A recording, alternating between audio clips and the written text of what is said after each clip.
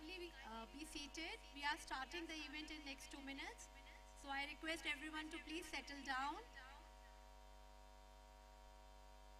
I hope we had enough time for selfies and all in the morning.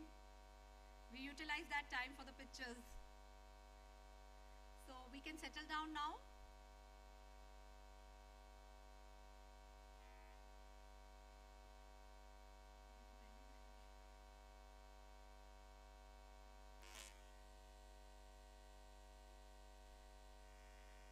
Good morning, everyone, and welcome to this beautiful city of Leh. Shall I please request everyone to settle down so that we can start the event? Kindly be seated. I, Dr. Monica Kathuria, and my colleague Dr. Lakshmi Mahato welcome you all on behalf of NCH to this grand conglomeration of dignitaries and experts from all homeopathic colleges and diversified organizations from all over the country from homeopathic fraternity to attend this special event of orientation and interactive meet for principals of homeopathic medical colleges organized on 24th and 25th January 2023. We wish you all a very productive conference with exciting and encouraging discussion and exchange of knowledge and information so that we can anticipate a future of groundbreaking innovation in the field of homeopathic education and clinical care. To begin with, let me welcome our dignitaries and guests of honor on the stage. Let's first welcome Dr. Anil Khurana, Sir, Chairman, NCH. He's there with us as the leader today on the stage. He's an internationally acclaimed personality in homeopathic fraternity. He's an epitome of dedication and diligence towards his profession and extending homeopathy to newer heights. Then we have with us chief guest for the event, who's present with us on virtual platform, Vaidya Shri Rajesh Kotecha ji, Secretary, Ministry of Ayush, Government of India.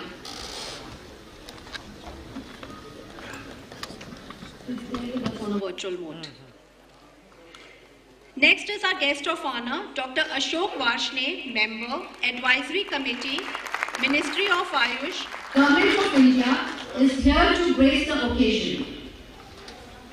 Uh, good morning, everyone.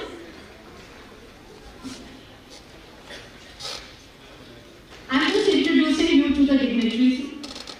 and next is Sri Rahul Sharma ji, Joint Secretary, Ministry of Ayush, Government of India. He has also joined us on the virtual mode as our guest of honor.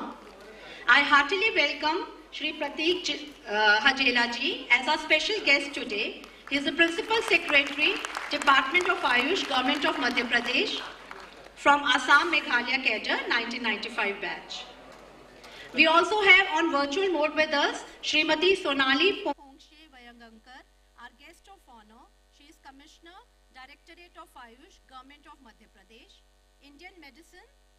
And Homeopathic Department. Next with us is Dr. Subhash Kaushik sir. He is Director General, Central Council of Research in Homeopathy. Next, Dr. K.R. Janardhanan Nair sir. He is President Medical Assessment and Rating Board for Homeopathy, National Commission for Homeopathy. Dr. Pinakin N. Trivedi sir. He is President, Board of Ethics and Registration for Homeopathy, National Commission for Homeopathy. Dr. Tarakeshwar Jain sir, President, Homeopathic Education Board, National Commission for Homeopathy. Dr. S.K. Mishra sir, he is Principal and CEO, Government, of, Government Homeopathic Medical College and Hospital, Bhopal. And Dr. Uh, Sanjay Gupta sir, he is Secretary, National Commission for Homeopathy. We welcome all the dignitaries on the stage. Since no academic celebration is complete without remembering our beloved country, so let us all first stand for national anthem for our beautiful land of Bharat.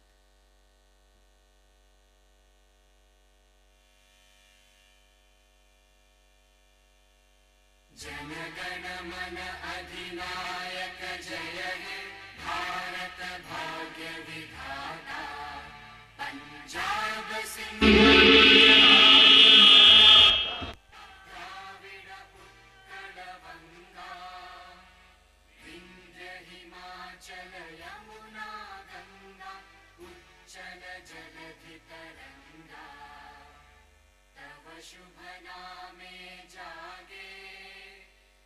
शुभ आशिष मागे। गाहे तव जय गाथा। जनगण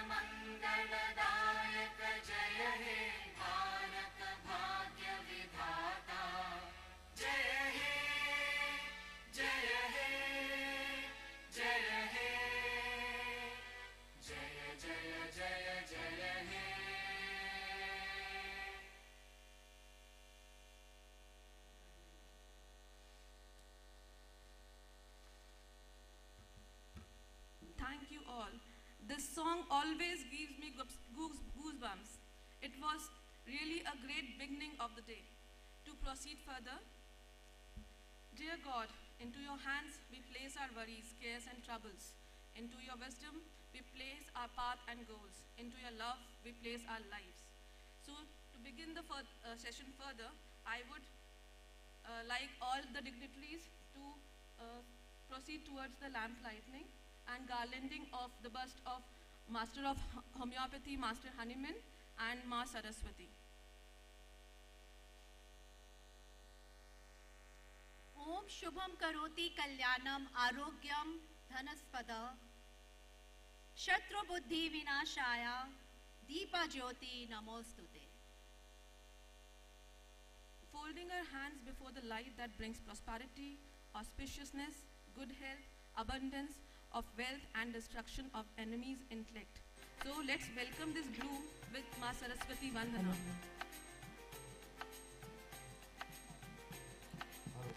Hello, hello, hello, hello, hello. Hello, hello, hello. Hello.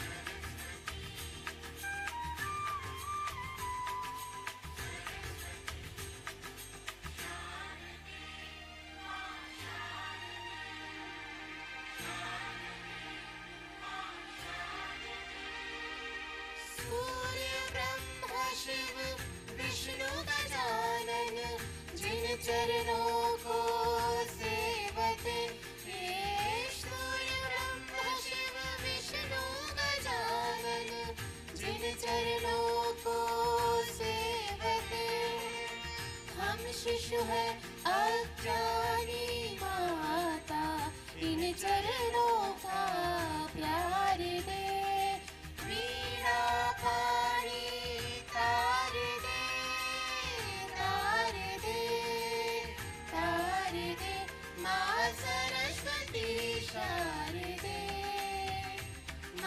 Saraswati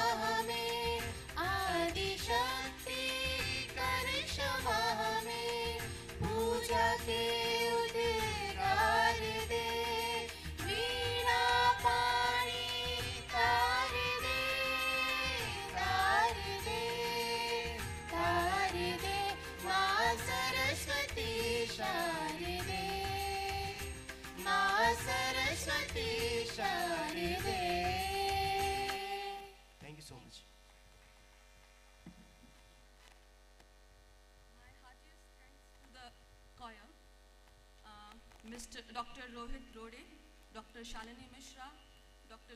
Simi Jain, and Dr. Lavani Banerjee.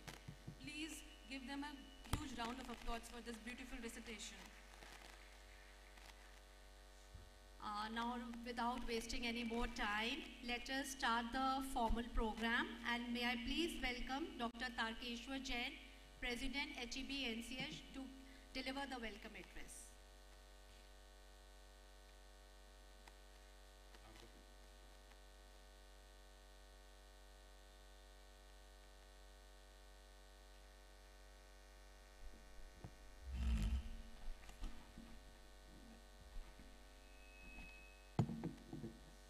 very, very warm and beautiful from the city of lakes, uh, the heart of India, Bhopal. I welcome you all on behalf of uh, uh, National Commission for Homeopathy. We are really privileged to uh, be here indeed and enjoying the beauty of this campus. But uh, today with us, we have some very important dignitaries. Some of them have joined us virtually and some are physically present. So I take pleasure and I feel privileged to first of all welcome our very own Vaidya Shri Padam Shri Rajesh Kotechaji who is the Secretary of Ayush, Ministry of Ayush. We have with us, uh, he is also joined virtually, uh, Shri Rahul Sharma ji who is the Joint Secretary of Ministry of Ayush, Government of India, New Delhi.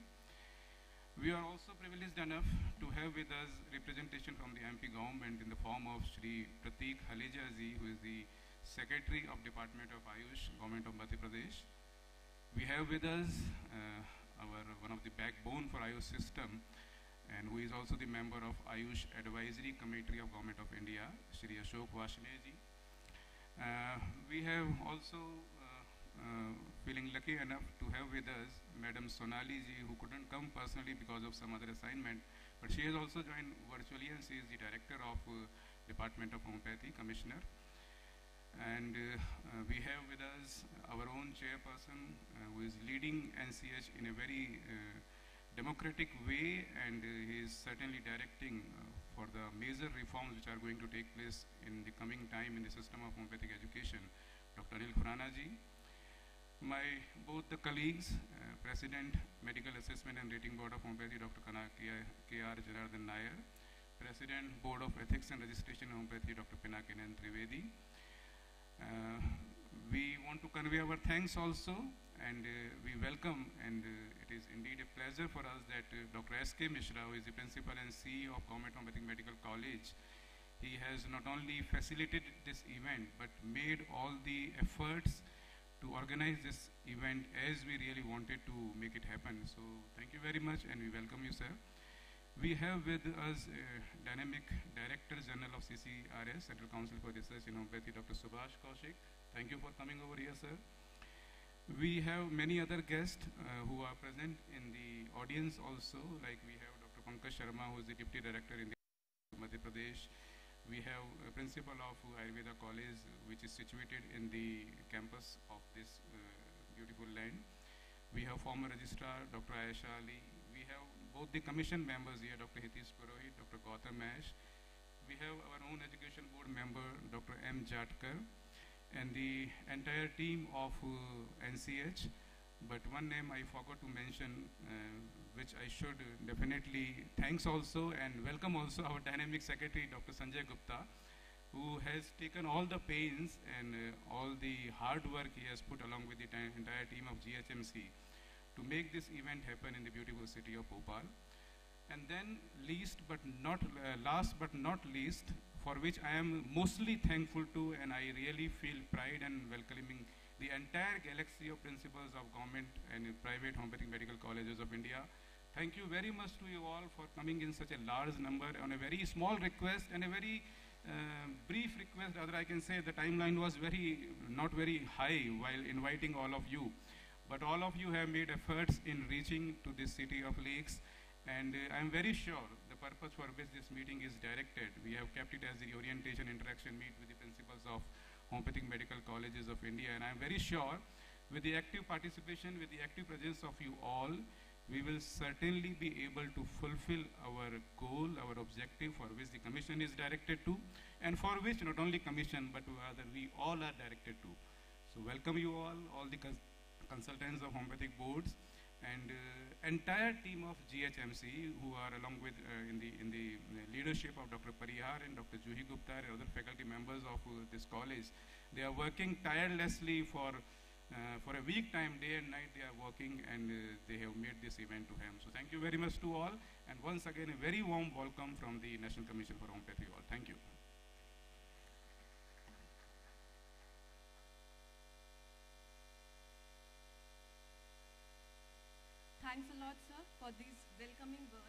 Now, I would like to invite Dr. Anil Khurana, sir, Chairperson, National Commission for Homeopathy, to give the keynote address. Thank you.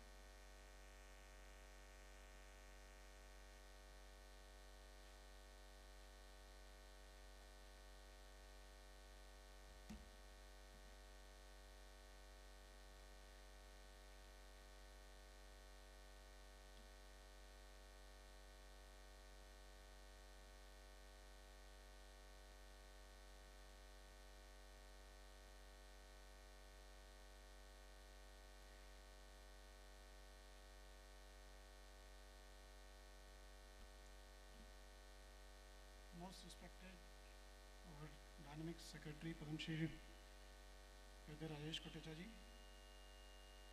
joint secretary Shri Rahul Sharma ji, Dr. Ashok Varshney, Shri Pratik Hajela ji, Dr. Subhash Kaushik, my colleagues from NCH, Dr. S.K. Mishra, all principals and faculties of homeopathic medical colleges, all parts of the country, and the media persons. Uh, we know that the National Commission for Homeopathy has been constituted by an Act of Parliament known as the National Commission for Homeopathy Act 2020, which came into force by Gazette notification on 5th July 2021.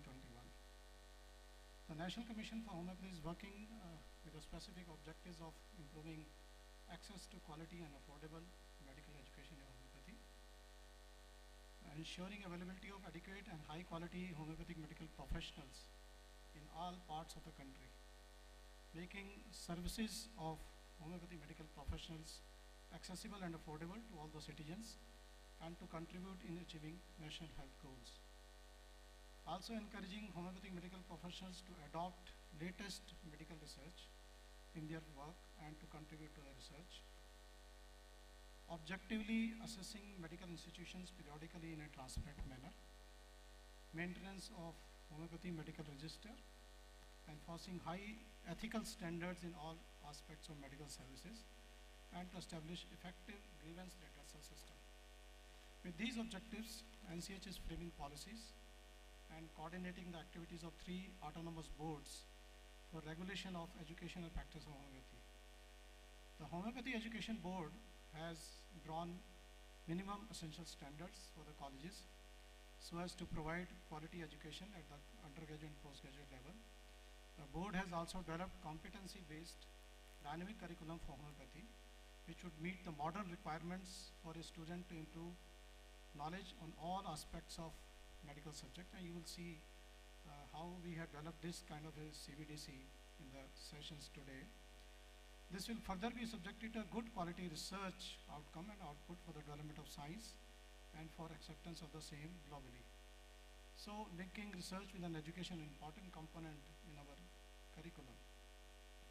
Electives in related subjects will enhance the skill building in specific areas.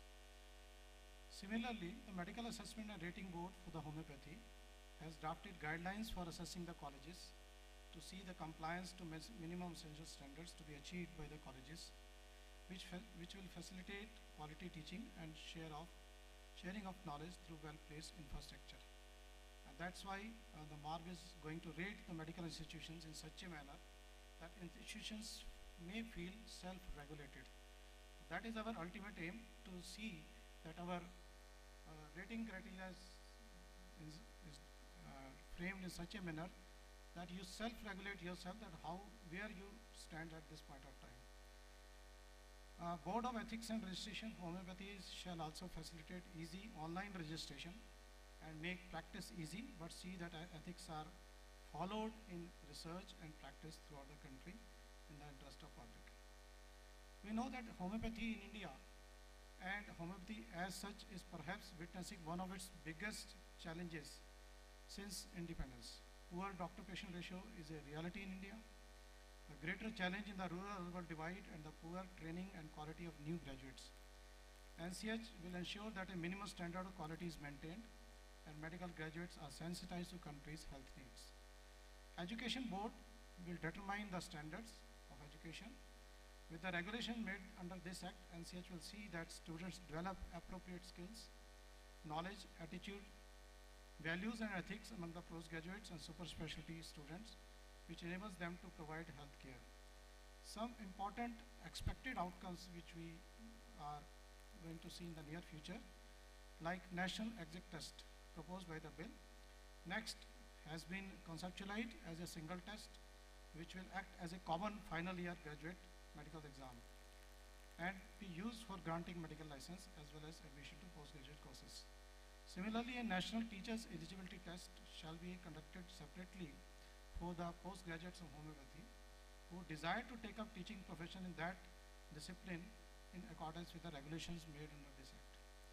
Steps will also be taken for drafting guidelines for integrative care in various diseases for maximum clinical benefits to patient care. That's why uh, there is the current era, the policy of government is going towards taking up an integrative health care.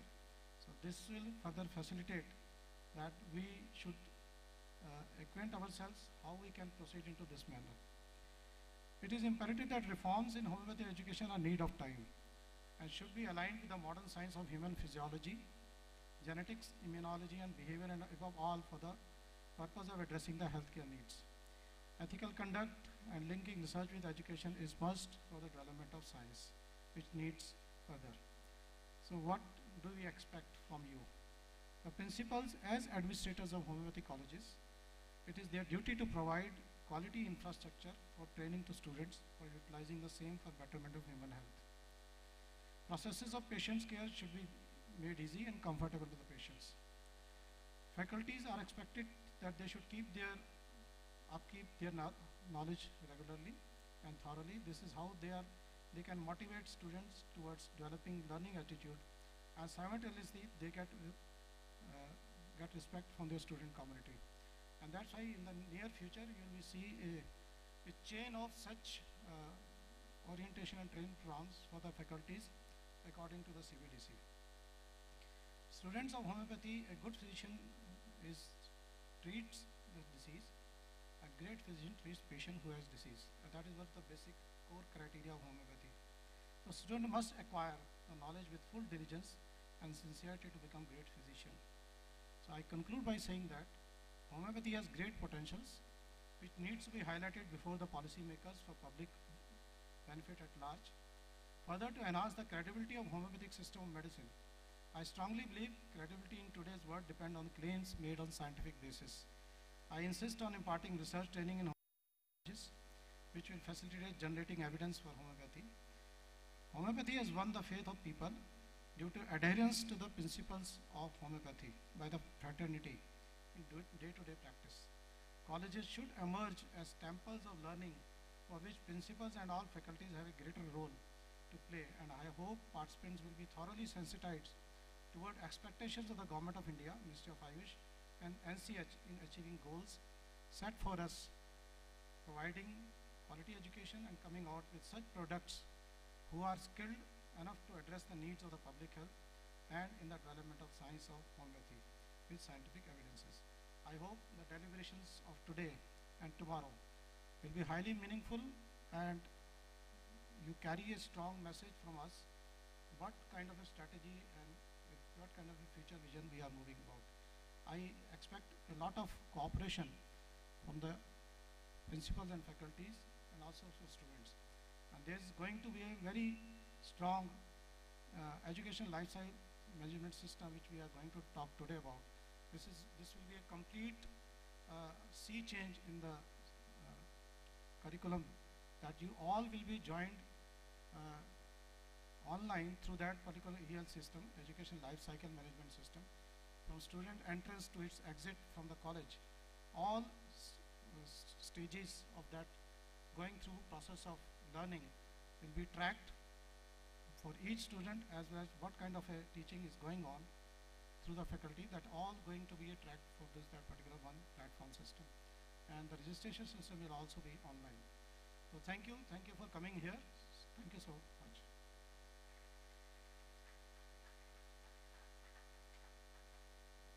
Thank you, sir, for inspiring words.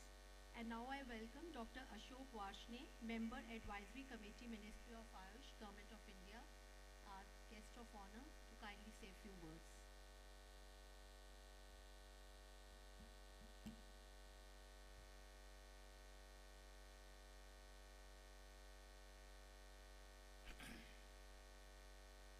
मंच पर उपस्थित। National commission for homeopathy के chairman doctor Anil Khurana ji Madhya Pradesh शासन के principal secretary श्रीमान Prateek Hajela ji. CCRH के director general, doctor Subhash Kaushik ji. Doctor के R Jananand Nair ji. Doctor Rahul Sharma ji. National commission for homoeopathy के सेक्रेटरी डॉक्टर संजय गुप्ता जी यहाँ के principal doctor S K Mishra जी पूरे देश भर से आए हुए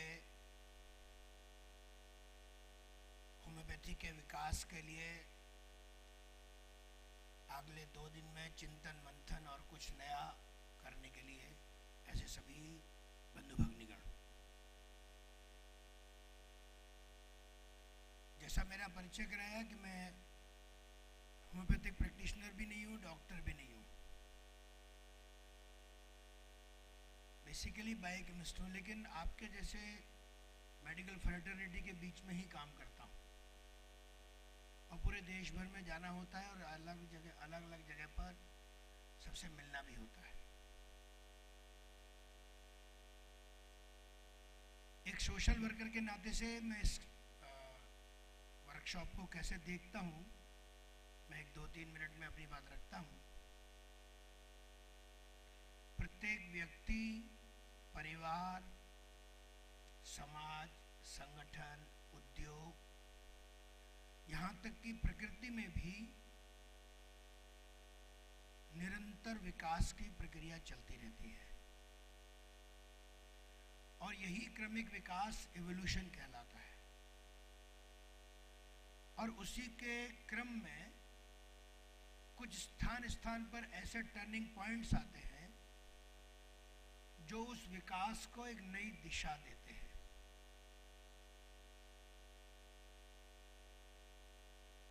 यह विकास चलता रहता है यह रुकता नहीं है। ठीक वैसे ही जैसे हमारे हाथ में मोबाइल है, उसकी बैटरी है, हम उसको चार्ज करेंगे, हम प्रयोग करेंगे तो खर्च होगी।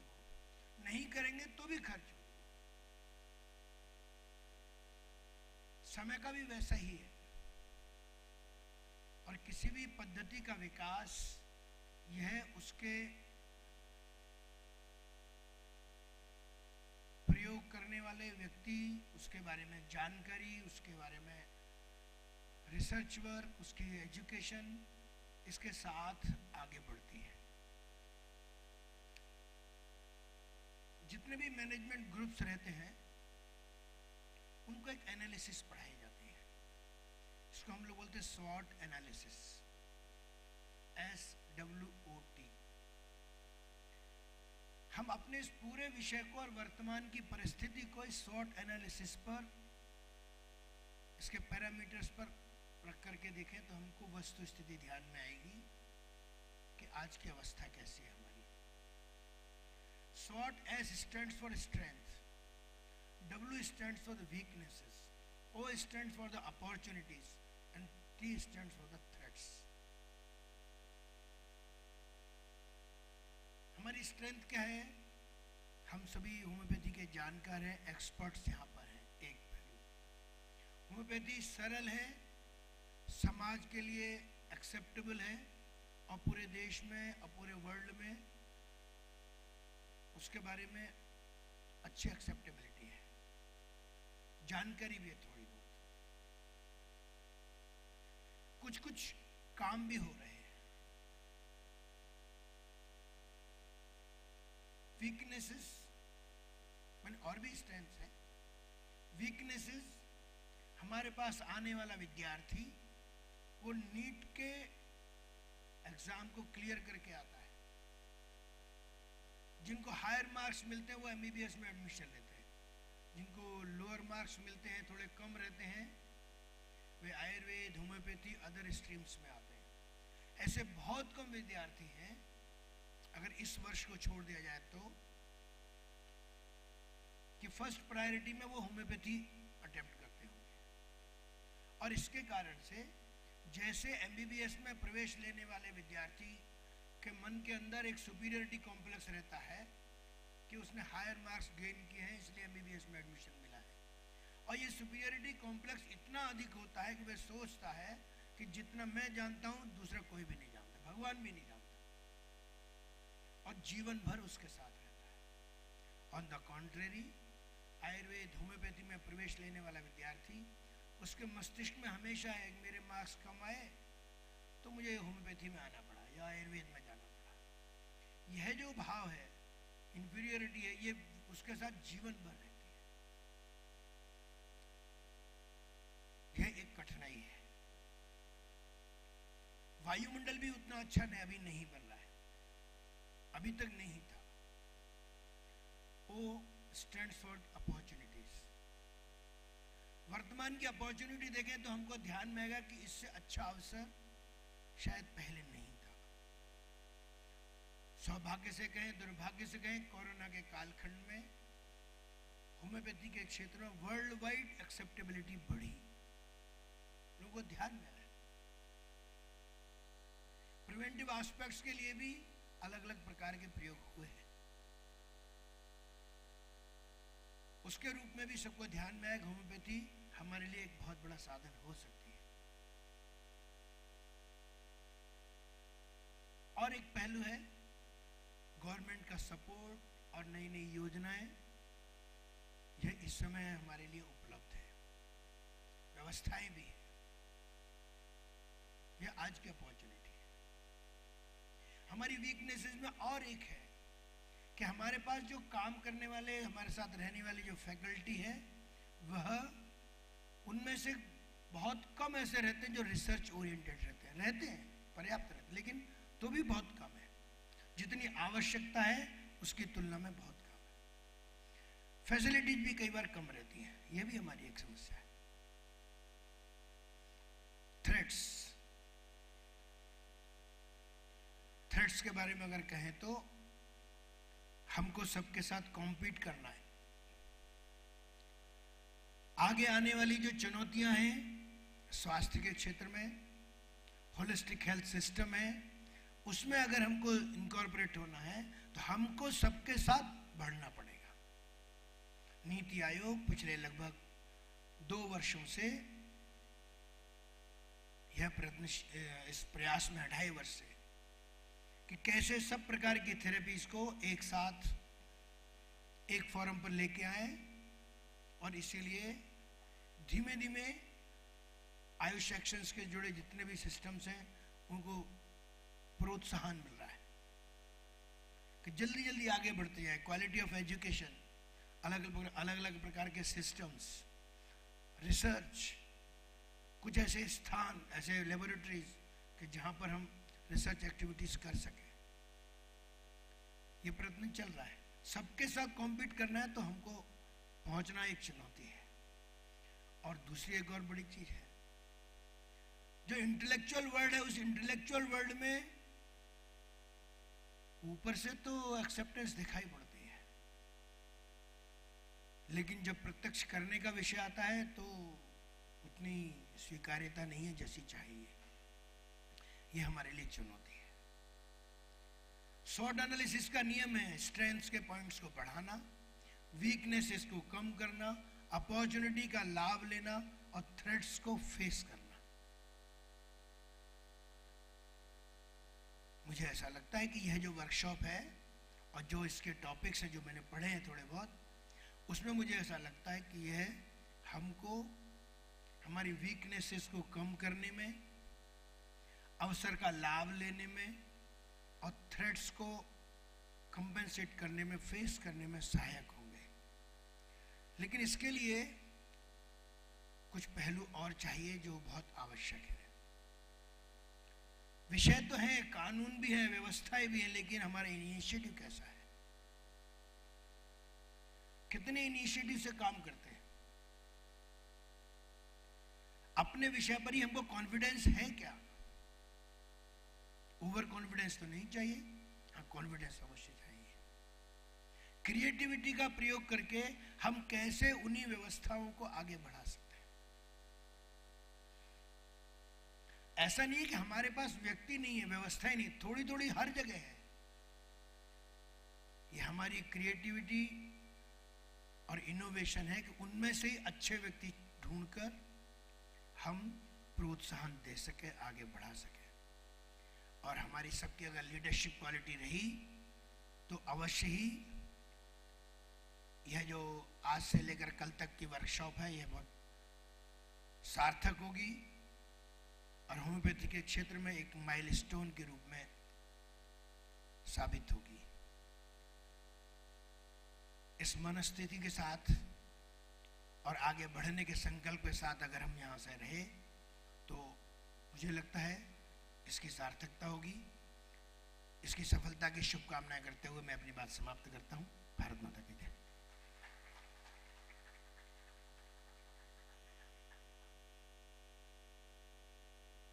Thank you so much, sir. Now I uh, welcome uh, Shri Pratik Hajela ji, who is with us as a special guest, Principal Secretary, Department of Ayush, Government of Madhya Pradesh, to kindly say a few words. कौन सी language में आप लोग prefer करेंगे हिंदी या English हाँ बहुत okay let's be bilingual then क्योंकि मध्य प्रदेश में हम काफ़ी हिंदी का प्रचलन बहुत है और उस भाषा में बात करने से बात बहुत लोगों तक पहुँच पाती है इसलिए मैंने सोचा लेकिन आज यहाँ पे कुछ गेस्ट बाहर के भी हैं तो in that case what we do is that we have a mix of English and Hindi तो respected Vaidya Rajesh Katocha ji secretary ministry of AYUSH government of India Shri Rahul Sharma joint secretary AYUSH government of India doctor Anil Khurana chairperson National Commission for Homeopathy, Dr. Subhash Kaushik, Director General CCRH, other dignitaries on the dais, and principals and faculty members from around, I'm told, 240 uh, government and private homeopathic colleges across India, and all other guests present here. Firstly, let me welcome you all to Madhya Pradesh on behalf of the state, on behalf of the state government. I extend a very warm welcome to all our guests who have come from outside MP and those from MP also. I welcome you all to Bhopal. Madhya Pradesh is the tiger state of the country. Highest number of tigers we find here. And in fact, you might find some of them just within one to two kilometers from here. A few months back, there were three tigers who were reportedly staying or camping for a few days right in the hill next to this hillock. Apart from that, there are many other features of Madhya Pradesh um, which you might find interesting. Ayush is also very welcome in this state. The people of Madhya Pradesh have been practicing Ayush systems for a fairly long period of time, particularly Ayurveda, homeopathy. So, a very warm welcome to all of you. Dr. Ashok Varshney, some time back, he mentioned that when a student or a candidate appears for the NEET examination, what is usually in his or her mind is that he'll become a usual allopathic doctor and maybe have a clinic of his own and have a good practice. Then he doesn't get so many marks and then he gets either or. And uh, after passing out, they still continue to open their clinics. But I feel that many of them they do not practice the pathy that they have learned, and they start practicing. Maybe on the outskirts, or maybe in those localities where the regular Ayurveda, uh, uh, allopathic doctors don't practice, in those areas they start practicing. Where they come into conflict with the allopathy doctors. And then you get reports that some people say that, well, these people are not practicing, they- are not competent to practice what they are doing. So, my first request to the principals and faculty members here is that kindly inculcate a sense of pride in our students. Please inculcate in them a sense of also remove any sense of inferiority that they have. I have a strong feeling, and actually it is proven also by number of our experiences that Ayurveda, homeopathy, Unani, Siddha we are not, are are not uh, much uh, conversant with it, homeopathy and allopathy, they are all complementary actually. There are number of diseases in which allopathic, conventional allopathy is not helpful. Uh, let me uh, share with you all that about one and a half years, maybe just about two years back, we had realized that there are a number of medical conditions or diseases in which Ayurveda is very helpful, homeopathy is very helpful, in skin hair problems, piles, fistula, old wounds, arthritis, rheumatoid arthritis, infertility, joint pains, digestion issues, and chronic kind of ailments. लेकिन होता ये है कि हम सबको अगर kidney stone होता है तो मालूम है कि हमको किडनी स्टोन के लिए किस डॉक्टर के पास में जाना है, किस हॉस्पिटल में जाना है? अगर हमको हार्ट का कोई इशू है तो कार्डियोलॉजिस्ट होता है, हमको मालूम और हम उस डॉक्टर के पास में या उस अस्पताल में चले जाते हैं। ना भी हो तो हम किसी अन्य अस्पताल में जाते हैं और वहाँ पे फिर वो हमको उस स्पेशलिस्ट की तरफ़ जो है वो पहुँचा देता है। लेकिन आयुर्वेद का डॉक्टर या होम्योपैथी का डॉक्टर आयुर्वेद की दवाइयाँ मुझे कहाँ मिलेंगी होम्योपैथी की दवाइयाँ मुझे कहाँ मिलेंगी अगर मैं याद करने की कोशिश करूँ तो बहुत मुश्किल होता है और मैं किसी से पूछ पाछ के जैसे तैसे जो है फिर मैं अपना काम चलाता हूँ। एलोपैथी की दुकानें, मेडिसिन की दुकानें तो नज़र वहाँ घुमाई और कहीं भी मिल जाती हैं। तो ऐसे में मैंने सोचा कि जब मेरे आयुष सिस्टम में ऐसी बीमारियों का इलाज है तो क्यों ना मेरे लोग उन बीमारियों से निजात पा सकें या उसमें रिलीफ पा सकें if my IU system has the capacity to give relief to them in cases of such diseases or disorders, why should I let them suffer? As Principal Secretary Ayush, it is my duty to ensure. Earlier I was in health department also. It's my duty to provide health to all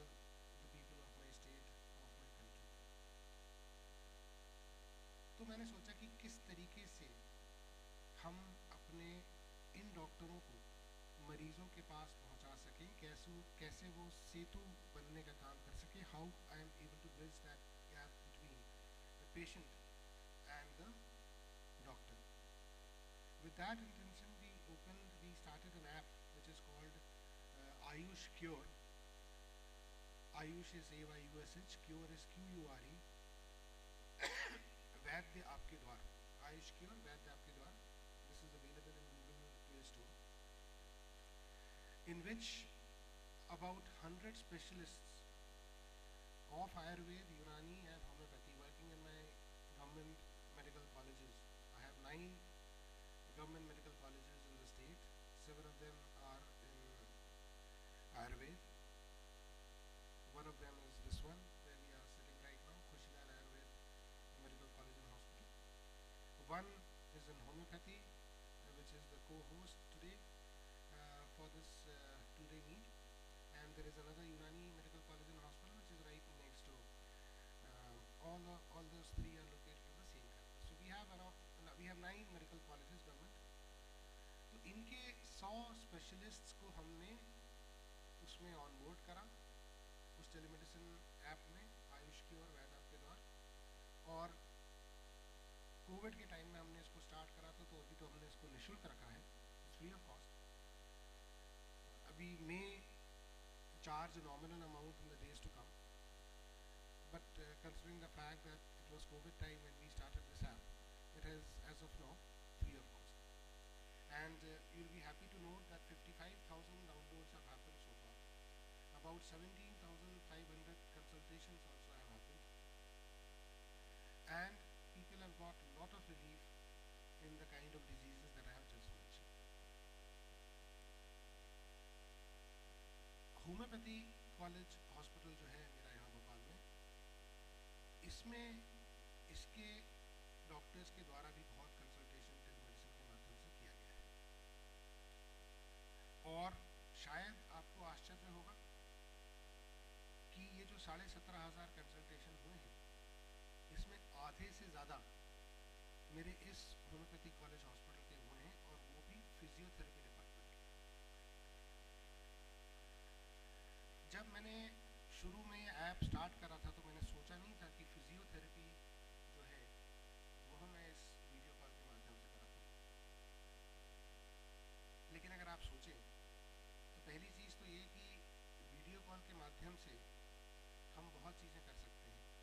मैंने एक consultation अपने सामने कराया जिसमें कि physiotherapist मेरे सामने मेरे चेम्बर में बैठी थी और पेशेंट को उन्होंने कॉल करा तो वो जिस जिस तरीके के एक्सरसाइजेस कर रहे थे पेशेंट भी वही वही एक्सरसाइजेस कर रहा था तो ज़रूरी नहीं है कि हम सिर्फ़ एक दूसरे की शक्ल देख के अपने सिम्टम्स बताएँ। हम एक दूसरे के को देख के हम उन एक्सरसाइजेस को भी करवा सकते हैं। और अगर आप सोचें तो सबसे ज़्यादा ज़रूरत तो फिजियोथेरेपी जिसको चाहिए, उसी पेशेंट को होगी टेलीमेडिसिन ऐप की। बाकी लोग तो स्वयं चल के हॉस्पिटल आ सकते हैं। लेकिन जो फिजियोथेरेपी की जैसे रिक्वायरमेंट है, उसे ज़रूर कुछ चलने फिरने की या मूवमेंट की प्रॉब्लम होगी तो इस वजह से फिजियोथेरेपी जो है बहुत इससे यूज़फुल रहा।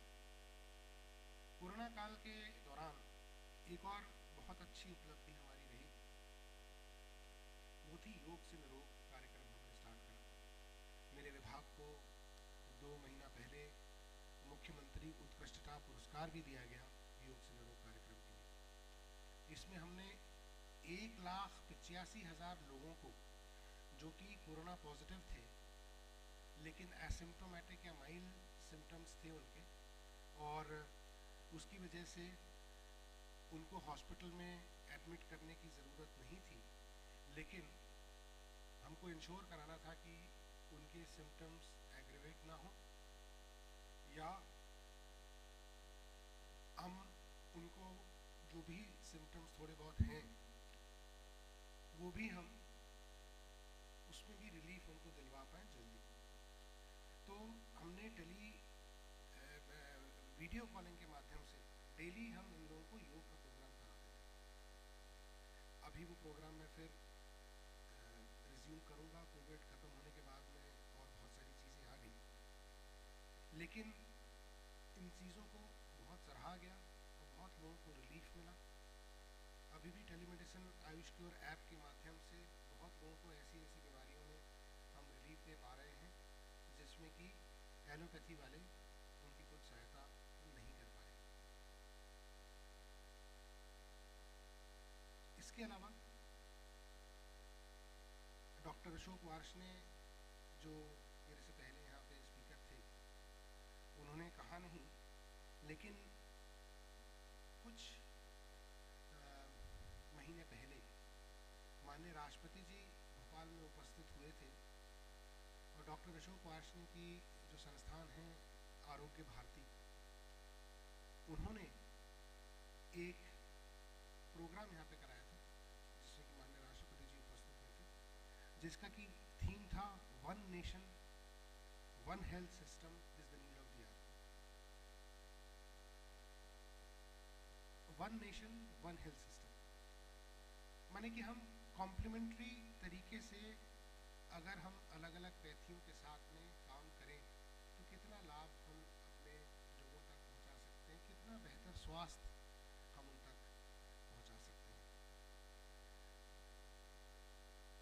एक हफ़्ता पहले ही, आज तेईस तारीख है, चौबीस है, सोलह सत्रह जनवरी को यहाँ पे जी ट्वेंटी का एक इवेंट हुआ, भोपाल में। मेरा सौभाग्य था कि मैं उसका और आपको हैरानी होगी जान के कि उसका थीम क्या था। उस इवेंट का थीम था global governance with life values and wellbeing यहाँ life L I F E का मतलब है लाइफ स्टाइल फॉर एनवायरमेंट और उसके अंदर भी एक सेशन था one health wellness and traditional medicine कुछ दिनों पहले, एक वर्ष पहले करीब अ, आप लोग को ध्यान होगा कि अ, गुजरात में W H O centre for traditional medicine खोलने का निर्णय लिया गया है। तो कहने का मतलब मेरा ये है कि एक दूसरे के साथ हम compete ना करके, पैथियों के साथ compete ना करके, अगर कॉम्प्लीमेंट्री रोल के साथ में हम काम करें तो कितना बेहतर स्वास्थ्य हम लोगों तक पहुँचा सकते हैं। मध्य प्रदेश सरकार इस दिशा में काफ़ी काम कर रही है। और भारत सरकार की तो स्कीम है ही कि अ, आयुष के विंग जो है डिस्ट्रिक्ट अस्पताल में भी खोले जाए और खोले गए भी हैं। इसके अलावा मध्य प्रदेश सरकार ने एक टास्क फोर्स भी बनाया है, जो डॉक्टर भूषण पटवर्धन की अध्यक्षता में task force has been created under chairmanship of eminent doctor Bhushan Patwardhan and there are members of AIIMS Delhi AIIMS Rishikesh practitioners from AYUSH systems how do we bring in this concept of complementarity. And how are we able to ensure that the allopathic practitioners give cross references to our Ayush doctors and our Ayush doctors give cross references to um, allopathic doctors? So that this competition ends and we are able to give the best that we can offer to this world and to, to,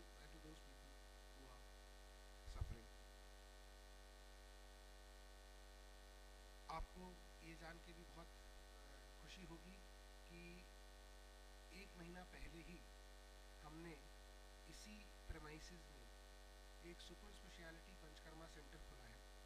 Super speciality Panchakarma and wellness centre उसकी building आप बाहर खड़े होंगे तो आपको दिख जाएगी, ये जो बीच में लेक टाइप का है, उसके दूसरी तरफ़। जो कि हमने, है तो वो सुपर स्पेशलिटी सेंटर लेकिन आप ना बाहर से, ना अंदर से, कहीं पे भी आपको वो हॉस्पिटल नहीं दिखाई देगा उसके अंदर जितने भी कमरे हैं, वो सारे होटल के रूप के रूप में हैं। जो हमारी हॉस्पिटैलिटी है और फ़ूड है, वो भी हमने Madhya Pradesh tourism development corporation को दिया हुआ है। डॉक्टर शायद आपको अप्रैल पहनते हुए दिखाई दें, लेकिन बाकी कोई वहाँ पे आपको जो टिपिकल एक अस्पताल का लुक होता है वो आपको नहीं दिखाई देगा इसको हम वेलनेस सेंटर के रूप में प्रमोट करने की कोशिश कर रहे हैं, जो कि आमतौर पर ऋषिकेश, हरिद्वार नॉर्थ इंडिया के, उत्तराखंड की कुछ जगहों में और साउथ में बहुत सारी जगह वेलनेस सेंटर्स चल रहे हैं। वही वेलनेस सेंटर को हमने भोपाल में खोलने का प्रयास किया है। हमने ये कोशिश की है कि जो हमारे मसाज करने वाले लोग हैं वहाँ पर वो ज़्यादा से ज़्यादा हम साउथ से लाएँ, जिससे कि ऑथेंटिसिटी जो है, वो हम डिस्प्ले कर पाएँ। क्योंकि वो लोग को एक्सपीरियंस है वहाँ पे जो है the systems of panchakarma have been quite well established and practiced also so we have tried to bring that element also the medicines that we use in that uh, uh, Panchkarma Wellness Center are also of much higher quality than what is available in regular government hospitals. Of course, there is a cost attached to it. We have uh, two suites in which uh, the room in which I am staying, in a room adjacent to that, which is also mine so long as I am a is there. The Panchkarma table is there itself. So I don't have to go out and get my Panchkarma done uh, in a common facility. That costs around 4,000 rupees per day. We also have other rooms where the suite is not available, but the Panchkarma tables are many in number, so that there is no queuing etc. जो मेरा यहाँ पे खुशीलाल अस्पताल है, उसके अंदर otherwise panchakarma के लिए तीन से चार महीने की वेटिंग लिस्ट रहती है। और वहाँ पे ऑफ़ पच्चीस रुपये या पचास रुपये में पंचकर्मा का काम हो जाता है एक दिन यहाँ पे तीन हज़ार या चार हज़ार हम चार्ज कर रहे हैं। लेकिन बावजूद उसके हमारा फुटफॉल जो है बढ़ ही रहा है। तो कहने का मतलब मेरा ये है कि वेलनेस में भी जो है हमारा आयुष का बहुत योगदान है। आप लोग को मालूम होगा कि कुछ समय पहले पूरे देश में हेल्थ एंड वेलनेस सेंटर्स खोले गए हैं एच जब मैं हेल्थ कमिश्नर होता था तो एन के माध्यम से हम उन हेल्थ एंड वेलनेस सेंटर्स को खोल रहे थे। दस हज़ार से ज़्यादा हैं। मध्य प्रदेश में। और जब मैं आयुष विभाग में आया तो मैंने देखा कि यहाँ पे भी एंड वेलनेस सेंटर्स जो है, आयुष के खोले जा रहे हैं पहले सिर्फ़ आयुर्वेद के खुले, अब हम होम्योपैथी के भी खोल रहे हैं पाँच सौ बासठ हो चुकी है इनकी संख्या अभी तक फाइव सिक्सटी टू और कुछ दिनों में हम इसको सेवन सिक्सटी टू तक ले जाएँगे और अगर वाकई में देखा जाए तो wellness as a concept which pathy is most eminently suitable for? Is it allopathy? Which is more addressing towards. But if we have to look at options for boosting our immunity, for improving our general health so that we don't fall ill, then I think Ayush is most eminently suitable. And that's how I think that health and wellness centers that we will we are running will be performing much better than our allopathic because the basic basics are different. Another thing that you can tell your students is that over a period of time what has happened is that when the allopathic system, the conventional, uh, this um, uh, the new new medicine you can say, these opened around 1950, 1960s across India. Till that time, many of our health needs were actually being met via systems of Ayush. But when these when these new medical system, new medicine system came, slowly and slowly, um, it caused a death blow to the Ayush systems, and our Ayush system suddenly went down. अगर आप देखें तो कितनी सारी बीमारियाँ जो उसके बाद ज़्यादा आई हैं या हेल्थ कंडीशन जो आई अनीमिया कुपोषण even for that matter lifestyle diseases ये चीज़ों में इसलिए बढ़ोतरी भी हुई क्योंकि जो नया मेडिसिन सिस्टम इसको एड्रेस नहीं कर पाया और साथ में जो सिस्टम आयुष का इसको एड्रेस कर सकता था, उसको हमने ख़त्म कर दिया। तो ये ज़रूरी है कि हम इसको वापस जीवित जीवित करें। और आप अपने स्टूडेंट्स को ये चीज़ बताइए कि आप इसको जीवित करने में आपका कितना महत्वपूर्ण रोल हो सकता है और किस तरीके से आप बेहतर स्वास्थ्य जिसके के लिए आप पढ़ाई कर रहे हैं बी एच एम एस का कोर्स कर रहे हैं कितना वो यूज़फुल होगा आ, मेरे ख्याल से आ, मैंने काफ़ी समय आपका लिया आप लोग ने बहुत ध्यान से सुना आप बहुत बहुत धन्यवाद एक चीज़ और मैं बताना चाहता हूँ कि हमारा जो यहाँ पे होम्योपैथिक हॉस्पिटल है ये एक और फ़ील्ड में बहुत अच्छा काम कर रहा है वो है जीरियाट्रिक्स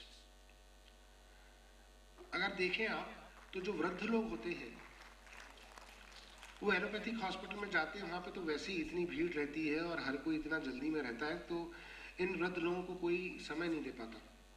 थैंकफुली होम्योपैथिक कॉलेज में फुटफॉल कम होने की वजह से हॉस्पिटल में फुटफॉल कम होने की वजह से जब वृद्ध लोग आते हैं यहाँ पे तो आ, उन्हें बेहतर महसूस होता है.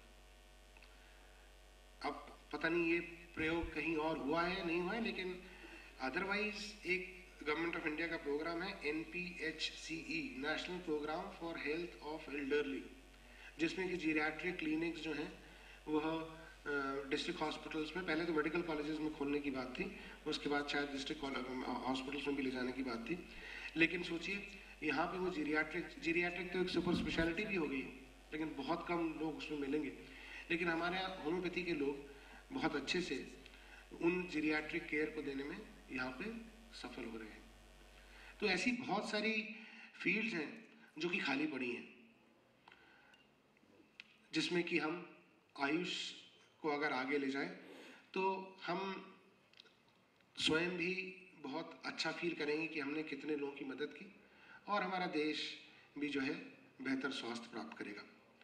एक चीज़ और मैं आपसे अनुरोध करना चाहूँगा कि चूँकि आप लोग इतने नज़दीक हैं यहाँ पे तो मेरा सुपर स्पेशलिटी पंचकर्मा सेंटर ज़रूर विज़िट करें और विश्वास करें कि आपको बहुत अच्छा वहाँ पे ट्रीटमेंट मिलेगा। वैसे तो पंचकर्मा ट्रीटमेंट चार या पाँच दिन के लिए होता है, सात दिन के लिए होता है। पूरा देखें तो 21 दिन लग जाते हैं, लेकिन फिर भी एक डेढ़ घंटे में भी आप अच्छा मसाज और स्टीम ट्रीटमेंट वहाँ पे करा सकते हैं। तो मेरा अनुरोध है कि ये जो हमारी नई फैसिलिटी हमने आरंभ की है, उसका आप लाभ लें और जब आप वापस जाएँगे तो आपको अच्छी यादें भोपाल की रहें।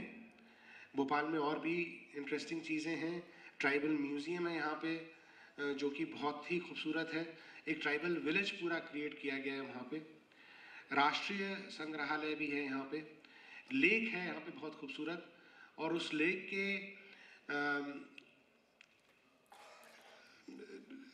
skirting the lake there is a beautiful road called Lakeview Drive. You can take a ride on that. Adjacent to that Lakeview Drive is uh, Van Vihar, which is a national park. I think the only capital in the country which has a national park in the heart of the city. So you can enjoy that. It has got very good wildlife. There is safari also available. If there is anybody who's interested, please let Dr. Sanjay Gupta know and I'll coordinate with him and I'll organize uh, that safari also for those who are interested. So, with these few words, welcome to Bhopal. I hope you have a very meaningful two day session and a very pleasant stay, and you go back with very fond memories of my city and my state. Thank you and welcome you all once again.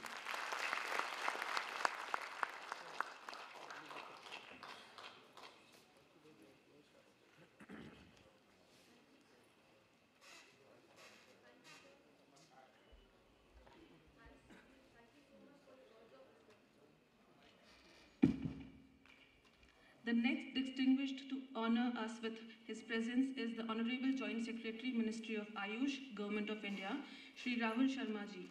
He is an IAS officer, 1998 batch of Jharkhand cadre. He will be joining us virtually.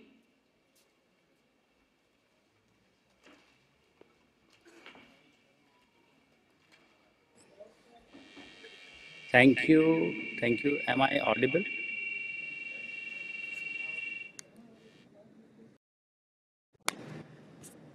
Honourable am I audible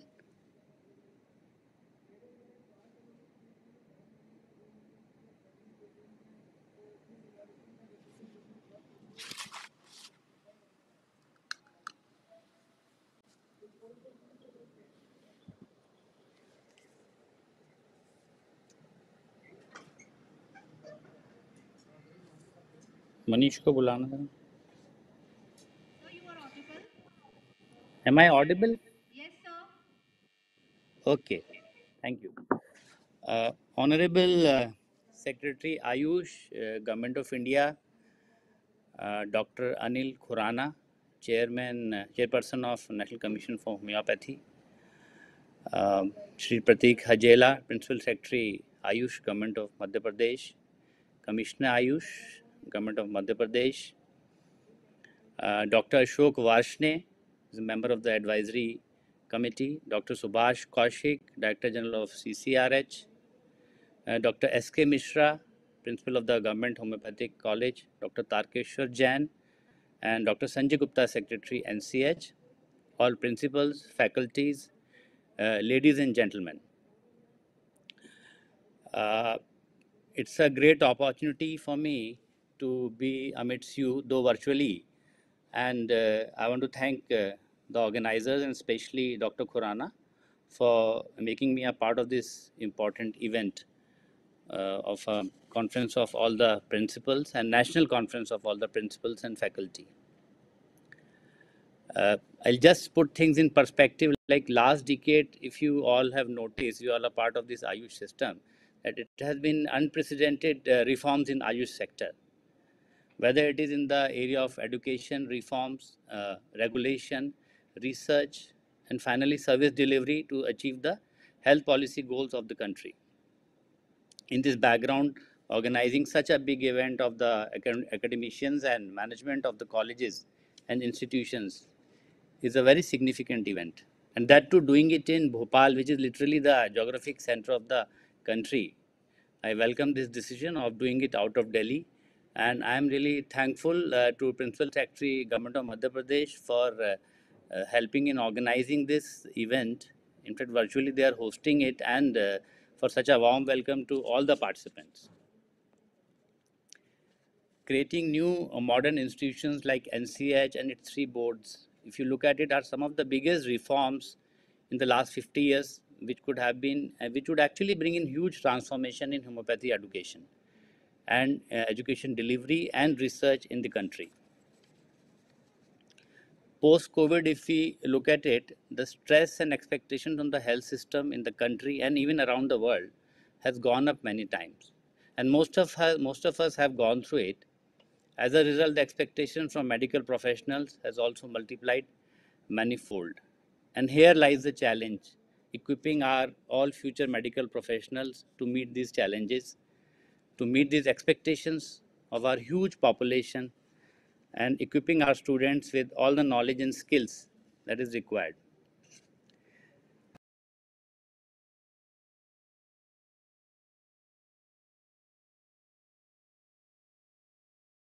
Ayush can actually play a very great role in complementing the allopathic system and achieving holistic health of patients and even all the international travelers who look up to these alternative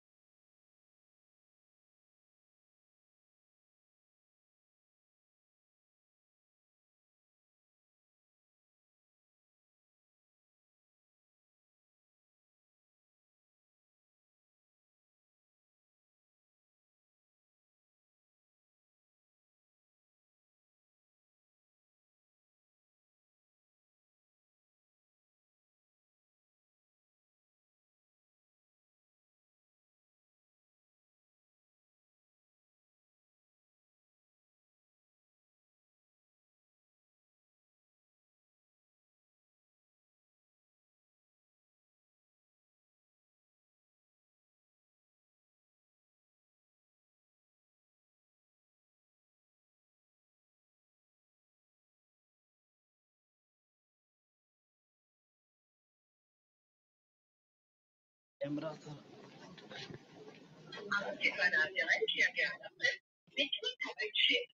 camera था।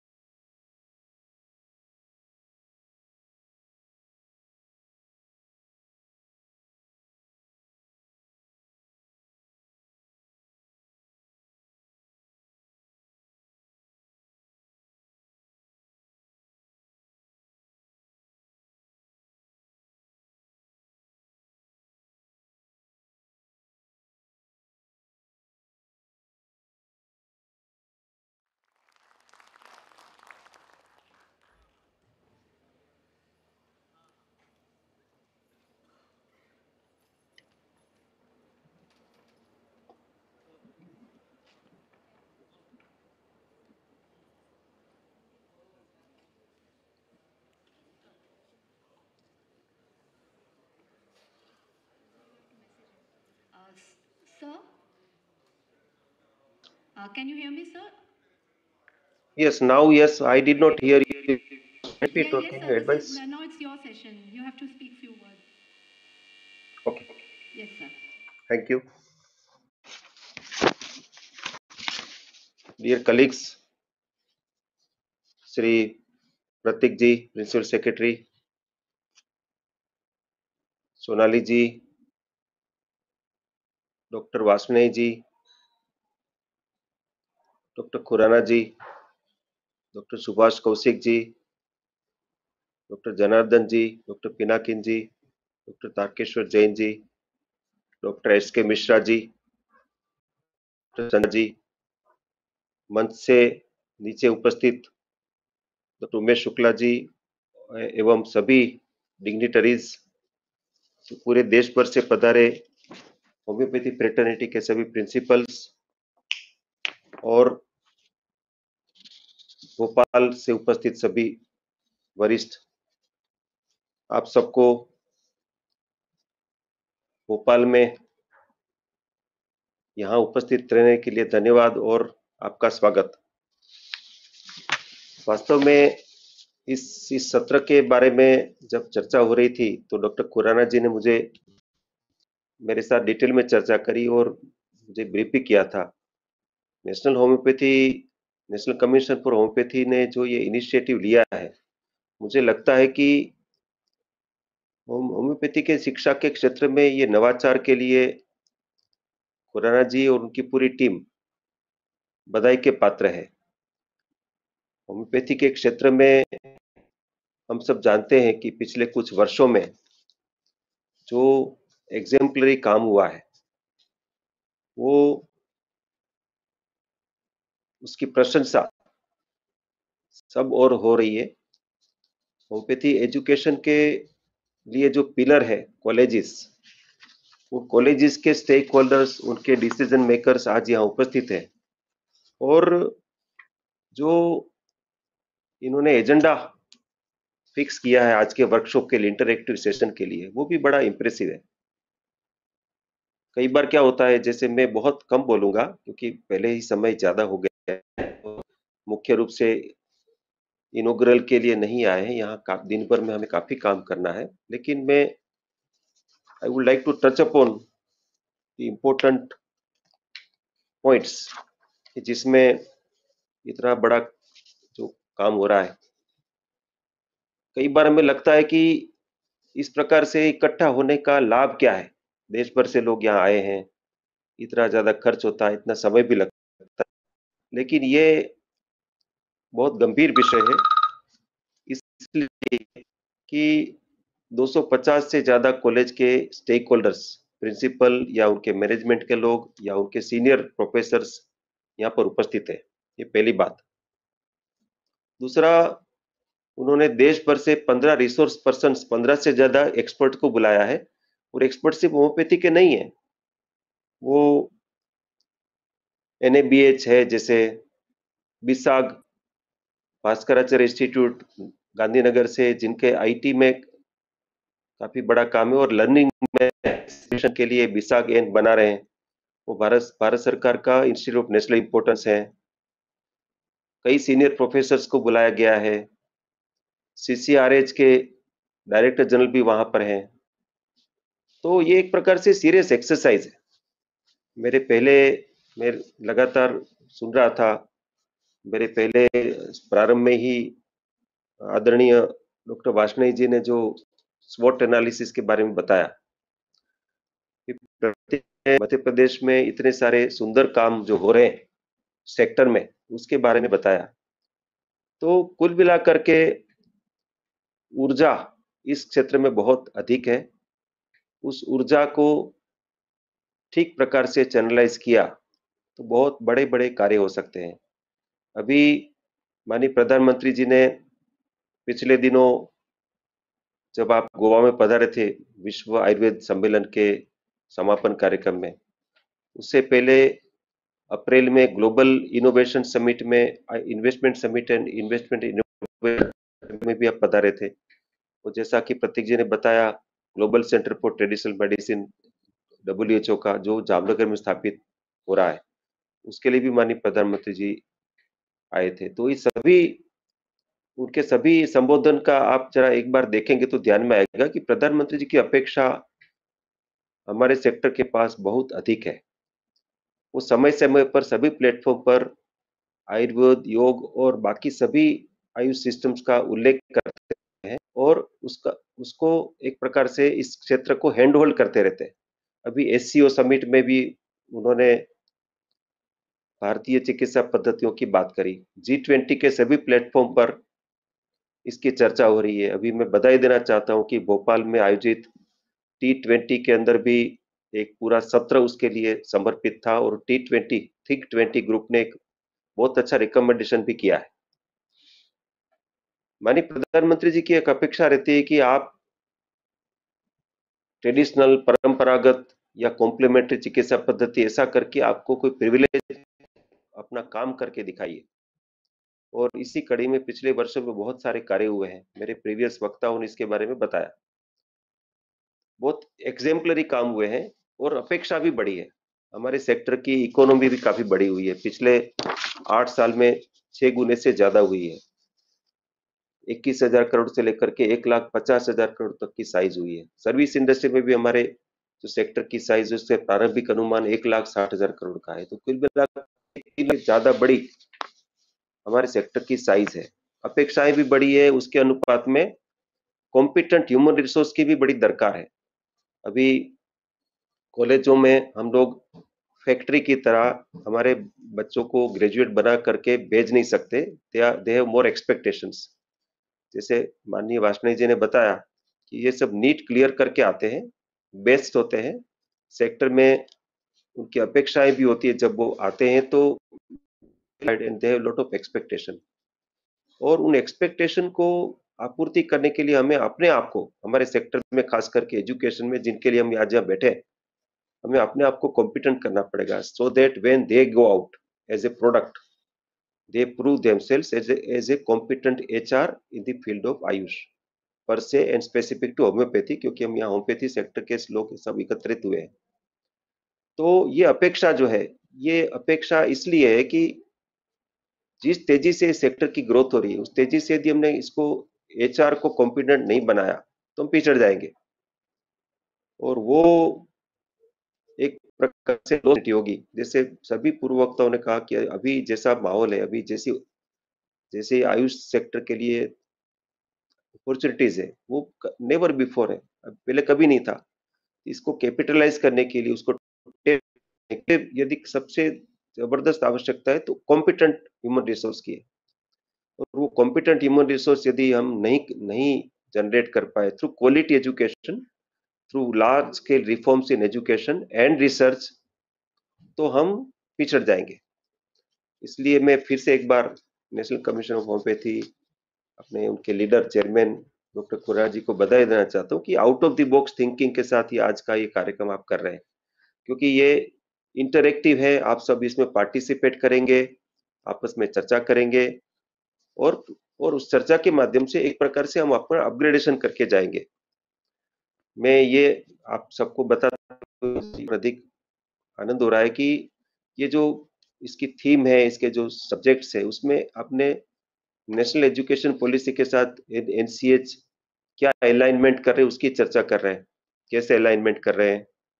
फिर आपने जो competency based dynamic curriculum जो प्रचलित करने का संकल्प लिया है, उसके बारे में आप सेंसिटाइज करेंगे।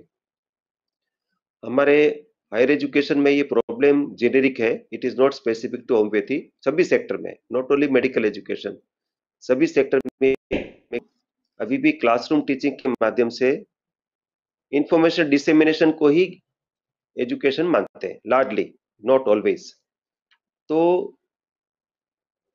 वास्तविक शिक्षा इंफॉर्मेशन डिसेमिनेशन नहीं है, वास्तविक शिक्षा छात्र के मन में जिज्ञासा पैदा करना, उनके प्रॉब्लम सॉल्विंग एप्टीट्यूड को एनहेंस करना और उनको उस क्षेत्र के विशेषज्ञ बनाना है। और उस क्षेत्र में आपने बहुत अच्छा काम प्रारंभ किया है। और कॉम्पिटेंसी बेस्ड डायनेमिक क्यूरिकुलम को मेरी, मेरा निवेदन है सभी लीडर्स को जो यहाँ उपस्थित है उसको जरा ठीक प्रकार से समझें।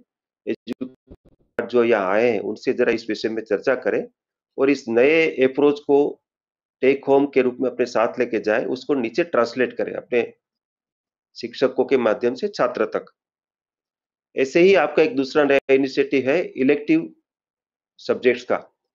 आपने ये निश्चित रूप से बहुत बहुत innovative out of the box कार्य किया है, क्योंकि मेडिकल एजुकेशन में इलेक्टिव का कॉन्सेप्ट अभी तक था नहीं। अभी और national commission of Indian medicine ने मिलकर के, साथ में मंथन करके इलेक्टिव का जो ये पूरा इकोसिस्टम बनाया है, ये काबिल तारीफ़ इसलिए है कि हम सब जानते हैं कि medical education is an is not only a science it is a science but it is an art also तो it is an art and science तो जब हम मेडिकल एजुकेशन में उस पर्सपेक्टिव को भूल जाते हैं जिसमें हम सोशल कनेक्ट करते हैं उसको इकोनॉमी के पर्सपेक्टिव से देखते हैं सोशोलॉजी के करते हैं उसको हम आ, दूसरे मेडिकल साइंसेस के पर्सपेक्टिव से देखते हैं इंटीग्रेटिव अप्रोच के लॉट ऑफ़ पॉसिबिलिटी ये सॉफ्ट स्किल्स की आवश्यकता है। हमारी कम्युनिकेशन टेक्नोलॉजी की ज़रूरत है। तो ये सब इलेक्टिव्स आपने डाले हैं।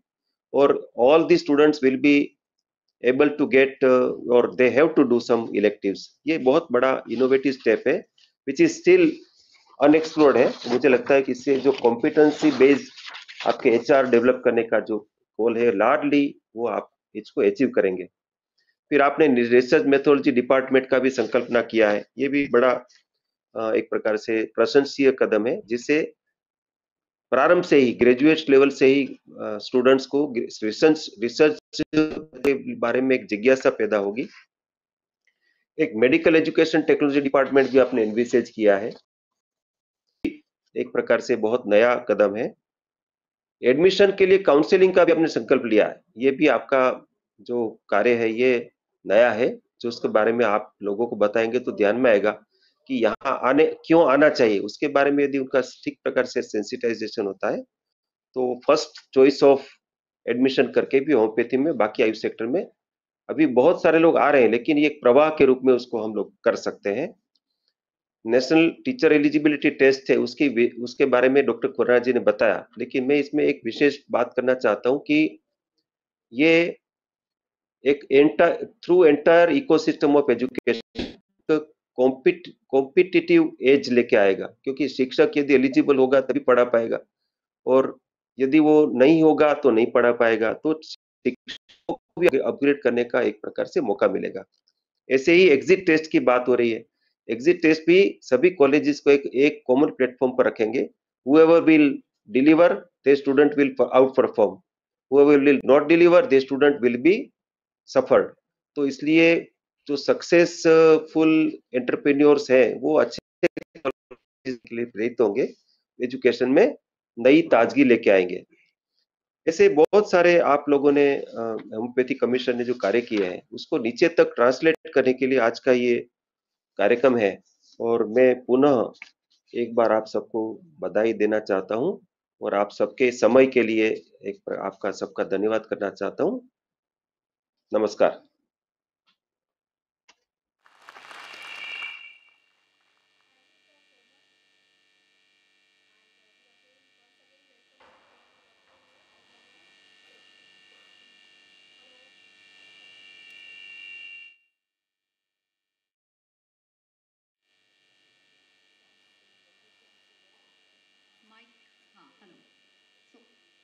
So thank you so much. We again welcome you for this program and those who have joined on the virtual mode, but you have given a great insight into what uh, activities we are planning for next two days.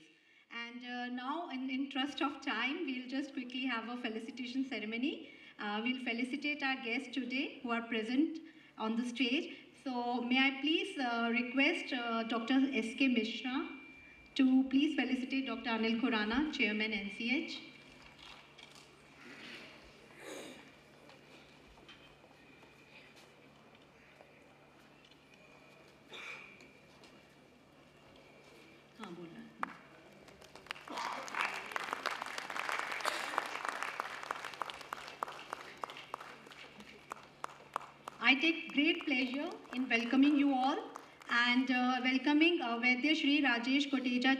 Virtual mode.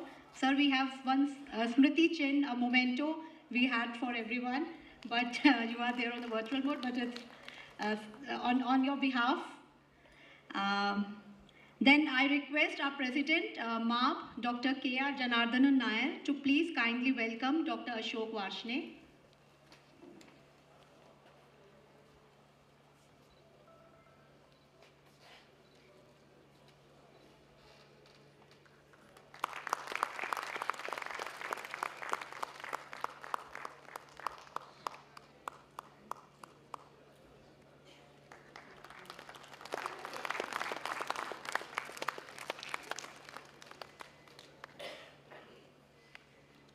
Uh, I would again like to welcome uh, Shri Rahul Sharma ji. I think we got disconnected. I think he's connected again. Sir, we welcome you on virtual mode.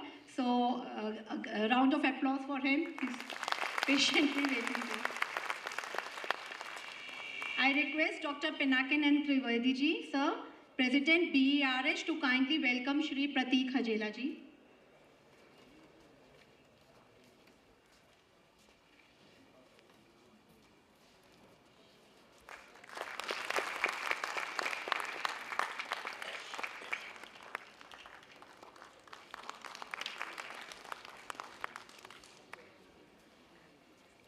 Our special guest, uh, Srimati Sonali Ponkshe Vyangankar, uh, who's also there on virtual mode with us. We would like to welcome her. Madam, welcome to the ceremony.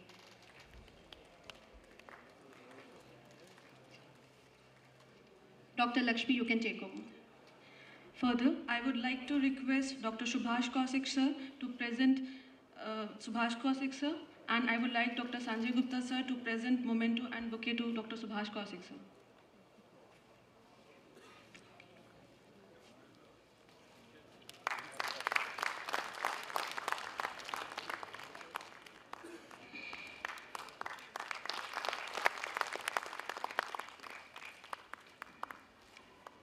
Now I would invite Dr. Parihar sir to present a bouquet and a memento to Dr. K.R. Janardana Nair sir.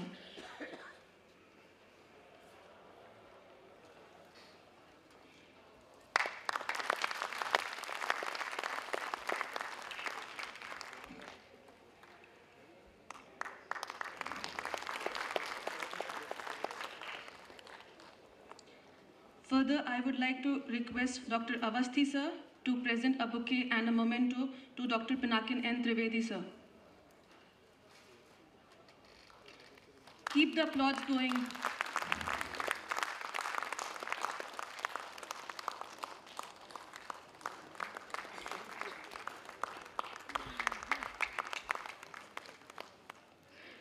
Now I would request Dr. Juhi Gupta ma'am to present a bouquet and a memento to Dr. Tarakeshwar Jain sir.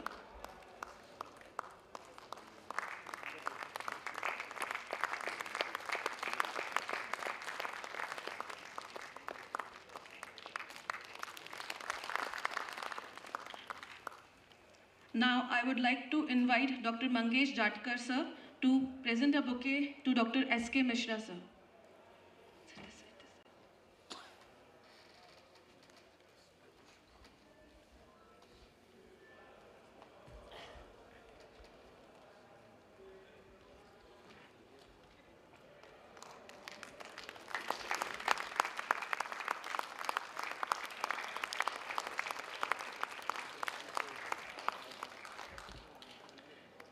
Would like to invite Dr. P. N. Pal Chaudhary sir to present a bouquet and a memento to Dr. Sanjay Gupta sir.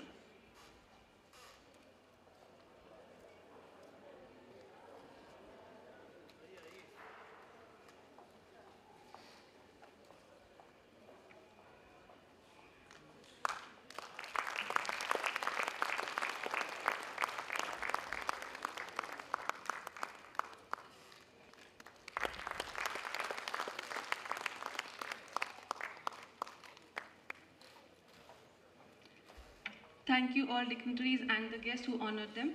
Thanks a lot. For further, mm, without wait, doing ado, I would like to request Dr. Sanjay Gupta, Gupta sir to please give few thankful words to the audience.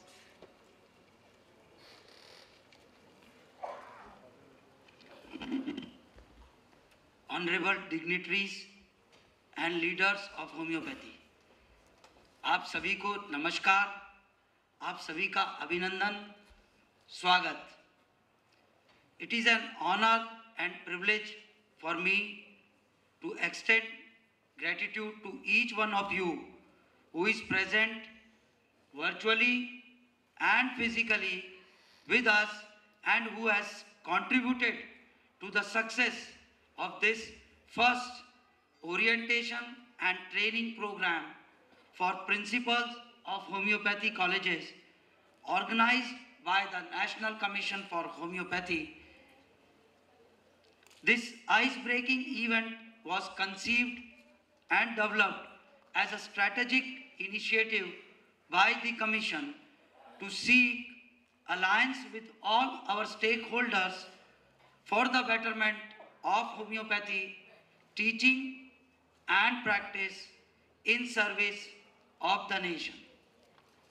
Madhya Pradesh, the heart of incredible India, is honored to witness this glorious event. Our heart- heartfelt gratitude to the Ministry of Ayush for promoting and guiding us with their financial and administrative support always. Special mention of the guidance and support of Shri Vaidya Rajesh Kotecha ji secretary government of India ministry of AYUSH our sincere gratitude to Shri doctor Ashok Varshney ji member advisory committee government of India ministry of AYUSH the torch bearer of the growth of holistic health with AYUSH in Dinesh We humbly express our special thanks to Honorable Shri Rahul Sharma ji, Joint Secretary, Government of India, Ministry of Ayush, for his unconditional, continuous support to nurture this meet. With folded hands, we express our gratitude to Honorable Shri Pratik Hajela ji, Principal Secretary, Government of Madhya Pradesh, Department of Ayush, and Honorable Srimati Sonali P. Vayangankarji, ma'am, who has been always inspiring us with their supportive gesture on behalf of state government in every venture of homeopathic education and service and not only restricting to activities of commission. Thank you, sir. Thank you, ma'am. We cannot forget to thank the remarkable leadership of Dr. S.K. Mishra, sir, Principal, Government Homeopathy Medical College and Hospital, Bhopal, and his never-tiring team for providing floor to this event and creating such an ambiguous environment for the homeopathy family assembled in the city of Lakes from across the nation. The participant representatives of each homeopathy college from every nook and corner of the country whose presence upholds the desire to take homeopathy to the horizon with NCH. Our heartfelt gratitude to the friends of print and electronic media for providing wide coverage to the event. Importantly, the Doordarshan and the Public Relation Department of State Government of Madhya Pradesh with all leading print and electronic media personals here. I extend my thanks for all perceptible and imperceptible support from New Life Laboratories, persons from security, people from BSNL, people from catering services, MPB, Madhya Pradesh Electricity Board, and personals of Ayush Auditorium team, and of course, each family member of the National Commission for Homeopathy. Besides thanking you all, I took a privilege to mention few names who has been always with me with silence and behind the curtain. None other than Deputy Secretary, Government of Madhya Pradesh, Shri Pankaj Sharma ji, and my members of the Commission, Shri Dr. Hitesh Purohit sir and Dr. Gautam Ash sir. I thank you all once again on behalf of Commission and I apologize if something happened inadvertently. I beg pardon for the same. Thank you all. Thank you, sir. And we are also so thankful for welcoming us to your beautiful city. Uh, there is some special mention of uh, guests who have just joined us. Uh, Shri Pankaj Sharma, Deputy Secretary, Department of Ayush, Madhya Pradesh. We can just welcome them with a big uh, applause. And Dr. Umesh Shukla, he's the Principal and CEO, Pandit Khushi, uh, Khushilal Sharma, Ayurvedic Institute, Bhopal. And now uh, I think we need a, tea break. So uh, there's a break for 10-15 minutes for high tea and you can proceed towards the dining area. And we will start the technical session soon after that. Thank you so much. There is an announcement. Those doctors who have missed registration, they may go to registration counter and get their registration.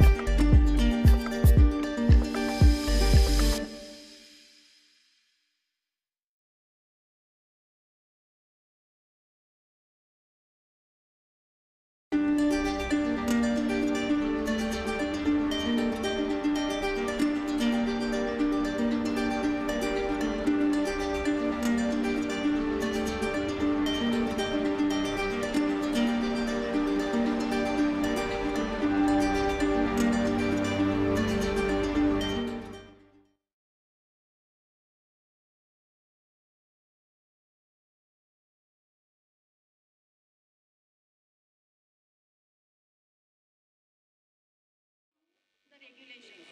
I humbly invite Dr. Takeshwar.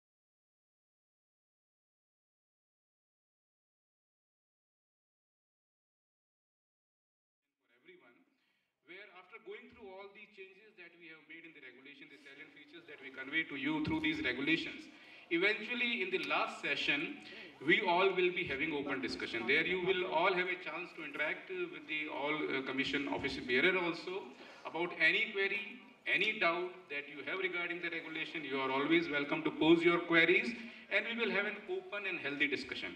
See, the prime aim of uh, whether it is commission or whether it is any educational body all over the India, whether it is in a college or a university, prime objective of every institution to promote and to ascertain and to assure a good quality education in homeopathy. For that, all common purpose, we all are gathered over here. I hope everyone agree with my this notion. I don't think anyone would disagree because that is the our main objective for forming the commission also. And uh, one one word which I could pick and sentence which I could from the speech of uh, Dr. Ashok Varshney when he was talking about the students who are appearing in the NEET and eventually he used one word which always hurts. As a teacher, as a practitioner, as an academician, this word always hurts that our students feels inferior when they go in the field. ये सबको hurt करता है कि नहीं करता है sir हम सब एक ही बिरादरी के लोग हैं। मैं यहाँ खड़ा हूँ, आप वहाँ खड़े हैं, इतना ही फ़र्क है। एक दिन आप यहाँ खड़े होंगे, मैं वहाँ खड़ा हूँगा मैं वहाँ बैठा हूँगा तो इतना ही फ़र्क है, ज़्यादा फ़र्क नहीं है हम लोगों में। हम सब एक ही बिरादरी के लोग हैं। तो ये सब, ये जो शब्द है ना कि हमारे यहाँ जब बच्चा आता है और जब पास होकर निकलता है तो अपने आप को वो इन्फीरियर महसूस करता है। ये शब्द बहुत हर्ट करता है। ये सेंटिमेंट को एकदम चुपता है कि ऐसा क्यों? वाई वेयर वी आर लेकिन हम क्या ऐसा नहीं कर पा रहे हैं कि हमारे यहाँ से जो बच्चा पास होकर निकलता है, वो उतना कॉन्फिडेंट फील नहीं करता अपने आप को इन्फीरियर फील करता है। और डॉक्टर वाश ने तो होम्योपैथिक डॉक्टर नहीं है। उनका जो परसेप्शन है, वो एक कॉमन मैन का परसेप्शन है। वो एक टीचर का परसेप्शन नहीं है, वो एक होम्योपैथिक डॉक्टर का परसेप्शन नहीं है, वो एक कॉमन मैन का परसेप्शन है। तो कॉमन मैन के मन में ये फीलिंग है कि होम्योपैथी से जो डॉक्टर बन के निकलता है वो कहीं ना कहीं किसी न किसी लेवल पे इन्फीरियर फील करता है। ये बहुत बड़ा चैलेंज है हम लोगों के लिए और ये बहुत बड़ा पेनफुल पॉइंट है। और अगर इस पॉइंट को हम अगर टाइमली एड्रेस नहीं करेंगे तो यकीन मानिए हम उठ जाएँगे, हम रह ही नहीं पाएँगे। तो ये बहुत ही हाई टाइम है कि हम विचार करें, हमारे पाठ्यक्रम में, हमारे शिक्षा नीति में, हमारे पढ़ाने के तौर तरीकों में क्या ऐसी कमी है, जिसकी वजह से जो हमारा बच्चा है, वो अपने आप को इनकॉम्पिटेंट फील करता है। तो ये एक मेन ऑब्जेक्टिव है जिसको ध्यान में रखते हुए कमीशन का गठन किया गया और इसी को ध्यान में रखते हुए इसी इसी दिशा को अपने अंदर सोचते हुए एजुकेशन बोर्ड की तरफ़ से रेगुलेशन बनाए गए हैं, जो आप सबने देखे हैं। तो हमारी जो जर्नी है, वो इनकॉम्पिटेंसी से कॉम्पिटेंसी की तरफ़ है। ये जर्नी हम सबको करनी है और इस जर्नी में कमीशन का रोल खाली रूल्स और रेगुलेशन बनाने का है। लेकिन कोई भी रूल रेगुलेशन मैंने डब्ल्यू में भी ये बात कही थी कि कोई भी रूल रेगुलेशन तब तक प्रभावी नहीं हो सकता जब तक उसको अप्लाई करने वाले हमारे आप जो साथी लोग हैं, वो ये नहीं ठान ले कि हमें इसको अप्लाई करना ही करना है। अदरवाइज़ हम कोई भी रूल रेगुलेशन बनाए it will not stand any meaning unless you guys are in support of us you are holding our hands we are holding your hands and then only we can make any regulation to be effective and जो हम vision लेके चल रहे हैं, वो हम achieve कर पाएँगे। तो मैं कुछ सेलियंट फीचर्स जो इस रेगुलेशन के हैं, वो मैं आपके, आपको डिस्कस करना चाहूँगा। एक अगर आप, हम देखें बी एच एम एस की जो डेफिनेशन एक्ट में मुझे नहीं लगता है आप में से कितने लोगों ने पढ़ी है। मैं उम्मीद करता हूँ सभी ने पढ़ी होगी। पर उस डेफिनेशन में अगर हम देखते हैं तो कहीं कुछ बड़ा डिफाइन किया है डेफिनेशन को, बड़ी इलेबोरेटेड डेफिनेशन है। The bachelor of homeopathic medicine and surgery shall produce graduates having profound knowledge of homeopathy with contemporary advancement in the field supplemented with knowledge of scientific and technological advancement in modern health science and related technology, along with extensive practical training, be able to function as an efficient, holistic healthcare practitioner in healthcare service in the urban and rural area देखिए, बहुत बड़ी ज़िम्मेदारी है। अगर आप definition को ध्यान से पढ़ें और उसको अगर आत्मसात करते हैं तो बहुत बड़ी ज़िम्मेदारी है। कॉलेजेस के ऊपर भी और कमीशन के ऊपर कि हमें एक ऐसे होम्योपैथी ग्रेजुएट प्रोड्यूस करने हैं जो ना सिर्फ़ शिक्षित डॉक्टर हों खाली डॉक्टर की ही डिग्री उनके पास नहीं हो, वो एक बहुत ही जिम्मेदार नागरिक भी हो जो देश के हर कोने में जाके इफिशियंटली कॉम्पिटेंटली काम कर सके, अपनी सर्विसेज़ दे सके, ये हमारी सबकी मिली जुली ज़िम्मेदारी है। और इसी को ध्यान में रखते हुए रेगुलेशन में जो बदलाव हमने किए हैं, आप सबने पुराना करिकुलम भी देखा है और पुराने सिलेबस भी देखे हैं, पुराना एमईएस भी देखा है और आपने नया रेगुलेशन भी देखा है। और सभी जानते हैं कि काफ़ी व्यापक बदलाव हुए हैं। लेकिन उन बदलाव के पीछे जो कारण है, वो है जो हमारे एक्ट का जो पर्पज़ है, जो कमीशन का पर्पज़ है, हमें वो अचीव करना है।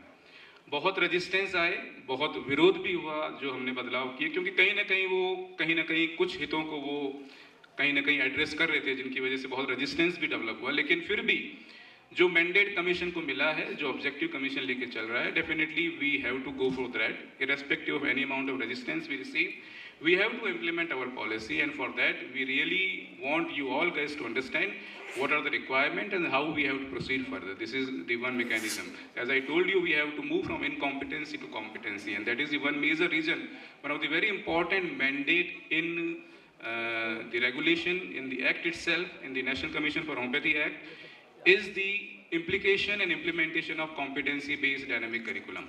So the curriculum is entirely going to change. The teaching patterns are entirely going to change. And very soon we will be having the, already we have made it in public domain and soon it will be uh, implicated in colleges also. We have devised the first year BHMS competency-based uh, dynamic curriculum already and soon it will be conveyed to the colleges also where we have elaborately defined that any particular subject that you are uh, teaching in the classroom should be focused on developing the competency. It is not the purpose of teacher to just go in the classroom and take the uh, traditional form of lecture. And uh, I am also basically a teacher. I know very well if I am if I am teaching in a class of 100 students, I know out of those 100 students, only 10 are there who are genuinely conceiving what I am teaching them. Rest all are either passing the time or not so much connected. And the purpose of class is not fulfilled. We all know this very well because we all are basically teachers. But our aim is that any student who is enrolling for homeopathic courses, they should have this competency. Whatever they are being taught in the classroom should be practical enough that they feel confident and they are able, even to the last bench student who is in there, the class should be able to understand what is being taught to him. And that is what is taught, is managed, and the directions are given in the competency-based dynamic curriculum. I just want to share a brief information also because this, uh, this CBDC program is going to be effective in the coming session and uh, we are soon organizing zone-wise meetings. We will address to, we will go to every zone, we will call to that particular zone colleges, especially the teachers of first BHMS because we are beginning with the first BHMS only.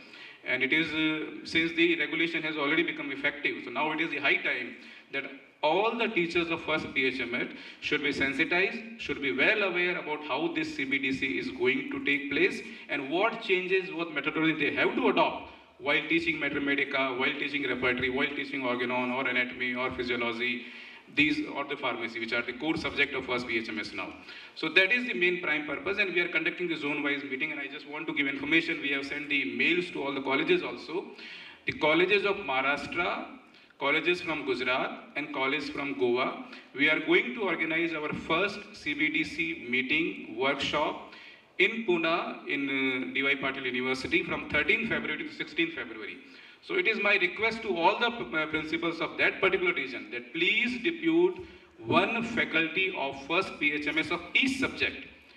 Each subject on the particular day we are keeping session for anatomy on 13, 14th is for physiology, 15th is for pharmacy, and 16th is for organon repertory and mathematica. So accordingly, you have to send your faculty. It is a mandatory provision because unless our teachers will be sensitized about, about CBDC, we will not be able to achieve our target. And we don't want this regulation to remain limited only in the papers. It has to be implemented.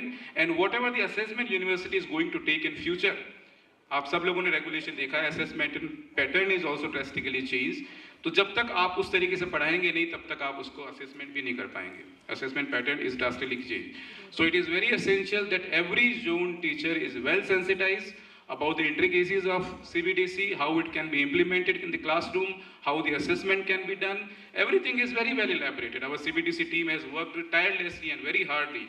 And मैं आपको बताते हुए मुझे बहुत अच्छा भी लग रहा है कि ये जो बनाया है ये बनाने वाले सब हमारे होम्योपैथिक डॉक्टर हैं मुझे ऐसा लगता था कि ये सीबीडीसी का जो पैटर्न है, जब मैंने पहली बार देखा तो मेरे भी थोड़े से मुझे लगा कि how it is possible to make such kind of elaborated curriculum I inquired in the other commission also N M C took one and half year to prepare this first M B B S C B D C curriculum N C I S M took one year to prepare first first B M S C B D C curriculum but our teachers all were our own teachers they prepare this document within one and half month So big round of applause for all the teachers and our entire CBDC team. We have Dr. Muni, Dr. Bipin, and Dr. Payal Bansal who guided them effectively. And all the teachers did really hard work. They worked day and night. And all that curriculum is prepared by those teachers only. But it is my humble request to all the principals of all the zones. We will be notifying the date periodically. But the first program is scheduled from 13 to 16 February. And make it a point, every first BHMS teacher should be present in that program.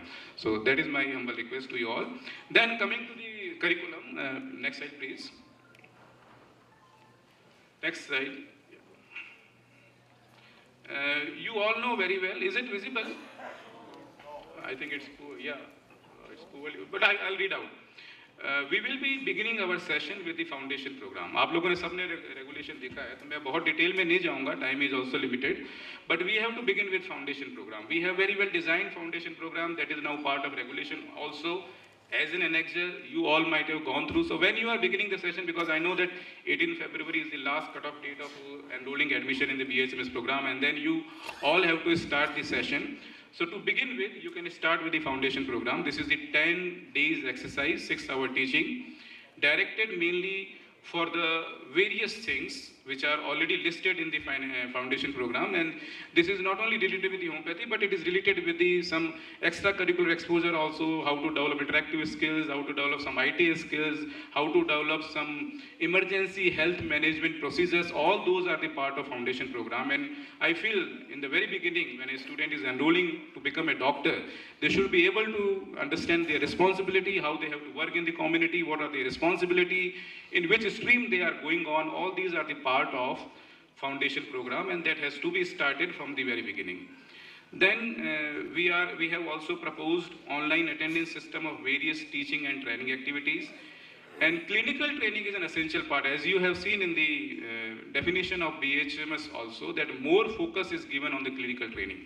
Now, in our earlier curriculum and syllabus, clinical training usually or the ward posting usually used to, used to take place either from the end of second year or from the third year. Most of the colleges used to send uh, doctors uh, or students in OPD in the third BHMS only, not even in the second year. But now we have proposed and we are uh, initially initiating this step that our students who are enrolling in the very first BHMS, they should go in the OPDs. Reason is very clear because uh, we know how many dropouts are there. You all suffer from that, that the person who is enrolling for the first, first BHMS, they stay in the first BHMS, but their whole goal and direction is towards to qualify the next NEET. है ना ये? I have seen this, that even the 80% students are is, still their more focus is toward that uh, should I get selected for the next NEET. तो उतना जो ध्यान उनका class में रहना चाहिए वो रह ही नहीं पाता है दूसरा जो बड़ा ड्रॉबैक जो मुझे करिकुलम में लगता था कि जो हमारा होम्योपैथिक इंट्रोडक्शन है that use to start late We were not teaching Mathematica in the first BHM as the way it has to be. We were not teaching Organon in the first BHM the way it has to be. Repertory used to come quite late. The homeopathic orientation जो उसका होता था, the beauty of homeopathy, effectiveness homeopathy is used to counter either from the end of second BHMS or third BHMS. तो उनको लगता ही नहीं थी कि हम जिस फ़ील्ड में आए हैं उस फ़ील्ड में हम कर क्या सकते हैं तो हमारे स्कोप क्या है हमारी लिमिटेशंस क्या है हमारी होम्योपैथिक साइंस क्या है और वो किस लेवल तक मरीज़ को ठीक कर सकती है, ये तब तक नहीं हो सकता जब तक एक नया ऑनडेन वाला बच्चा ओपीडी में जाके ये देख नहीं ले कि जो दवाई मैं पढ़ता हूँ, उस दवाई से मरीज़ ठीक भी होता है। क्योंकि कॉन्फिडेंस चाहे डॉक्टर हो, चाहे स्टूडेंट हो, वो तभी डेवलप होता है जब मरीज़ आपका ठीक होता है। हमारा जो अल्टीमेट टेस्ट होता है, वो हमारी क्लिनिक में होता है। सारी यूनिवर्सिटीज़ फेल हैं, सारी डिग्रीज फेल है, अगर आप क्लिनिक में फेल हैं तो। और जो सेटिस्फेक्शन जो कॉन्फिडेंस हमें जब महसूस होता है, जब हम क्लिनिक में मरीज़ ठीक करते हैं, वो कॉन्फिडेंस ही हमें हमारे बच्चे को ऑन डे वन से देना है। उनको मालूम पड़ना चाहिए कि होम्योपैथी की ब्यूटी क्या है और होम्योपैथी कैसे ठीक कर सकती है। That will certainly boost the confidence and clinical skills also that is one major reason why we are starting clinical training from the very first day it is not mandated that you send to every student in the OPDs also you can send to the peripheries you can send to the communities एक बड़ा, एक unfortunate part है कि हमारी colleges का community outreach programme बहुत कम होता है। हमारे इंस्टीट्यूट्स बहुत कम कम्युनिटी में जाते हैं और ये एक वजह भी है कि कई बार अगर आसपास कहीं किसी एरिया में जाओ, हमारी इंस्पेक्शन टीम कई बार जाती है और पूछती है कि यहाँ पे एक कोई होम्योपैथिक मेडिकल कॉलेज है तो वहाँ के आसपास के लोग भी नहीं जानते कि यहाँ पे कोई कॉलेज है भी क्या। क्यों? क्योंकि हमारी कम्युनिटी आउटरीच नहीं है। तो ये बहुत ज़रूरी है कि हम कम्युनिटी आउटरीच बढ़ाएँ। वो हमें डबल इफ़ेक्ट देगी, ना केवल होम्योपैथी पॉपुलर होगी बट उसी कम्युनिटी में रहने वाले जो बच्चे हैं, जो उसका इलाज लेते हैं, जो उसका इलाज लेंगे, वही हमारे फ्यूचर एनरोलिंग स्टूडेंट भी होंगे। तो कम्युनिटी आउटरीच बढ़ानी बहुत ज़रूरी है। इसीलिए हम चाहते हैं कि फ़र्स्ट ईयर से ही हमारा बच्चा न सिर्फ़ पेरीफरी में जाए, न सिर्फ़ ओपीडी में जाए, बल्कि कम्युनिटी में जाए कम्युनिटी की प्रॉब्लम को समझे, उनको अंडरस्टैंड करें और इस हिसाब से अपने को ढालने की कोशिश चालू करें। तो this is the one major step that we have been taking practical training would start from the first BHMS itself. Then uh, another important feature for which uh, Kotecha sir also called and it is uh, the mandate of commission also that we are introducing electives. There are certain uh, uh, confusions also about the form of elective, about the operation of elective, how it will be implemented in the college. So we have tried to make everything in, uh, in our regulation very clear, but still if there is any confusion, we can have, we can discuss very openly in the afternoon session tomorrow, uh, tomorrow, and you can share your views, and we can also apprise you what are our directive, what are our purpose while proposing electives. But the main purpose is that students should all not only remain limited to the knowledge of homeopathy also only because they have to go and go in the community, they have to responsible for this country of India also, for the society also. So so, उनका overall development होना चाहिए इसीलिए हमने तरह तरह के elective produce किए हैं जो हमारी साइंस से अलग जो भी स्ट्रीम्स हैं, चाहे वो अदर साइंसेस को लेके हैं, चाहे वो, आर्टिफिशियल इंटेलिजेंस को लेके है, चाहे वो कम्युनिकेशन स्किल्स को लेके है अलग अलग तरह के हमने इलेक्टिव्स डिज़ाइन किए हैं और पैटर्न हमने ये रखा है कि हम फ़र्स्ट ईयर से ही सेकेंड सेमेस्टर के बाद से ही बच्चे को इलेक्टिव में एनरोल करना है। वो इलेक्टिव उनके लिए मैंडेटरी रहेंगे। दो तरह के इलेक्टिव होंगे। एक इलेक्टिव हम ऐसा प्रपोज करेंगे जो हर बच्चे को करना ही करना है। वो उसके लिए मैंडेटरी है। और एक के लिए हम एक लिस्ट प्रपोज करेंगे। It would be list of let's say 10 topics it will be propose by the commission itself and out of that topic he has to select one तो दो इलेक्टिव हर साल में बच्चे को फ़र्स्ट ईयर में second year में third year में करने ही करने हैं। These are the mandatory provisions and they will be reflected the grading of elective would be reflecting in the university marksheet also so if anybody has not gone through elective has not completed his elective, he will not be allowed to appear in the summative examination of the university. So this is very clear and it is very important aspect also, although all these exercises would be online. There were many questions whether the college himself has to conduct the elective or the commission would conduct. Now it has been taken up by the commission that commission would conduct is it as an online activity.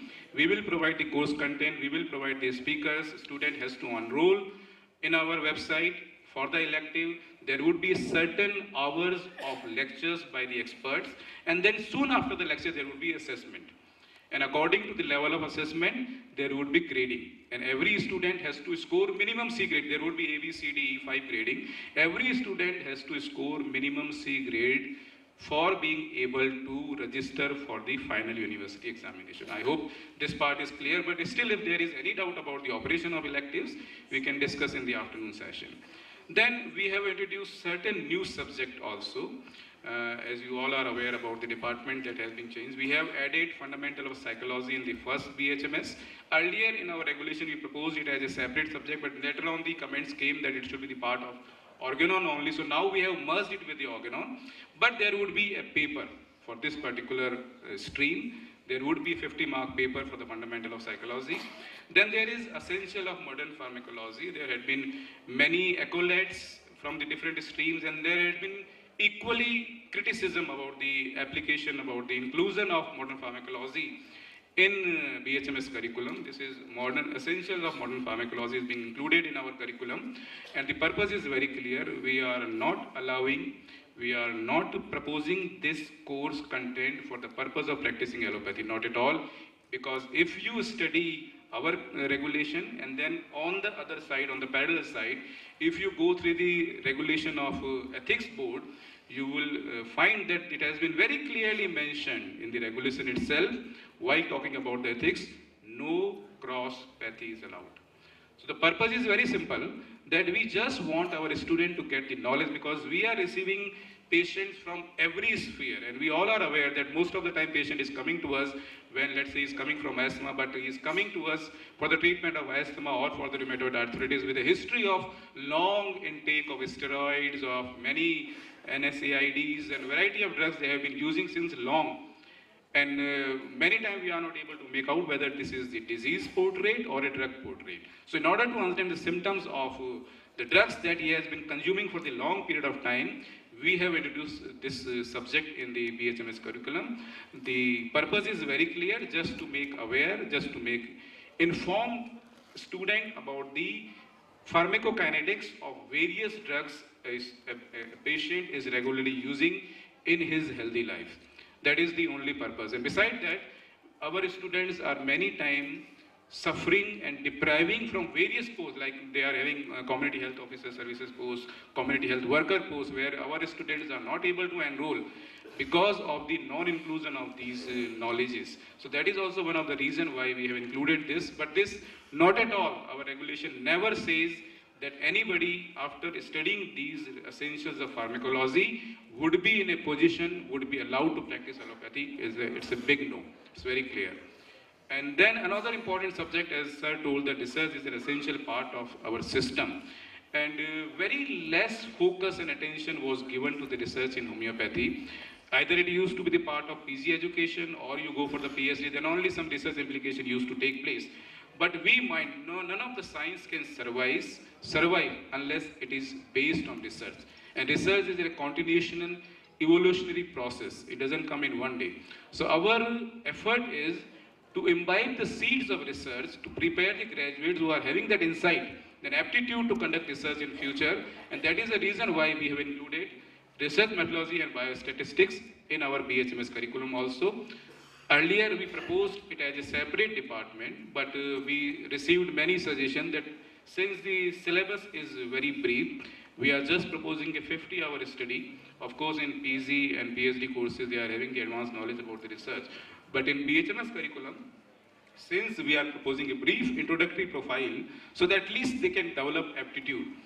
And that is the reason why now this department is clubbed with community medicine. So community medicine we have stressed a bit more hours are also increased and uh, there would not be a separate department for uh, research methodology, but that will be a part of community medicine. But again, there would be a separate paper. In final year, there would be a separate paper for this particular aspect. So these are the uh, major changes that are being taken place. Another big, yes sir.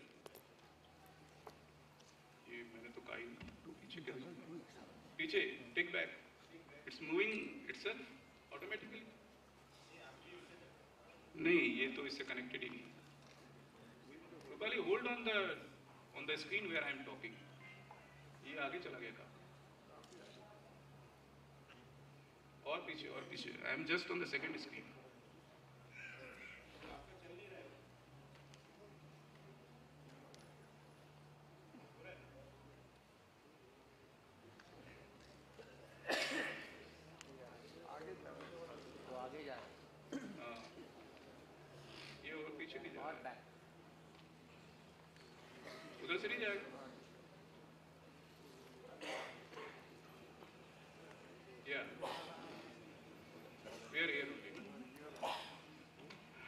another important change is duration.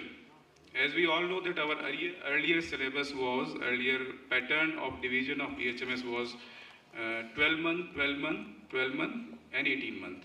But now we have reversed it. You all are well aware that now the first year would be of 18 month, second year for 12 month, third year for 12 month, final year for 12 month, and then one year compulsory rotatory internship. That is the scheme that we have included, and we have now included sufficient hours, sufficient syllabus for materia medica, for Organon, and we are introducing repertory also in the first BHMS. The reason is very clear that we want our homeopathic subjects to be introduced in the very beginning. All the intricacies, all the salient features of our subject should be very well versed with the student even in the first BHMS. So these are the major changes. And then another important fe- feature is because, as I told you, it is an evolutionary process. We have to go along with, we have to go together, and we have to advance also. And that is the one reason why there is a description about SMART. SMART is a committee that uh, HEB will form in consultation with the commission itself, which will be indulged on regular evolution of syllabus. It's not that once we prepare the curriculum, once we design the curriculum and our work is done, it's not like that. It is a regular evolutionary process and the design of committee is made in such a way, it is, there is one core committee where beside other senior faculty teachers, there would be experts from some other streams also.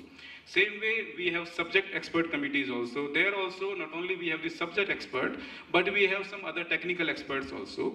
And the purpose is that we have to advance, we have to consume and accept all the advancement, technical advancement that are going to change, take place in our other systems, in our neighboring area, in our education system, in our national education policy, in our health policy, whatever changes are being taking place, our committee would observe they will meet and they will eventually propose to the board for the implication. So it is a very important change and we don't have to stay on the curriculum that is being designed just now. We have to evolve and we have to make further changes also. This I already spoke. I will not repeat the things. Uh, next slide please. But I have to do it myself.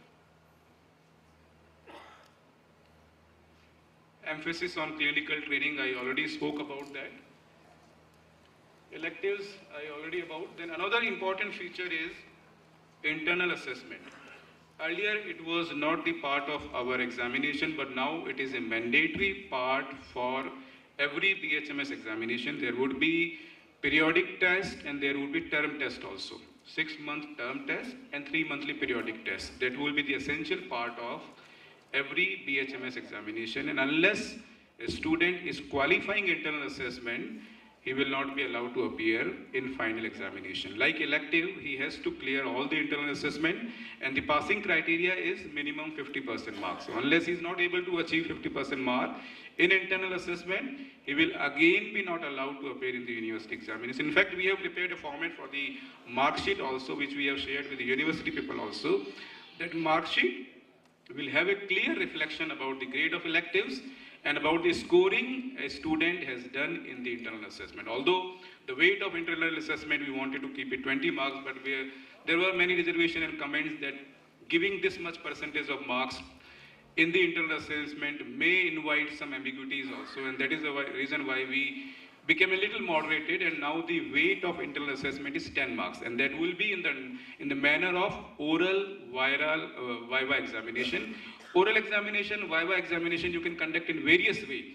If you go through the uh, all the outlines of the regulation, you will find that we have defined many ways in which you can assess your students. It is not just the oral examination or Viva examination. It can be even a project presentation. If you are satisfied that a student is good enough in presenting a particular given project, you can assess that student for the internal assessment. So there are many ways that we have listed in the regulation itself, which will be very helpful in assessing the student on internal level. But it is very essential part and every student has to qualify all the internal assessment in order to being qualified for the final BHMS examination.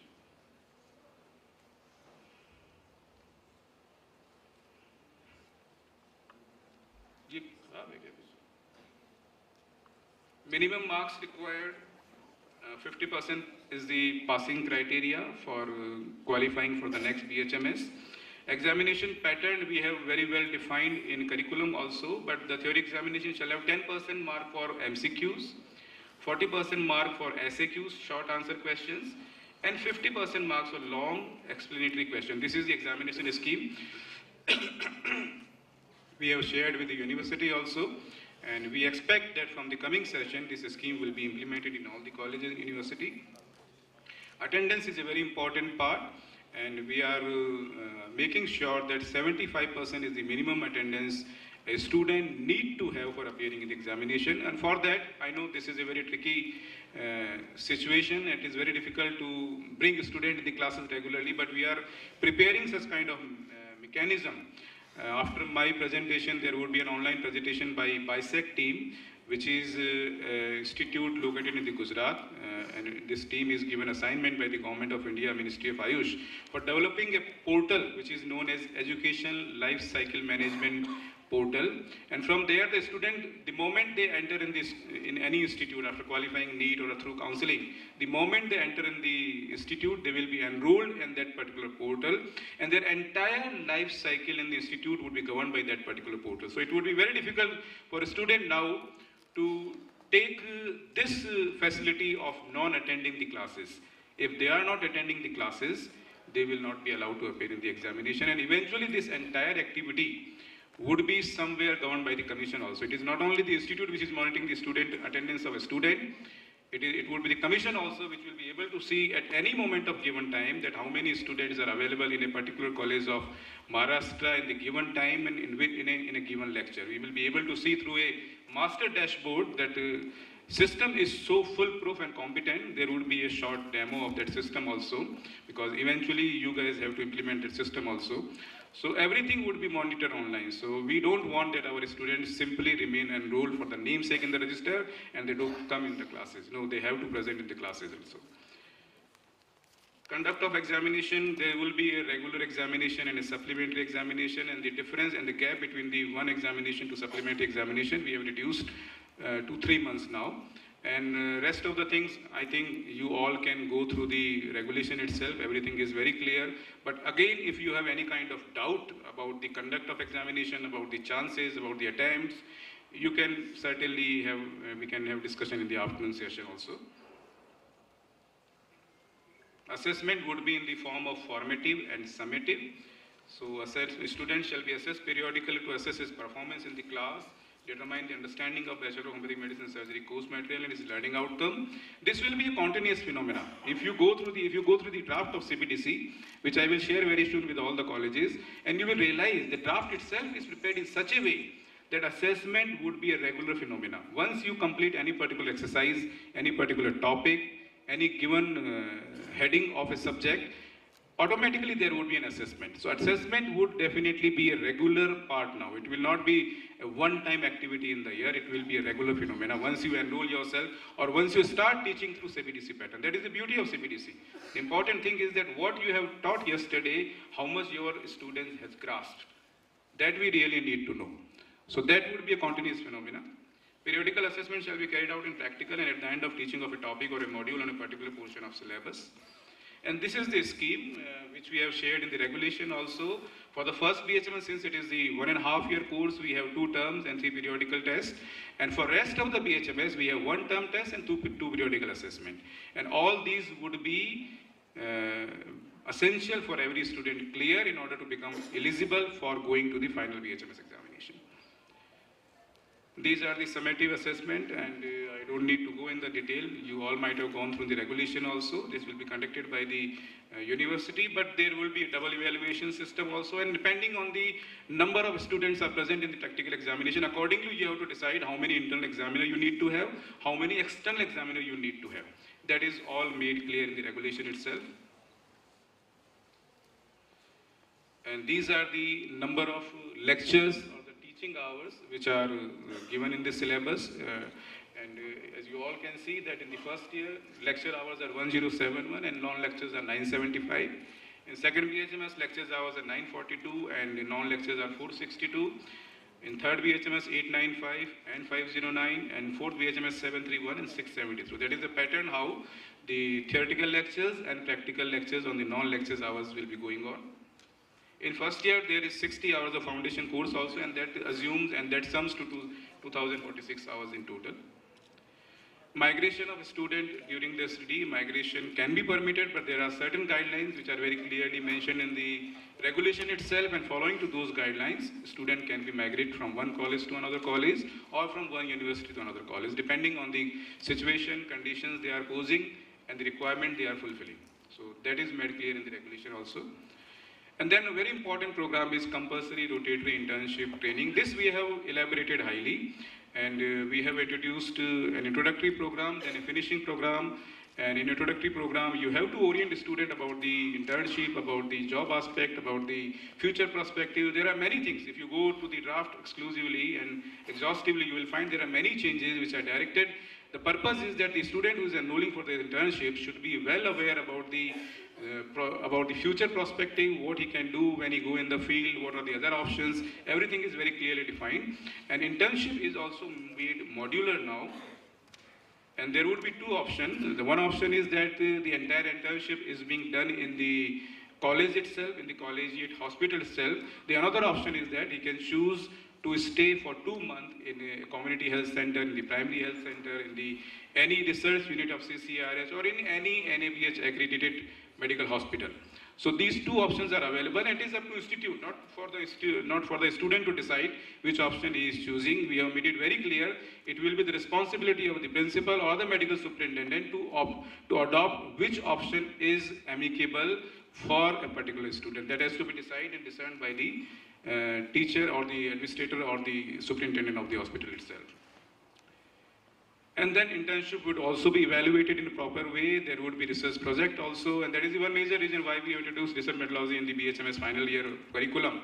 Because the student should be well aware about the research protocols, about the different uh, modalities of the research, so that he is able to accomplish his research project during internship in a very comprehensive manner. Otherwise, nowadays I see that the internship projects are just mere namesake projects are there. No one is deeply involved. But we really want that the internship project should be done seriously. It should be followed by the procedures, and uh, uh, students should be well about about the all research modalities. So, uh, internship would be evaluated. It will be scored also. It will be graded also, and according to the grade, student will be able to obtain certificate from the medical superintendent or from the principal, whoever is the administrator of hospital.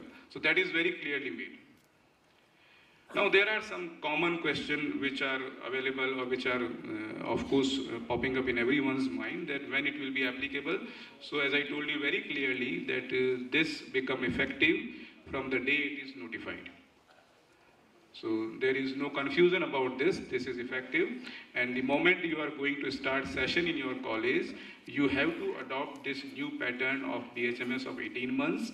According to you have to retain your faculties. According to you have to develop your departments.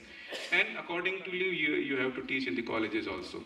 And as far as the curriculum is concerned, as I already told you, that commission is in process of organizing zone-wise seminars although time is, I know time is limited and uh, we have to make it implemented, but we are trying our level best that we organize all four zones work workshops within a one month time. First week is directed for the uh, western zone where Gujarat, Maharashtra and Goa is included. Next week we are going to organize in the all the colleges of south, probably in Bangalore or in Hyderabad. Then we are going to the east and then we come to the north.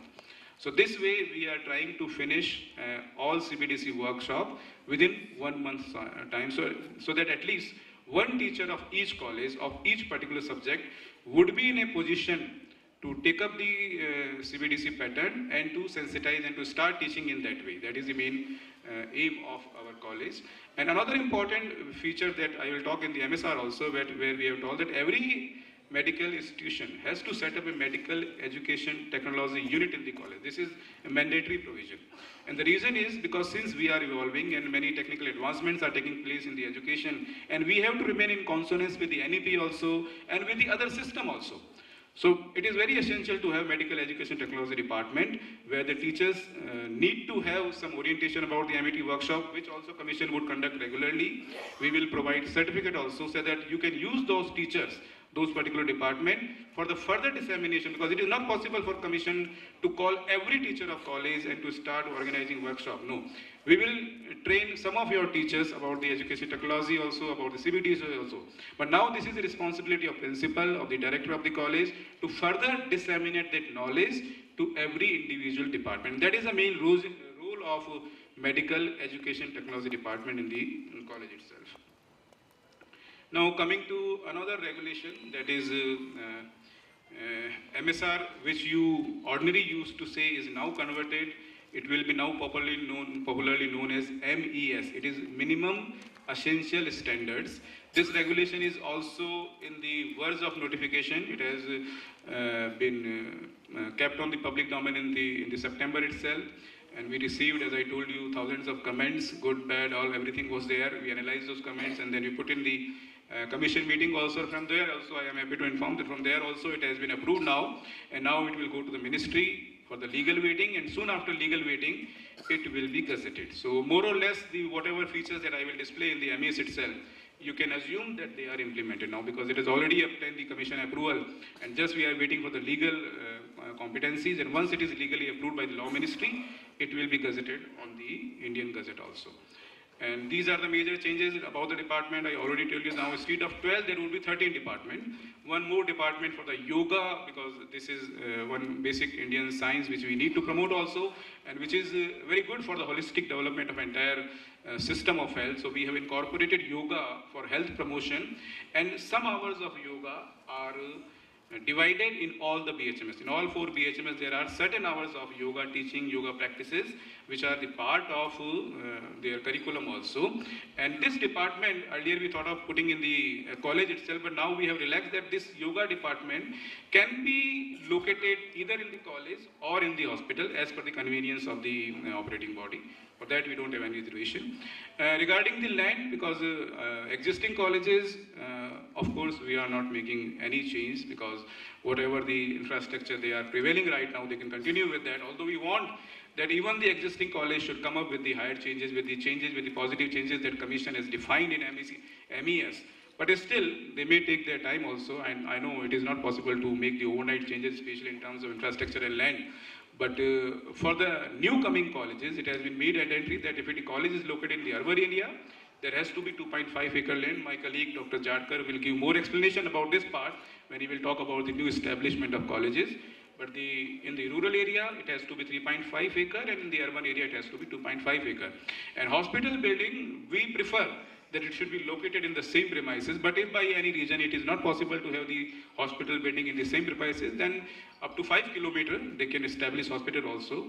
And it is always good that uh, there should be an interconnected. We prefer that at least hospital should be in the same compound, either as a separate building or as an interconnected building, interconnected building and the land should be clearly demarcated for the purpose of homeopathic education only. We received this practical problem while conducting inspection many times that one piece of land is demarcated for homeopathy also, for Ayurveda also, and we have got many such cases where it has been found that one, uh, one the same land is uh, allotted for BAMS also, and the same land is allotted for BHMS also. And since both commissions are working parallelly, we are just up and down, and many times we have seen that these kind of disparities are available in many of the colleges. So it is very clear now the college has to be exclusively demarcated through the resolution for the homeopathic college only. It is very clear now. Entire capacity uh, is uh, you can apply for up to 100 up to 100. We have uh, left the provision of 60 intake capacity. These uh, standards are designed for any institution which is going to impart education minimum for 100 seats. This is the entire capacity. Commission has a power to call information. I don't need to go that in very much delay. And if uh, any way these standards are not followed or if there is any way of observance of failure to imply these regulations, as you all know that MARB is regularly conducting inspections and assessing the uh, part one data from the, obtained from the colleges on the basis of then existing MSR, but now every institute, whether it is new or old, would be assessed on the basis of these new regulation also only. And not also, I term use the term also, it's not also, it's only. Only on the basis of these MES 2022 and any student which failed to uh, comply these regulation would be penalized as per the section 20F, 28F of MARBH of the NCH Act. And uh, and the penalty can be in any form. It can be the denial of permission, it can be the uh, subtraction of seats, or it can be the financial penalty also, as in when it is, it is being decided by commission from time to time, that will be conveyed. But any failure to comply these regulation would result into penalty for the clause, so for the college. So this is something very clear. Then uh, there are three schedules in this MES, Schedule 1, Schedule 2, Schedule 3. Schedule 1 talk about some mandatory requirements, uh, which is biometric attendance, which is now made uh, essential for every individual college. The attendance will be accepted only when it is registered on a biometric attendance and the commission is in process of installing iris-based attendance system very soon. We, we have already contracted to the vendors and they have started working also and soon there would be a satellized iris-based attendance system installed in all the colleges and the team from uh, uh, center would go to all the colleges, they will visit, they will guide, they will uh, uh make the learning session also and this would be implemented very soon. But till then, whatever the biometric pattern is applicable has to be followed correctly and the attendance would be counted only through biometric attendance system. There would be closed circuit TV. We have already enabled it in a different part of MES where and how it has to be installed. We have already clearly mentioned. Teaching rooms should be well equipped with uh, internet facility also and we have also made provisions of installation of a smart board in a phased manner. We don't say that uh, in the very first year you have all five smart boards.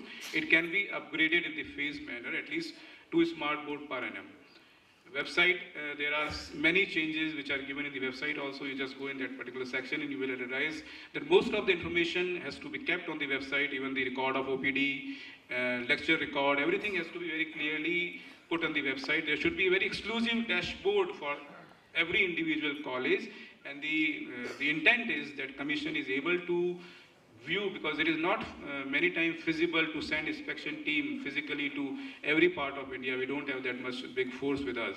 So we are in a process to evolving a scheme where we don't need to go for inspection. Commission का जो ultimate intent है जो sir ने भी अभी अपने lecture में कहा था हमारा अल्टीमेट इंटेंट ये है कि हम ये इंस्पेक्टर राज ही खत्म करना चाहते हैं हम नहीं चाहते कि कोई भी इंस्पेक्टर कॉलेज में जाए और रिकॉर्ड आपसे मांगे हम चाहते हैं कि आप अपना रिकॉर्ड अपने आप, अपने सिस्टम पे अपलोड करें और वो इतना ट्रांसपेरेंट हो कि हमारा यहाँ पे सर्वर में बैठा हुआ जो हमारे टेक्नीशियन है, जो हमारी टीम है, उसको असेस कर पाए, उसको अंडरस्टैंड कर पाए और उसके अकॉर्डिंगली आपको न सिर्फ़ परमिशन मिले, बल्कि आपको ग्रेडिंग भी मिले। क्योंकि एक जो हमारा एक बहुत बड़ा मैंडेट कमीशन का है असेसमेंट एंड रेटिंग क्राइटेरिया उसका पर्पज़ ही यही है कि जो असेसमेंट असेसमेंट हो, वो सारा ऑनलाइन हो। और उसी के अकॉर्डिंगली आपकी जो क्वालिटीज़ हैं इंफ्रास्ट्रक्चर में, आपके एकेडमिक्स में, आपके हॉस्पिटल साइड में जो आपकी क्वालिटीज़ है, उसके अकॉर्डिंगली इंस्टीट्यूट्स को जैसे नेक रेटिंग करता है, जैसे एन क्रेडेंशियल देते हैं, वैसे ही हमारा कमीशन भी रेटिंग देगा। And this will be very helpful because आजकल के जो बच्चे हैं, वो बहुत अवेयर हैं और जब भी वो कहीं एडमिशन लेने जाते हैं ना, सबसे पहले देखते हैं यूनिवर्सिटी की रैंकिंग क्या है। तो definitely any institute which is maintaining high ranking would always be benefited in terms of admissions also and in terms of raising their fee also. That will also be the part of that ranking so uh, that and that is why we want a system which is so much transparent that there is no physical inspection needed. Everything is uh, well maintained at institution level in such a transparent way that any moment of time we are able to assess what is your OPD in a particular time, in a particular year, in a particular day, how much patients are being actually seen. These all systems are going to take place in very soon. My colleague Dr. Dharmendra Sharma will also talk about the learning management system, how it will be effective and uh, how these all transparencies can be actually practiced and seen. Then we have introduced small group teaching facilities because we don't want that a, a, class of 100 is taught by one single teacher. There will be some division of the students, minimum, uh, maximum 30 students in one small cl uh, classroom, sit for a one particular uh, topic, have an interaction. The only aim is that whatever you are teaching should be equally grasped by the students. Biomedical waste management system has to be implemented. Department-wise requirements are already listed in Schedule 1 that you can see uh, in the schedule itself. uh, in uh, in new college certainly we have made many many changes. Earlier for the establishment of a new college there was requirement at side of college हमको करीब 1775 square feet का square metre का हमको area चाहिए था।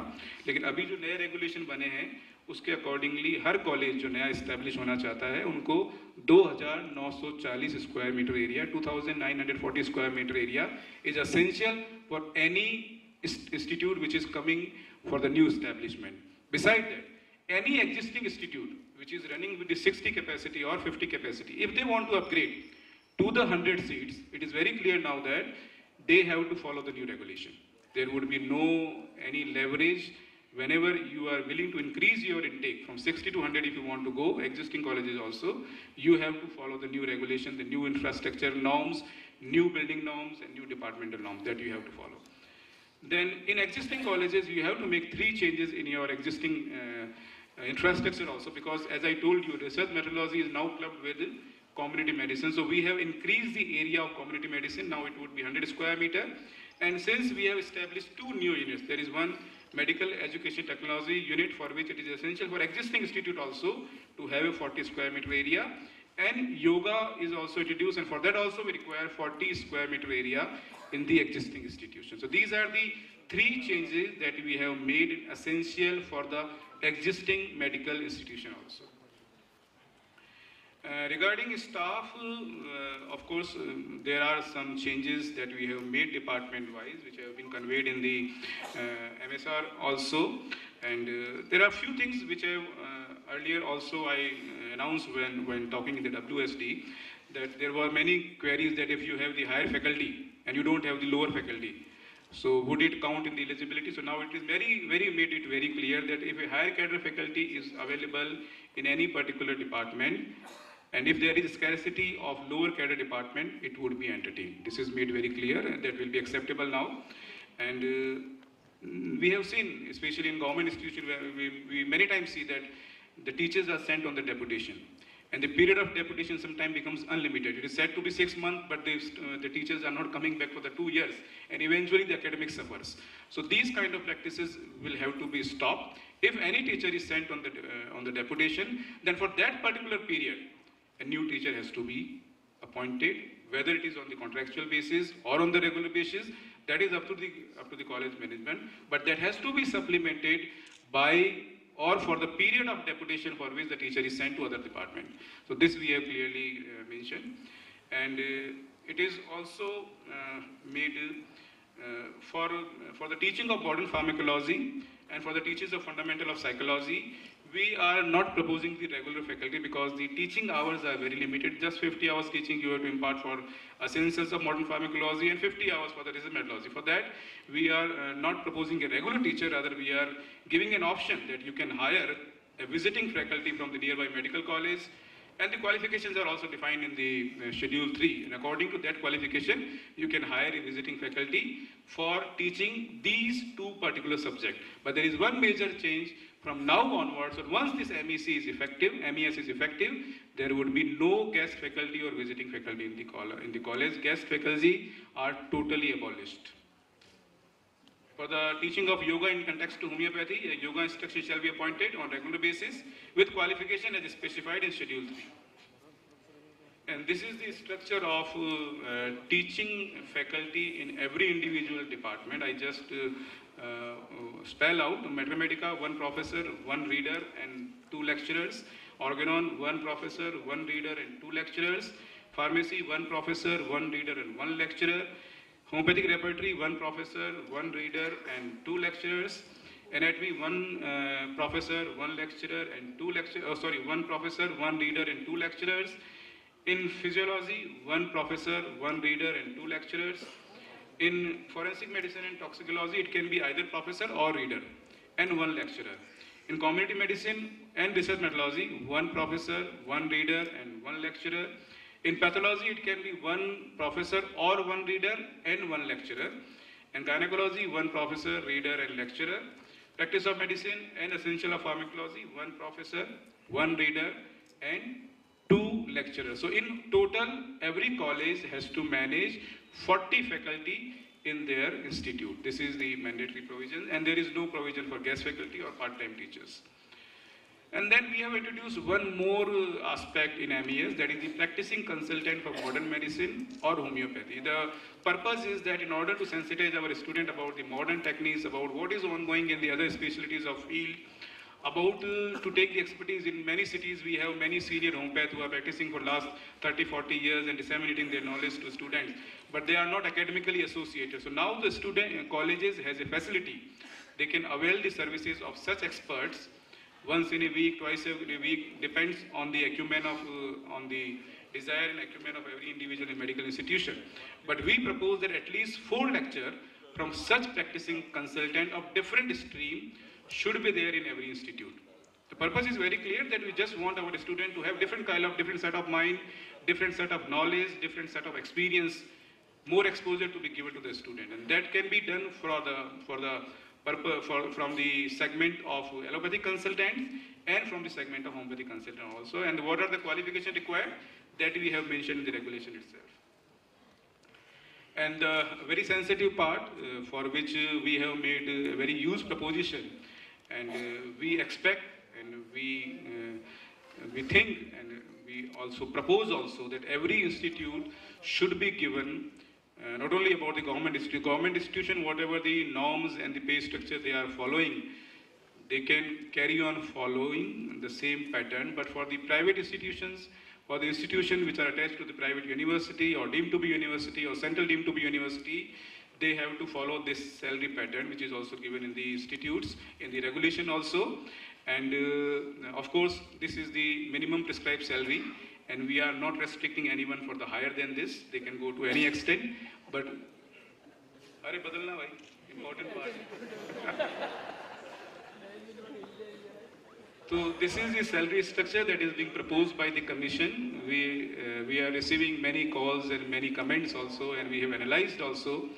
And uh, this is to be followed by the uh, commission, uh, by the every institution, whenever they are uh, giving jobs to their teachers. And we have clearly defined the cat. This is 7 CPC uh, to be implicated in every, every medical institution. And for uh, for medical officer also, because earlier it was told that you have prescribed salary for the teaching staff, but what is the provision for hospital staff? But hospital staff also, same pattern has to be followed according to the cadre of officer But uh, for RMO and for MO, at least uh, at medical officer should get 50,000 per month and RMO, uh, senior medical officer at least 70,000 per month. So these are the uh, structure which are being proposed by the commission and it will be part of MES also. For any clarification regarding this, we can have discussion tomorrow. Otherwise, discussion अगर अभी शुरू हो जाएंगे तो endless हो जाएगा. Last, next, next slide. Then for the non-teaching also, uh, we have made provisions, uh, those lab attendant, lab technician, librarian, assistant librarian, UDC, LDC, the minimum wages, salary of non-teaching staff of medical institution hospital shall not be less than minimum wages as prescribed by the respective state central government for a skilled and non-skilled manpower. This you have to follow in your institution. And another important part is for hospital where you have to go for the NANABH accreditation and every institution right from the notification of this uh, regulation, every institution has to enroll for NABH to take the entry level certificate in the one year and to take the uh, uh, full accreditation within two years. This is mandatory for every teaching hospital. And uh, we have defined the sizes of outpatient area. We have also given the provision of peripheral OPD also, although peripheral OP, OPDs are not mandatory for every institution. But if they want to increase their central pool data, because the number of minimum required patient in OPD are being also increased. And we know it is a difficult task to achieve. So in order to support your central pool of patient in a hospital, we have created again this facility that you can send your doctor in the periphery from where you can, or you can send the community from where you can have the patient pool in your central OPD also. And that can be number uh, of peripheral, can be 5, can be 10, in the range of 25 kilometer of your college. These are the uh, distribution of indoor patient department, general medicine, pediatric. These you all know, you might have gone through in the uh, regulation also. And the bed strength is also increased now. The minimum number of OPD required for a teaching institution having 60 intake capacity is 200 and for the 100 it is 300.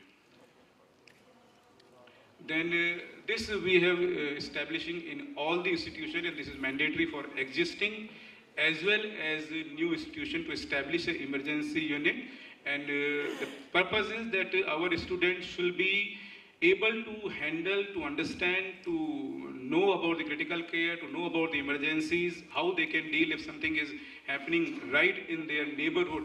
And being a doctor, if they are being approached socially, and if they are not able to give the CPR, if, they are not able to give the, uh, not able to do the suturing, they will not count it as doctor. So that is the reason why that skill lab और emergency unit ये दो हमने हर college के लिए mandatory किया है चाहे वो नया हो चाहे पुराना हो ये आपको रखना ही रखना है skill lab and emergency unit and what are the criteria of managing emergency unit what are the requirement of having in the emergency unit they are all elaborated in the regulation itself and these are the common requirement for the hospital, central laboratories, clinical teaching room. clinical teaching room has move karna bhai aage next. Clinical teaching room is another important part which is also added to the new as well as existing teaching institution. There should be a separate clinical teaching room in every hospital for the purpose of giving the bedside training giving the uh, round up or the grand rounds or for the purpose of making uh, information or uh, sharing information about a particular patient who is visiting in the OPD. You can take in the clinical teaching room and there you can examine, you can give information about the patient, you can talk about the homeopathic aspect, you can talk about the practice of medicine aspect. So that part has to be covered in the hospital itself in the clinical teaching room. Uh, requirement for OT and labor room, they are all defined clearly. And then uh,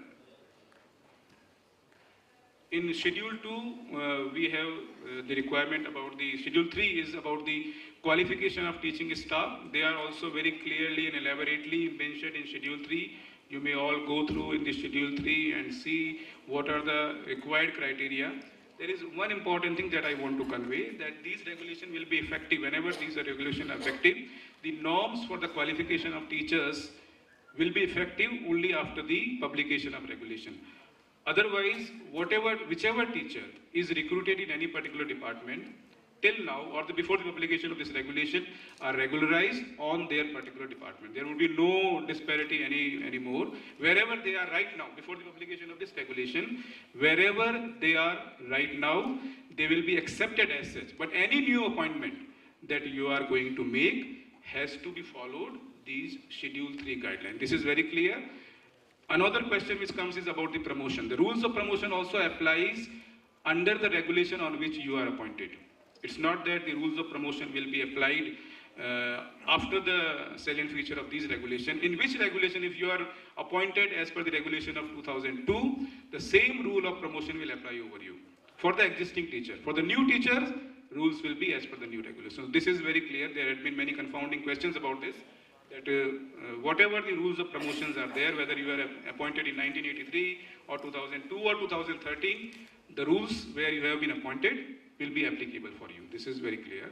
So uh, then qualification of hospital staff is also given in detail in the Schedule 3 and uh, uh, these are uh, some of the major criteria which I really wanted to convey through the regulation but uh, the regulations are so large that I cannot discuss every specific point of regulation over here.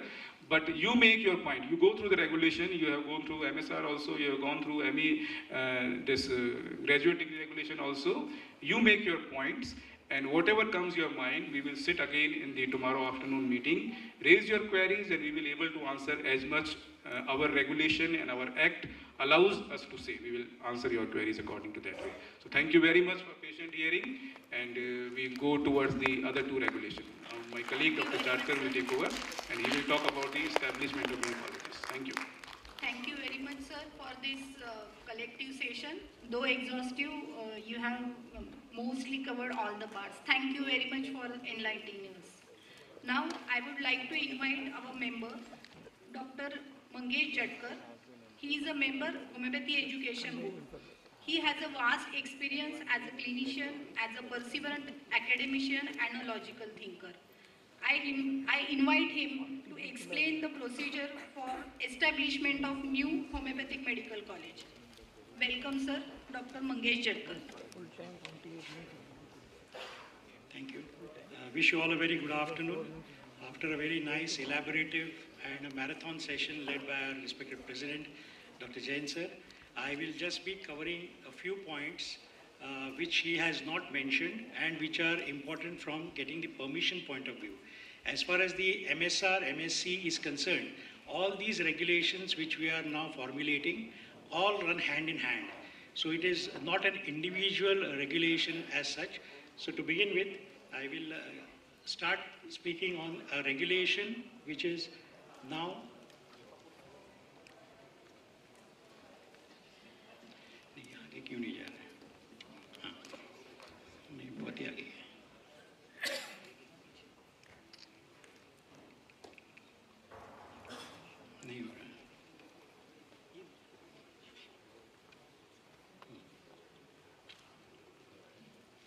So for permission to establish a new college and increase intake of the existing colleges. Now, as already Jain sir has mentioned, that all the colleges who are running a 60 student course have to either upgrade or, if they want to upgrade in their intake capacity, they have to apply to MARBH. That is the board which will regulate all the new applications along with the applications for the establishment of the new colleges.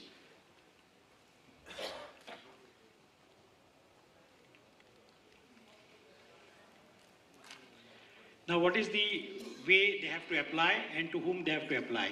Establishment of new college, any person intending to establish a new medical institution shall submit the scheme along with an application in the prescribed form specified in the regulation. Whereas increase of intake capacity, that is the same procedure they have to apply, that they have to make an application in specified form in the regulation. Eligibility for making an application for establishing a new medical institution. Basically, we have to understand what is the objective, that is impart quality education about homeopathy. Now, there are certain no objection certificates which the uh, which the applicant has to procure, that is the permission from the state government.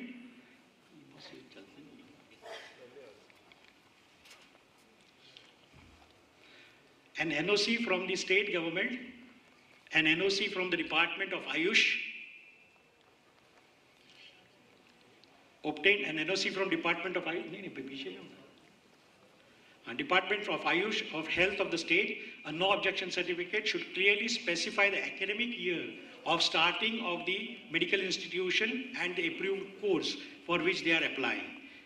The no objection certificate granted is valid for a period of two years. Priorly, these uh, no objection certificates were the validity of such certificates was not mentioned, but now we have made it mandatory that it should be mentioned very clearly that the validity of these certificates is for two years. The similar thing is for increase intake capacity, no objection certificate from the state government for increase in the intake capacity of the homeopathic medical college. No objection certificate from intake capacity shall be obtained from Secretary, Department of Ayush or Health Department of the state. The NOC should clearly again specify the academic year of increasing the intake capacity and the approved course. Next.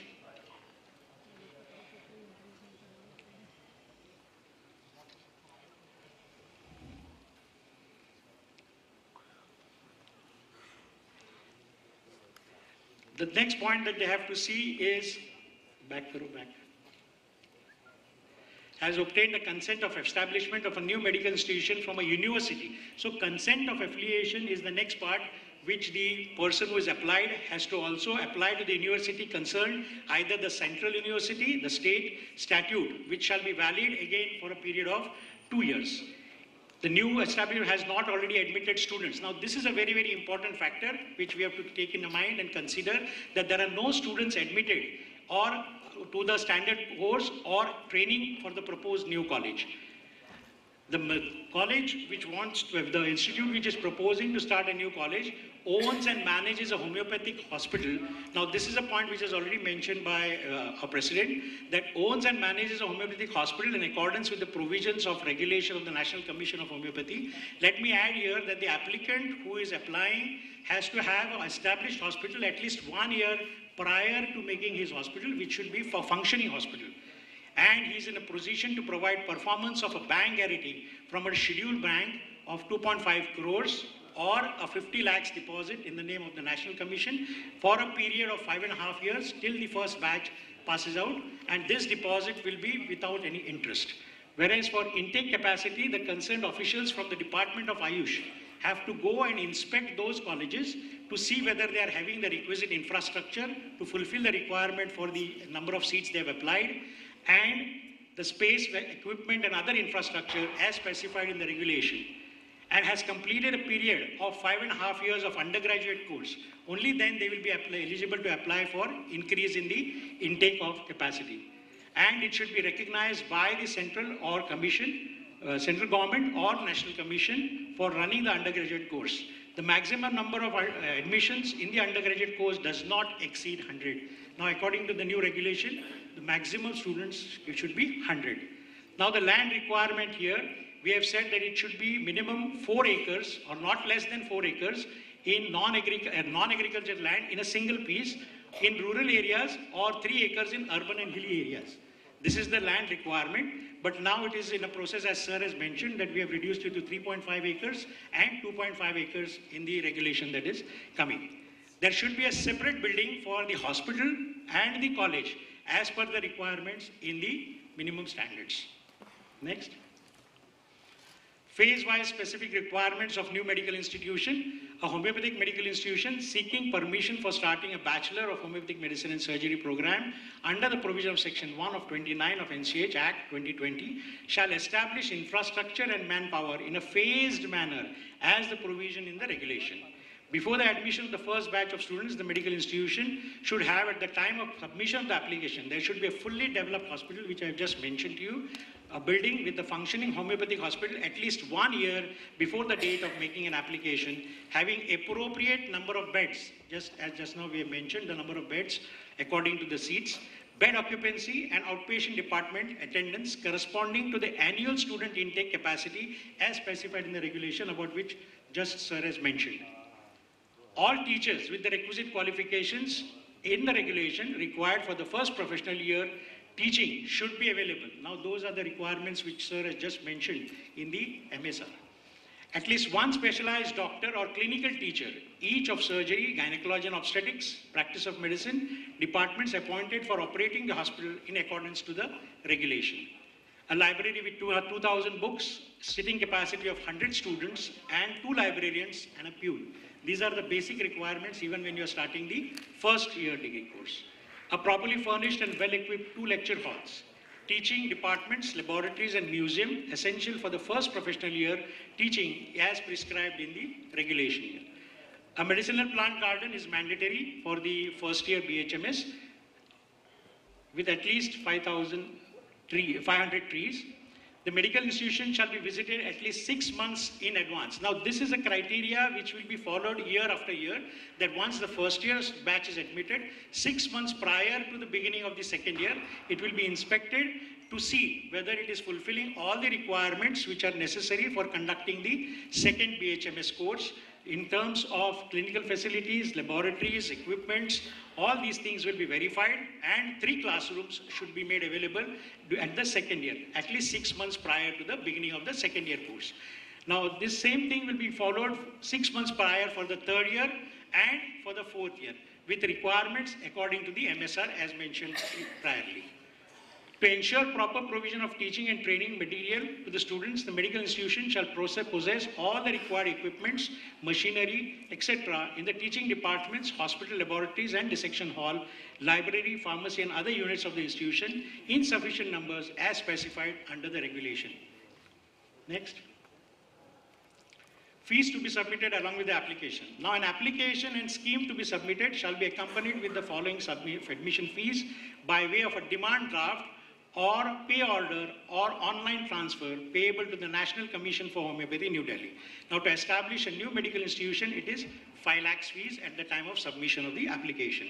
To increase admission in undergraduate course of study or training, it is 4 lakhs. Now, authority to whom the scheme and application is to be submitted, as I said previously, the application and scheme shall be submitted to the President Medical Assessment and Rating Board for Homeopathy as per the regulation for receipt and processing of the application annexed to the regulation. So these are the salient features about the new regulation that is coming up for permission to establish a new medical college and for increase in the intake capacity of undergraduate colleges. Thank you. Thank you very much, sir, for your useful presentation. Now, I will be presenting a small presentation about the recognition of qualification.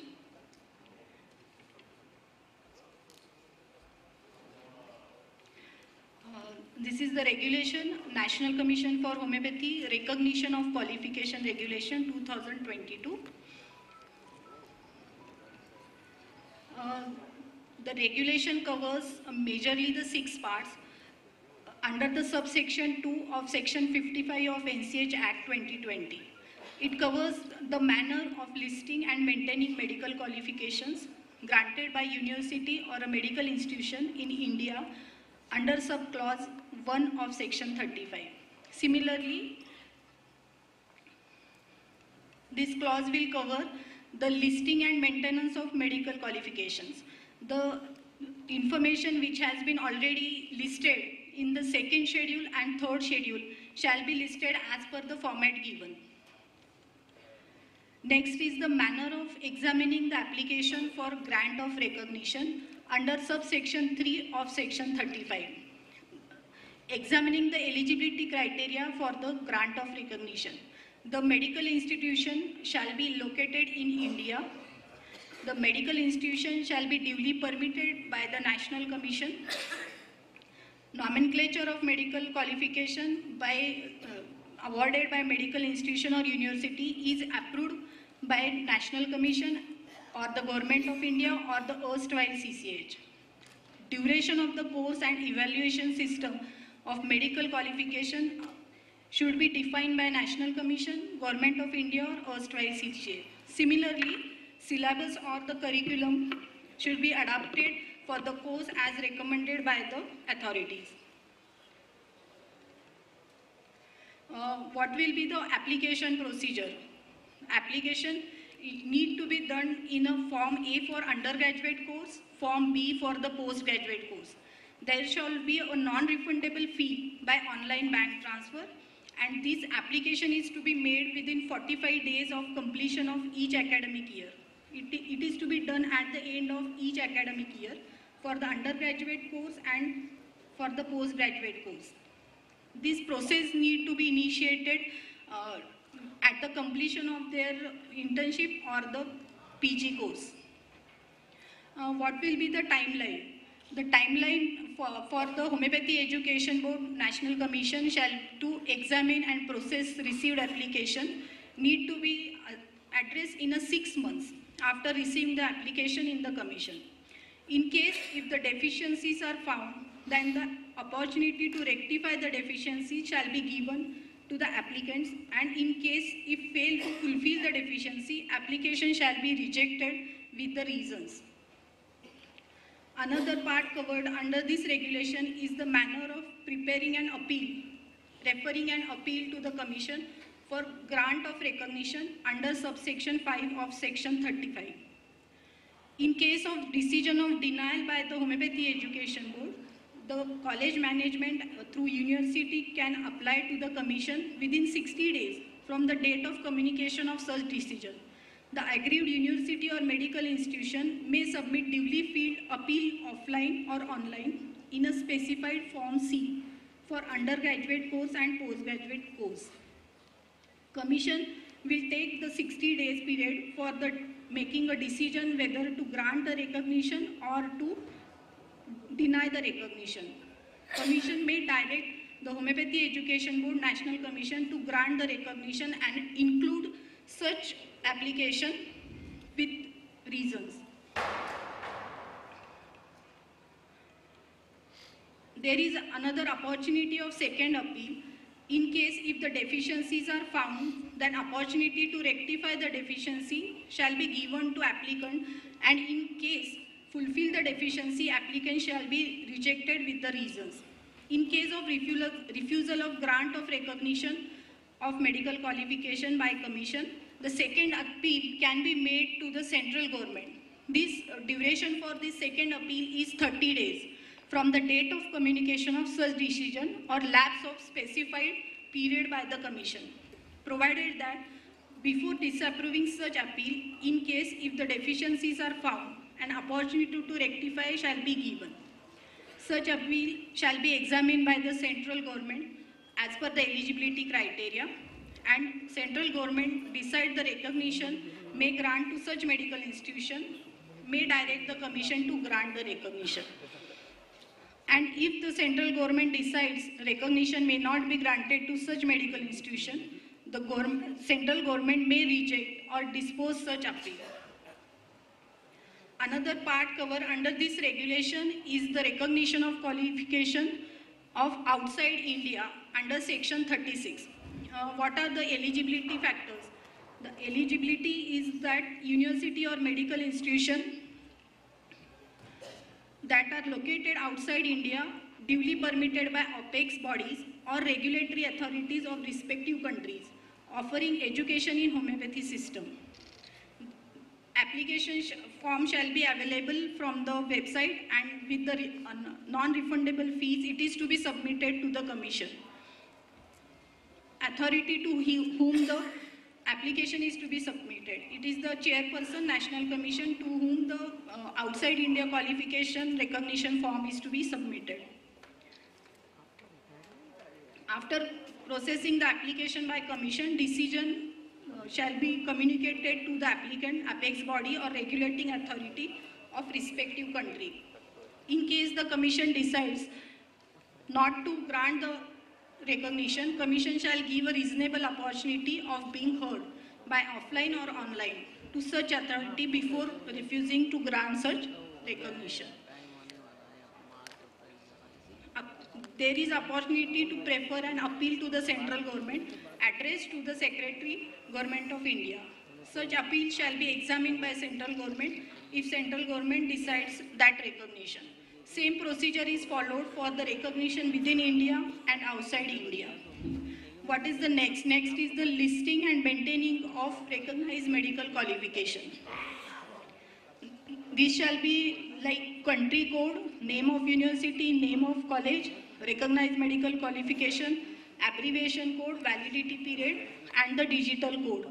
Now we are processing uh, to the software generated digital code. You will be getting the digital code automatically by the software. Once the medical qualification is recognized as per section 36 or 35, it will be displayed on the website and in the life management cycle software. Thank you very much for patient listening and uh, we will be regularly dealing with the queries of the recognition of qualification. Thank you for the patient listening. Now, moving forward, uh, we are uh, next session with the competency-based dynamic curriculum. We have a renowned visionary, Dr. Bipin Jain, with the experience in the educational management. I am glad to invite our next speaker, Dr. Bipin Jain. He will be deliberating on fundamentals of CBDC framework. I welcome you, sir, Dr. Bipin Jain.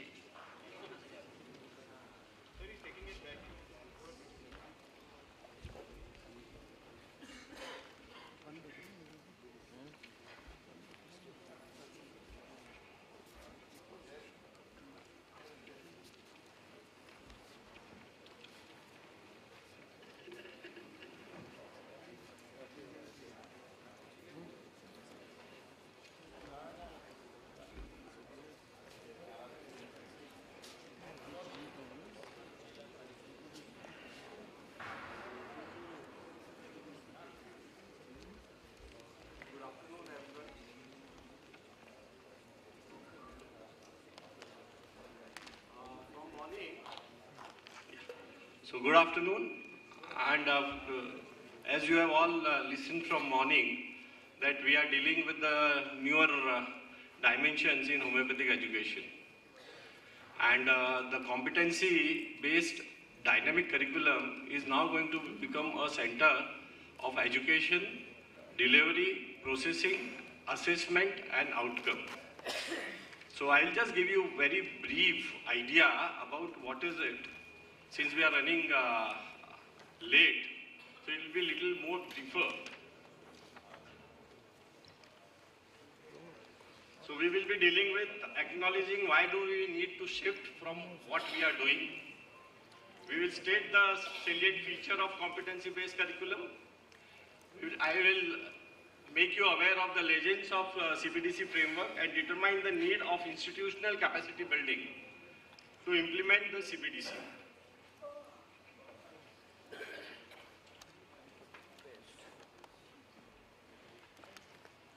This was a 1988 uh, declaration, Edinburgh Declaration, and it was uh, by medical education body world.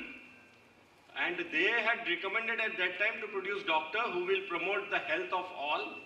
And what they expected a doctor who is trained as an attentive listener, careful observer, a sensitive communicator, and effective clinician and they were trying to propose that he should not only be able to treat some sick, but he should be able to prevent and promote health. Now these were 1988 declaration. And what declaration further says that education has to shift from hospital to community, from a traditional curriculum content to national health priorities, lot, what we have experienced during COVID. From a passive mode of receiving to the active, self-directed, independent and continuous medical education.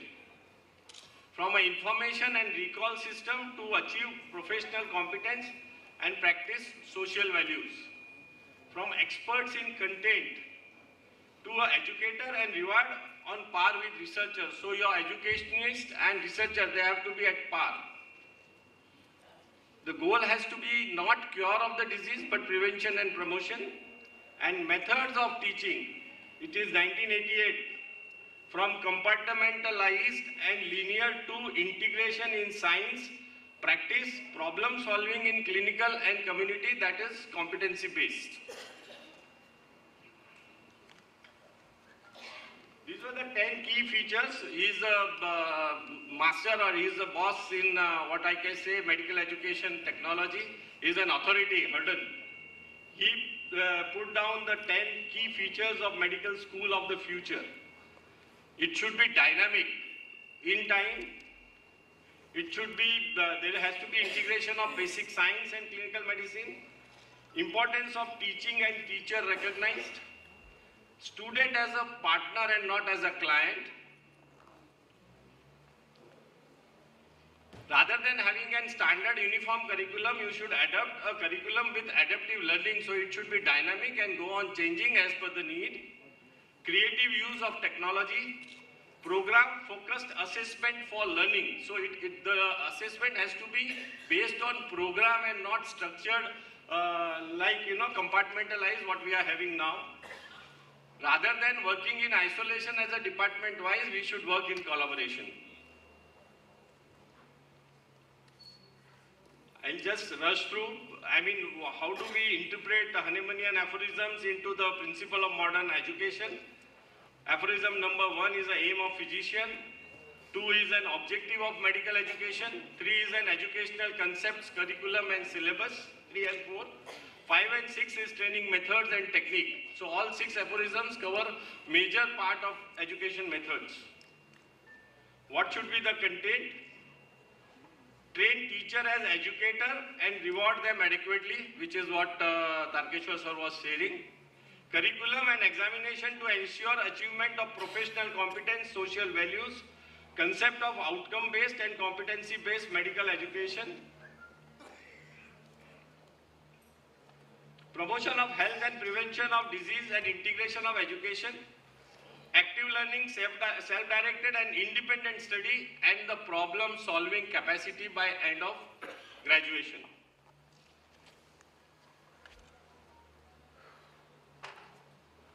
These were the program outcome we defined uh, in our meeting of experts. So I, I, would just like to share this program outcome. We can uh, make changes if required further. What is a program outcome of a BHMS graduate? He develops the knowledge, skill, ability and confidence as a primary care homeopathic practitioner to attend to the health needs of the community in a holistic manner correctly assess and clinically diagnose common clinical condition prevalent in the community from time to time, identify and incorporate the socio-demographic, psychological, cultural, environmental, and economic factor affecting health and disease in clinical work, recognize the scope and limitation of homeopathy in order to apply homeopathic principle for curative, prophylactic, promotive, palliative, rehabilitative, primary health care for benefit of individual and community. See, please, uh, I mean, the focus is common and primary health care and not secondary and tertiary health care at a level of BHMS.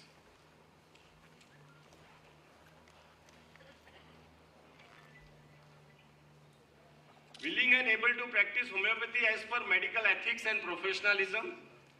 Discern the scope and relevance of other system of medical practice for rational use of cross-referral and role of life-saving measures to address clinical energies, develop the capacity for critical thinking, self-reflection, and a research orientation as required for developing evidence-based homeopathic practice, develop an aptitude for lifelong learning to be able to meet the changing demand of clinical practice, and he develops the necessary communication skill and enabling attitude to work as a responsible team member in a various healthcare setting, that means national program or a government setting, and contribute towards the larger goal of national health policy, such as school health, community health, and environmental conservation.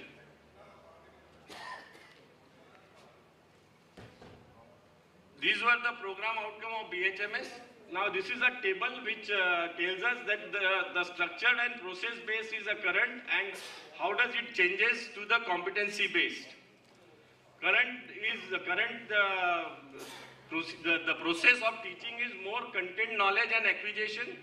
We want to change it to outcome and knowledge acquisition. Uh, the teacher centered to learner centered.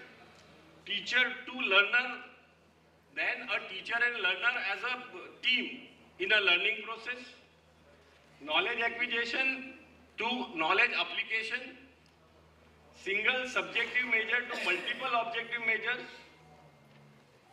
proxy to authentic, and real task of profession, that means uh, more, than, more than simulation, you have to be in a clinical uh, thing. Gestalt evaluation to direct observation. You, you have to observe students directly performing. Norm referenced to criteria referenced. I mean, we have been given structure, you have to evaluate and done. Now we have to create criteria for each uh, evaluation. Emphasis on summative. So this is emphasis on formative, so regular assessment. The program completion is a fixed time and we can have more of a variable time.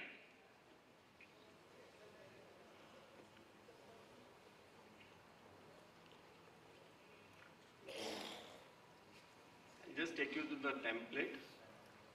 These are the foundations of homeopathic education, man and environment. Again, since we don't have time, homeopathic philosophy as a center for a competency based.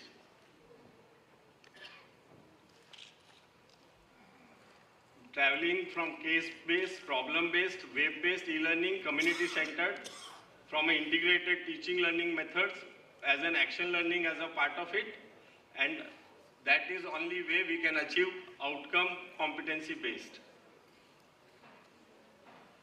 So all subjects have to be studied from homeopathic perspective. This is what Dr. Tarkeshwar sir said. Emphasis on the applied aspect of organon and homeopathic therapeutic and applied aspect of all subjects to be explored from the outset. Now I, will just explain you in the brief whatever uh, template we have created. So what we worked was we have uh, decided the no national goal, institutional and learner goal that what will be the goal of a BHMS program and how they will be contributed to national goal, institutional goal. Then the program outcome which I have shared with you all, we derived that. Then there are general competencies. I mean the person should be able to perform and develop general competencies like collection of information, formulation of problem, problem solution. Now these are the general capacities a student should develop so that he is able to uh, solve the problems in a different situations which even if he has not faced. So you develop a mental capacities, physical sustenance, all these capacities needs to be built. Then the course outcome, what will be the outcome of the subject. So we start with the national goal, institutional goal, we connect to the program outcome, then the course outcome. Program outcome is a complete BHMS, uh, what we will be achieving. Course outcome is a each subject, what we'll be achieving at the end of each subject. Then defining the content of the each subject, that means the, uh, the areas of subjects which have to be taught. Then what are the specific competencies we are looking for? And then what are the specific objectives out of those competencies we are looking for? So once we have defined that, in each topic you will have something which student must know. You will have something, uh, sorry, you, you will have something which student only should know and not do. You will have something in which you will have a student should know and know how. there are some skills which he shows under your observation and some skills which he does independently. So we will divide all those uh, objectives into this.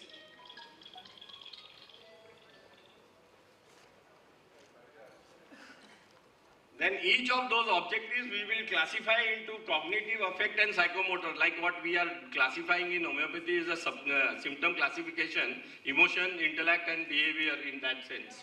I am making it and then there are certain Gilbert's level when you will receive the whole material. I mean, it is a level at which somebody is able to perform certain uh, task. Then each of these have to be classified, must know, desire to know, and nice to know. Then what teaching learning methods you will be using, and uh, then what assessment methods will be done, and how this subject is getting integrated with other subjects in the same year or the ensuing year or how this subject is going to get unfolded in years to come like organon there is there for four years repertory is there for four years materia medica is so how they are going to get complex simple to complex i'll show you the template this is one example of repertory template so generic competency is gathering and integration of information. Subject area is introduction to repertory. He should know the specific competencies, get acquainted with the tools required to search for remedy. Then what are the, when we are looking into introduction to repertory, what are the specific objectives students should be able to achieve is a, define the term repertory, explain the meaning of repertory, discuss the origin of the word repertory, list three uses and limitation of repertory. So they are all cognitive because the, he should know and then whether he, he should be able to remember and recall or he should be able to understand or apply. So there are different levels of Gilbert's. The de de definition, define the term repertory is must know, explain the meaning of repertory is desirable, desirable to know, discuss the origin of the word repertory is nice to know.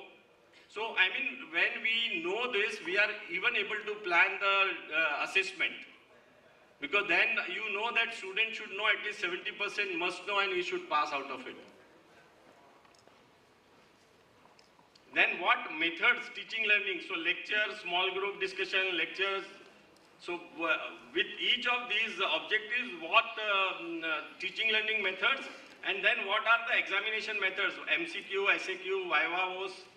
And then what is the integration in a departmental? So uh, horizontal integration with Materia Medica, Organon of Medicine, and spiral integration in second, third, and fourth year of repertory. I think it looks complex, but once you go through the preamble and take up this, this is what we are doing only thing is we are doing it in a structured way so that we are able to create an evidence and we are able to assess the student. What is important is assessment of the students so that we can certify that he is competent. I was just reading Harden's one article. He said that in one of the incidents, one patient died because of the nurses' incompetencies. So what investigative agency did, they not only explored the uh, incompetency of the nurse and the negligence happened, they went back to that college who has trained her and how they have declared her a competent thing. So that, that is at level of uh, back. So competency does not mean just passing BHMS. Competency means that he is able to operationalize things and demonstrate what is expected out of it. So after 10 years, somebody may come to your college and say, this fellow has passed and still is incompetent into this, so we'll have to give the explanation. That's what that article says. It's, from uh, Europe.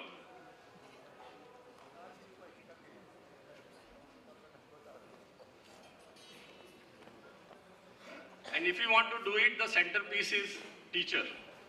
So curriculum designing, teaching methodology and assessment, taking to educational research, the change of teacher's role, which uh, Munir sir will be further taking up,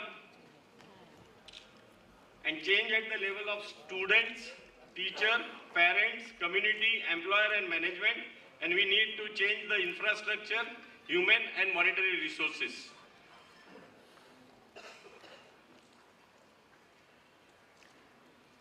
This is a need of hour and we should do it. It requires change in approach and attitude of all the teachers. Relook at the resources and management of stakeholders to the implementation of this change and teacher is the centerpiece of this reform. So what is important is at the end when st- student passes out BHMS, we as a stakeholders, as a teacher and management should be able to declare that at least he has these minimum competencies to go in a uh, outside world and demonstrate as an homeopath. Thank you.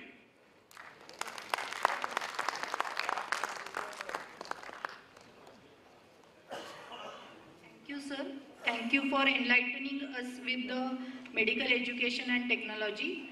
Now we will have a short break of 30 minutes for the lunch and all are requested to join at 3 p.m. for the next session of Dr. Munir Ahmed. It's a request that we finish the lunch within 30 minutes. Then we have very important discussion from Dr. Munir Ahmed sir. So it's a request to all to join after uh, having lunch and uh, positively auditorium at 3 p.m. Thank you.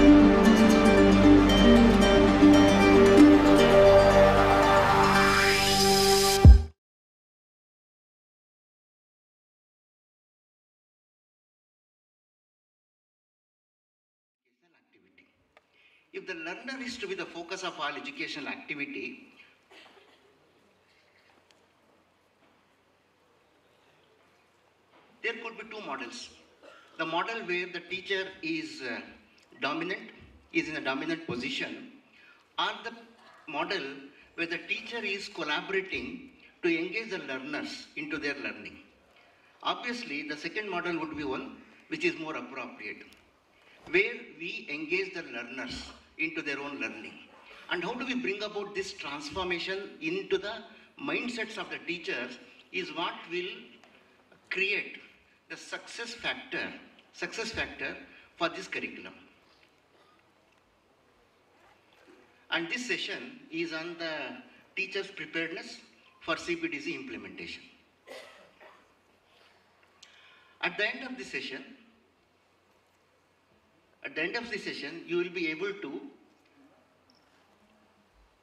recognize the need for faculty development in homeopathy education and this specific reference to the competency-based curriculum, which I already have explained in the previous uh, slides in the induction process.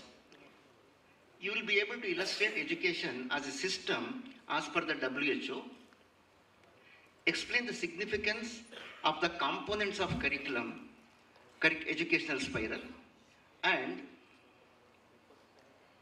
identify a framework for teacher capacity building to implement the CBDC. These are the objectives that I have set for this session, and we will see by the end of the session how much of these have sunk into our understanding.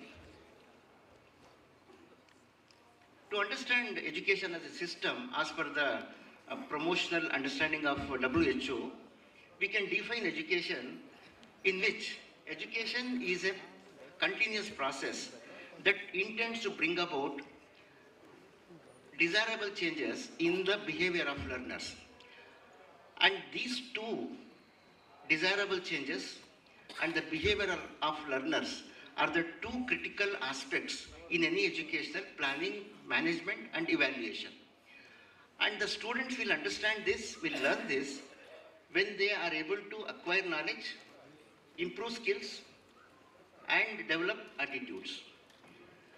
When we say the students are developing competency, there are various phases through which the students pass through, and there's a model called Dreyfus model which explains how this competency can be achieved in a person who is a novice to somebody who develops as an advanced beginner and becomes competent.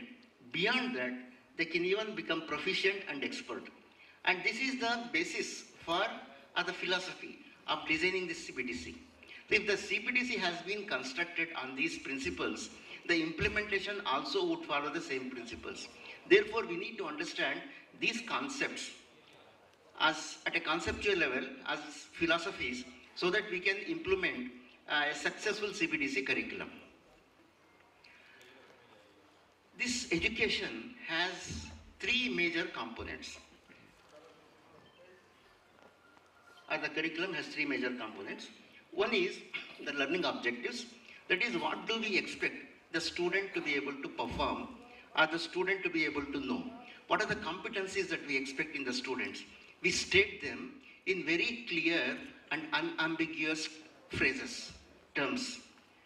So once the learning objectives are stated, then we have to identify what would be the means and guardrails for enabling the students to be able to perform or achieve this, which come from the teaching learning methods and media. And once the teaching is done, the next phase is to identify whether outcomes have been achieved that we conduct in the form of assessment methods, assessment methods. And all these components are interdependent. They support one another and they derive support from one another. This is the basic model of any curriculum, designing, curriculum implementation, and curriculum evaluation.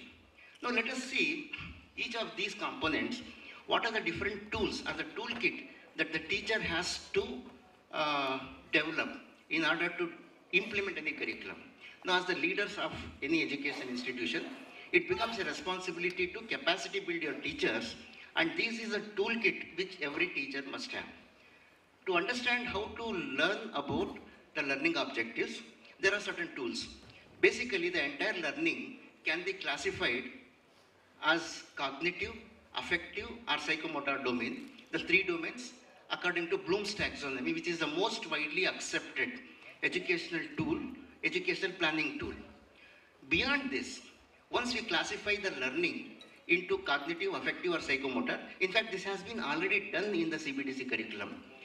Once we identify what are the uh, learning objectives, cognitive, affective, psychomotor, then we need to uh, classify our strategy, uh, stratify them into the entry level learning, intermediate level learning, and higher level learning. So this has can be achieved with the model or with the tool called as Guilbert's model, uh, which is the most popular educational technology tool in uh, supported by WHO. So once we have the layering of learning done at the entry level, intermediate level, and at the higher level, these need to confluence into a single stream of competency, which we can understand by using the Miller's pyramid. So these are the three basic tools. Beyond that, when we say the specific learning objective, the specific learning objective will have certain features, six features which are there. So any specific learning objective which is written or has to be written must have these six components, uh, six features. And each of the specific learning objective will have four components of uh, the act, the content, the condition, and the criterion, which make it a complete uh, objective.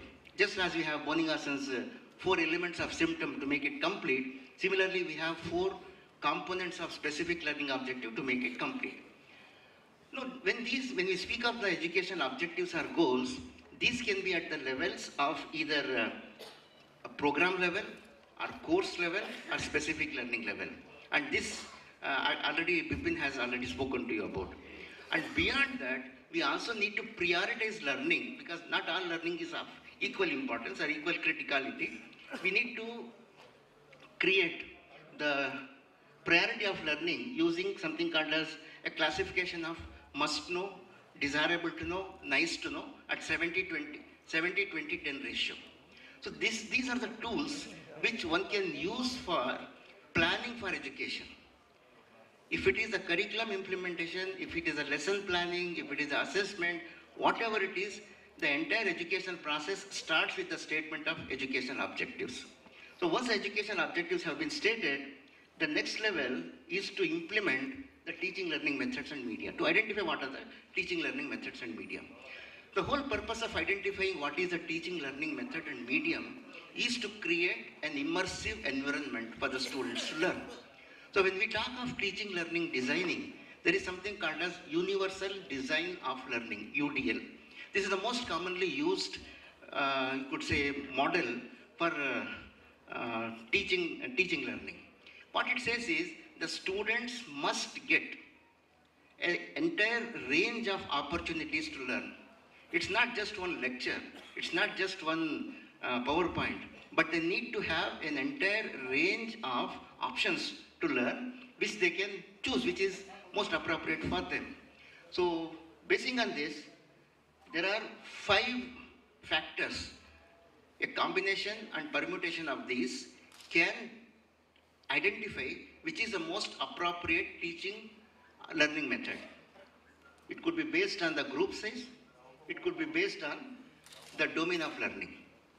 Then, to match this teaching learning method, in fact, teaching learning method is what the teacher does or whatever the teacher makes the students to do. It could be a lecture, it could be a seminar, it could be a group discussion. Whatever the teacher does is a method. Now we are coming to the medium. Medium is what the teacher uses.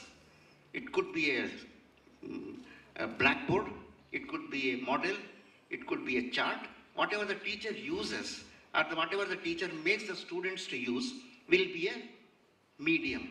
Now coming to the identification of medium, we have a tool called as uh, Dale's cone of experience or cone of learning by Edgar Dale, basing on which we can identify which is the most appropriate uh, teaching learning medium.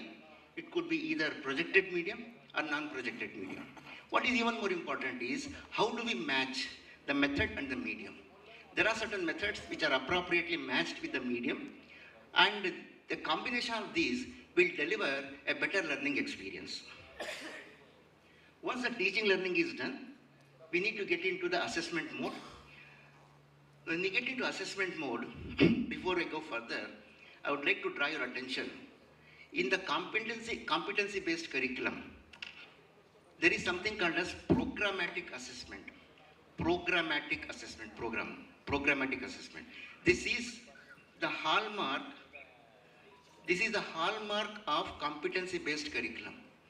What it means is there are multiple data points about each student's performance which are collected over a period of time at different levels with different criticalities and these have to be combined to get a kind of complete 360 degree opinion or judgment about the student.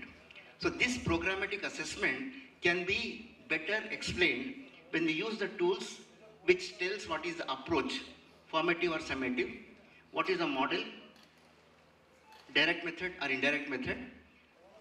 And each of these tools will have certain features. The assessment tool has to be valid, reliable, objective, practicable and specific. So when we are identifying the tool, we need to see whether these fe features are there in the assessment tool. So once we have all these factors uh, factored in, then we can identify the different assessment tools which can be based on which is the domain, what is the level in the domain, what is the medium of performance, learner performance, and specifically what are the different tools. So those tools are there which can be discussed at length maybe at a different uh, place. Now coming to the actual, uh, you can say brass tacks, what is expected of you as a teacher, as a, as a principal to be able to do. What you need to do is to establish something called as a curriculum management committee. It could be part of the, the medical education technology cell or it could be even apart from it. So there has to be a curriculum management committee within each institution.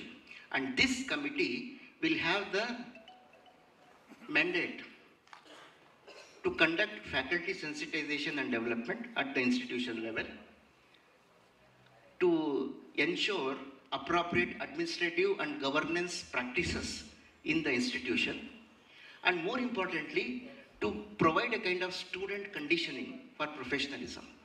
Because if it is only one way where the teachers are trained, but the students are not capacity built to understand what is his competency and what is expected of them, what are their professional obligations, it becomes a kind of, uh, it, it's not a recipe for success. Therefore, you need to factor in the audience as part of the stakeholders to build confidence and capacity in them also, and also create a culture of uh, continuing professional development.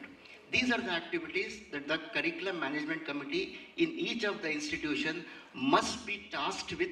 Only then you can expect this curriculum to see some success. One of the models that I have personally felt useful is the uh, learning organization model or the fifth discipline by Peter Senge, which has five components, five supportive components. And this has been my mainstay of whatever developments that I do.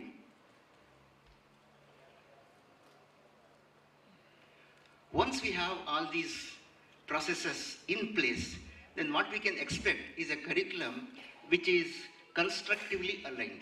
In fact, constructive alignment is a buzzword in any higher education uh, parlance and by John Biggs, who has been the proponent of this constructive alignment. And one more model of uh, uh, learning taxonomy, we, we can talk it up maybe at a later stage, maybe at a higher level.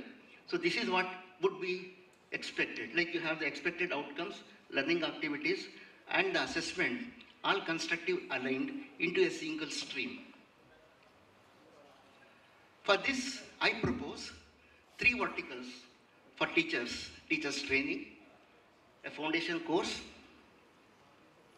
a basic course, and a short course or an advanced course for the teachers and a basic course for all the principals and the departmental heads in uh, education leadership. Now, these can be either coordinated by the apex body or by the universities or by a consortium of colleges or individual college, whichever way. But this is a model which I have felt is more useful. If there is another model, you can adopt it, not an issue. But some kind of a training is a must. Now, at the end of this session, are you able to recognize that there is a need for faculty development in homeopathic education? Illustrate education as a system consisting of the definition of education of WHO. Explain the significance of the three components learning objectives, teaching learning methods, and assessment methods as interconnected components of curriculum and identify what could be the framework for a successful implementation of CBDC. So before I conclude, this is called sandwich effect. You state what you expect the students to be able to perform. Now, in this case, the audience. What I expect the audience to be able to perform. Say it, and then, then uh, show whether you are able to. Ask whether you are able to.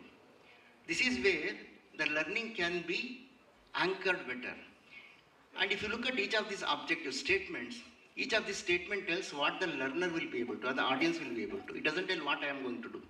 So the focus is shifting here from the teacher domination to the learner engagement.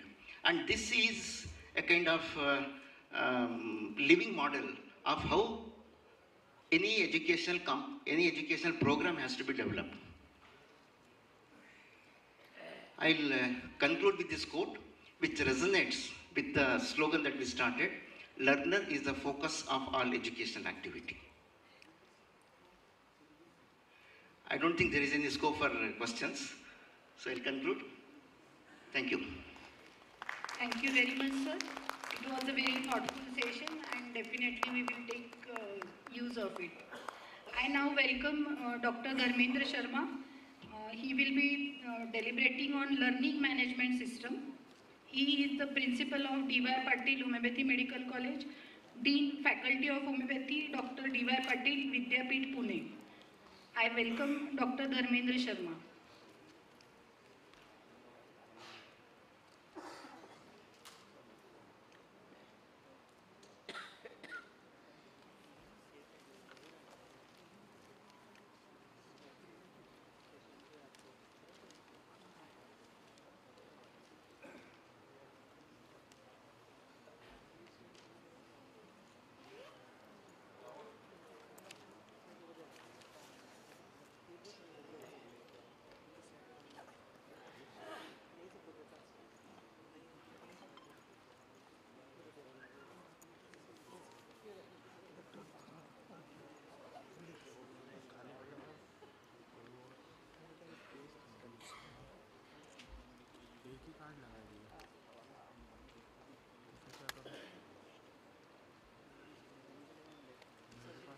Good afternoon, everybody. I'm very thankful to Dr. Khurana sir and Dr. Tarkeshwar Jain sir for having me here for this small presentation on active learner engagement during using LMS and the advantages of CBDC. At DY Patil Vidyapeeth and at DY Patil Homeopathic College, we have already implemented the LMS and the CBDC which has been included in the curriculum of the DY Patil University and uh, I'm here to share you my experiences about that.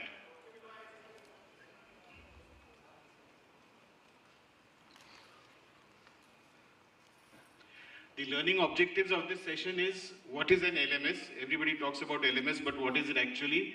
Actually, we were going to have BISAG team talking before me, so I thought this all would be covered in that. Uh, what are the types of active learner engagement? What is the need for it? And how to ensure it? And the need to regularly create the content, the need to regularly upload it on the LMS, and how to use the LMS in actively engaging the learner. An overview of competency-based dynamic curriculum and the process involved in its advantages and implementation.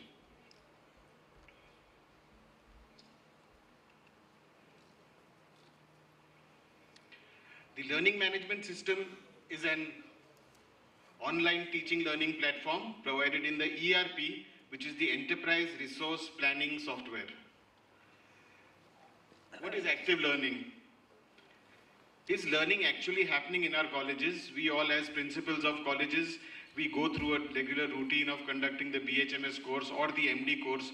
But if we actually ask ourselves this question, is that are the students actually learning? The teachers are going into the class, they are teaching every day, but from the student side, are they receptive enough to learn all these things? So, if learning is not happening, the need is that there should be attention, there should be curiosity, they should be interested, there should be passion shown by the students, their behavior, cognition, and their emotions. So an active learning is a method of learning in which the students are actively or experientially involved in the learning process and where there are different levels of active learning depending upon the student involvement. Bonwell and Eison state that students participate in active learning when they are doing something besides passively listening. According to Hansen and Moser, using active teaching techniques in the classroom create better outcome for the students. It is further noted that by utilizing learning strategies which can include small group work, role play and simulations, data collection and analysis, active learning is purported to increase the student interest and motivation and to build students critical thinking problem solving, and the social skills.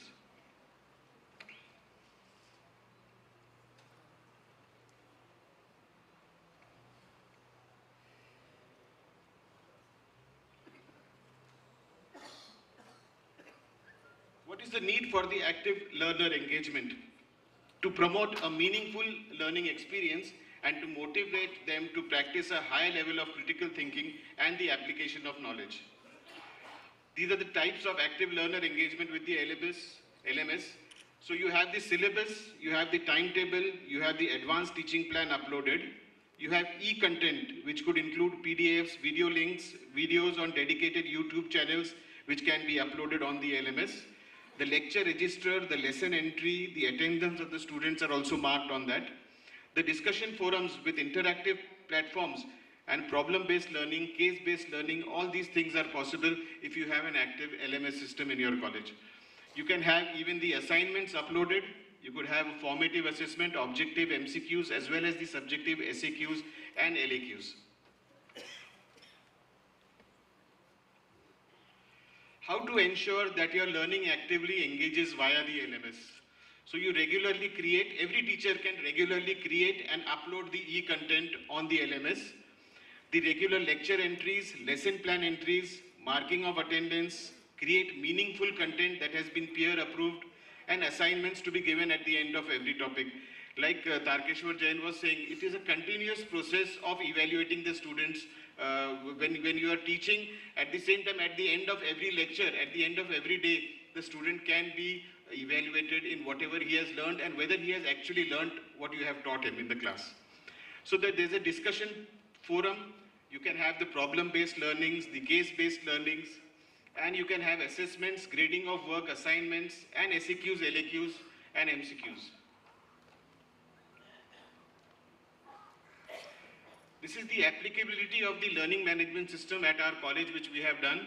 So we have the graduate attributes, the program outcomes, the course outcomes which are visible to the students. So every student has got an identity card and with that identity card he has a number which is his ERP number. So once he logs it onto the onto his computer, onto his mobile or computer, he's able to see all this information is available to him at the flick of a button. So he can see what are the graduate attributes, the POs, COs are visible to the students and they can, which have been precisely defined in the CBDC for the BHMS program as well as all, all the courses. The syllabi for all the courses has been uploaded in the LMS so the students can access the syllabus at any time, at, at any place. The timetable is also there, so students can access it from anywhere, anytime, if she forgets what lectures are scheduled for the next day. The assignments are uploaded regularly by the teachers to assess the students at the end of a lecture. This helps them assess whether the student requires competencies they have been achieved or not yet. This also helps in identifying the slow learners and taking necessary steps to improve their performance in the final university examination. The e-contents are also there, the video links are there, the discussion forum which has been used for the problem-based learning and the CBDC, the assessment, grading of work, assignments, the MCQ, LEQs, all these become a part of our learning management system. The college has ensured transparency in its teaching, learning, and timely completion of syllabus through these methods. So these are few advantages which everybody can get after once we start with the LMS. These are the advantages everybody will get.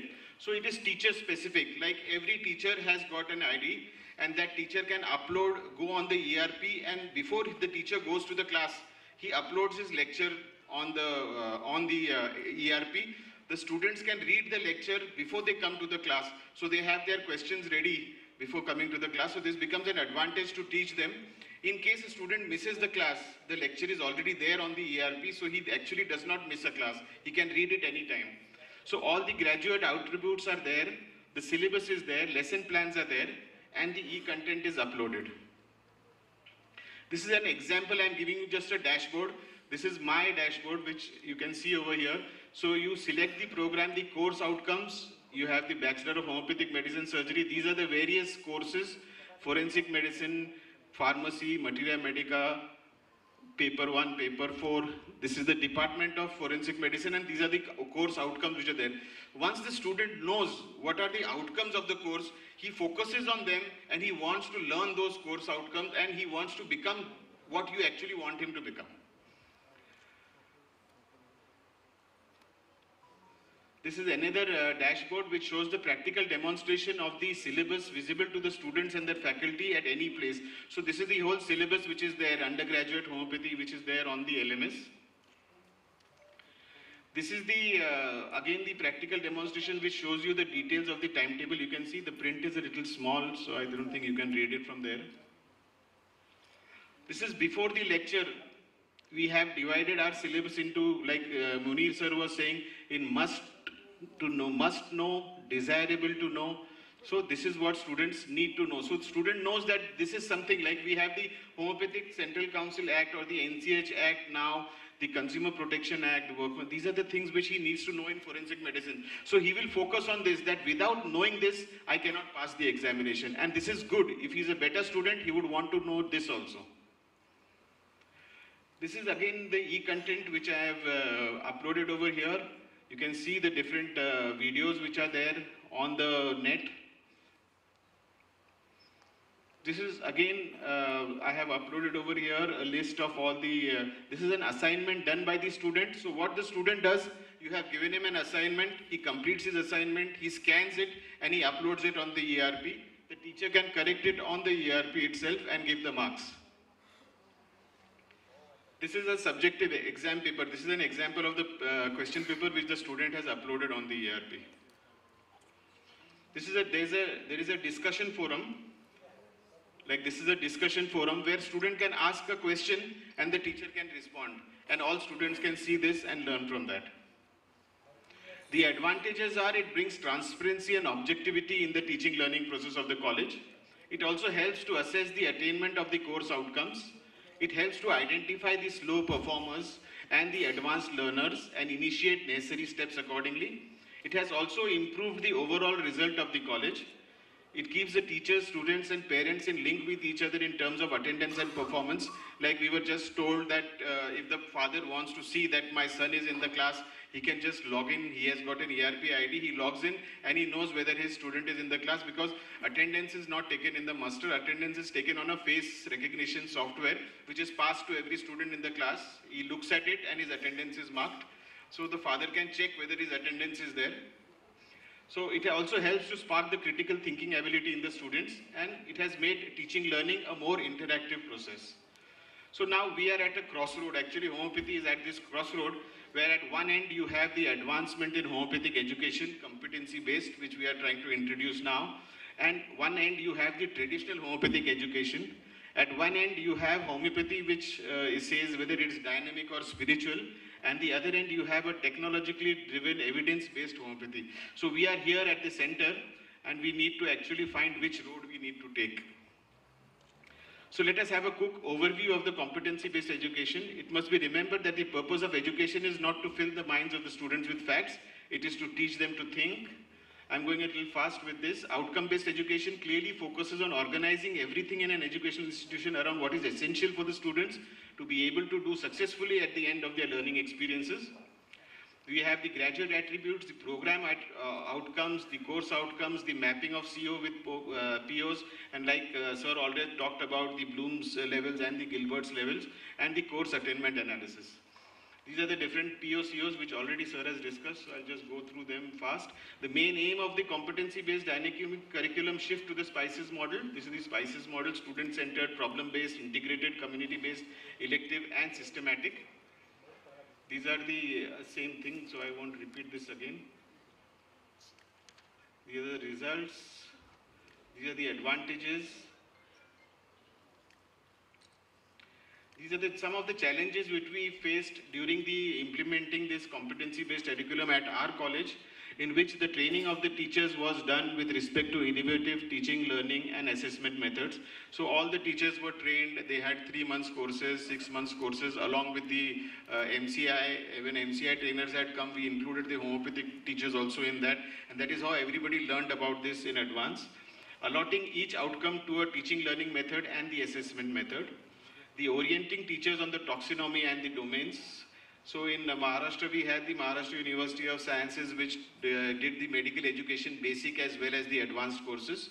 For courses like Materia Medica Organon, four years, planning all this for four years was a huge task. And training of teachers on the course outcome analysis was also difficult. And the training the teachers on the use of the learning management system. We steps we overtook to overcome these challenges. We had massive faculty development programs for teachers in each of the above aspect. We had separate university center which we have developed at the DY Patil University for professional education and faculty development called the UCPEF and D. The homeopathic education technology unit has also been established in our college which works in close guidance of the UCPEF and D. This we call this homeopathic education technology unit as HETU and we have round-the-clock monitoring, weekly review meetings, basic workshops in health education technology, massive upgradation of the infrastructures, we have smart classrooms, and uh, we have advanced laboratories for research. To conclude, the adoption of an outcome and competency-based homeopathic medical education approach will help produce competent homeopathic physicians imparting safe, rational, and judicious homeopathic treatment to the needy. It is rightly said that don't, don't just teach your children to read, teach them to question what they read, teach them to question everything. This is the most important thing. So, us homeopathic students also need to do that. Uh, thank you very much. Of all this time, we have always been focusing on the MSR, and we focus on everything. And we have taken this word minimum, which Dr. Hahnemann has talked about the minimum dose and minimum everything. So we have incorporated this minimum into our lives. So we want minimum education, we want minimum work, we want everything minimum. It's time to change and it's time to make it maximum and think beyond the MSR and think beyond the minimum. Thank you very much. Thank you, thank you very much, sir, for your wonderful presentation. I would like to invite uh, Dr. Monica, Consultant Medical Assessment Rating Board for further proceeding. Thank you very much.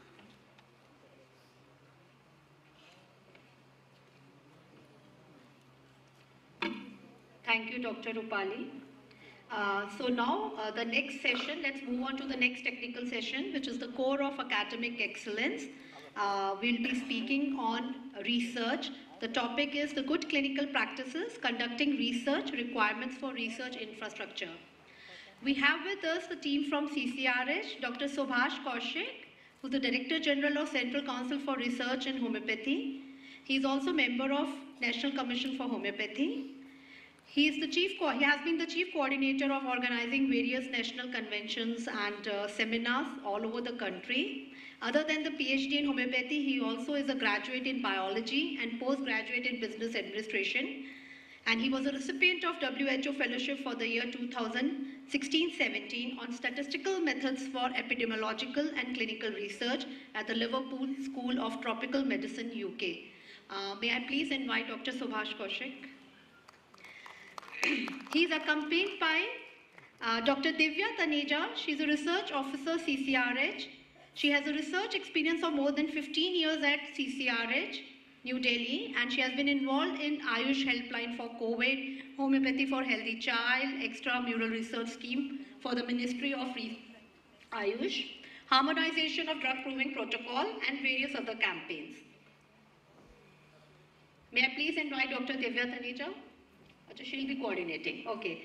And uh, I'm also inviting Dr. Halim Kaur. She is also a research officer with CCRH, and she also has experience of 15 years of uh, research, which is the, and she has been an editor of Indian Journal of Research in Homeopathy and uh, uh, official journal of CCRH. She also has over 20 articles in peer-reviewed journals. She designed a study to explore the role of homeopathy in serving the moderate and severe cases of COVID-19 in an integrated manner, which was conducted in AIIMS Hospital, Jhajjar, and St. George Hospital, Mumbai. So may I please welcome the CCRH team. Over to you. Yeah.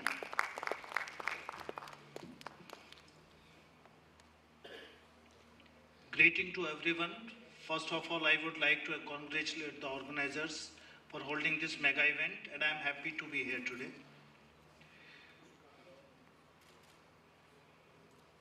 How to move the slide? Ah, yes. So basically, under the aegis of Ministry of Ayush, Central Council for Research in Homeopathy is an apex research organization in homeopathy which undertakes, coordinates, develops, promotes, and disseminates scientific research in homeopathic system of medicine through its different institutes. At present, we are having 34 institutes and units all over the India, where specific research studies are conducted, along with provision of clinical services with laboratory facilities, and also IPD setups in selected, selected institutes. So basically, CCRH engaged in multidimensional research. Here you can see we are doing a lot of things from cultivation of medicine plants, drug standardization, drug proving, clinical verification. Like in cultivation of medicine plant, we have one place of 12 acres, more than 12 acres at Ooty, with a greenhouse and cultivated fields and herbarium. In drug standardization, which involves development of pharmacognostic, physicochemical, and pharmacological parameters of raw drugs, and for finished products. Standards are provided for inclusion in the Homeopathic Pharmacopoeia of India.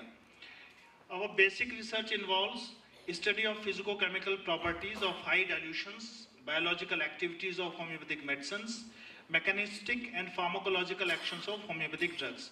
We are also engaged in drug proving, our oldest program of CCRH. Then we are into clinical verification, where we used to verify the symptoms obtained in the drug proving in OPDs in various disease conditions. We are having clinical validation part where we do validate the symptomatology of drugs in specific clinical conditions.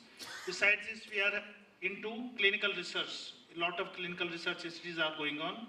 We are into epidemic studies, identification of genus epidemicus, distribution of genus epidemicus, and identification of prophylactic action.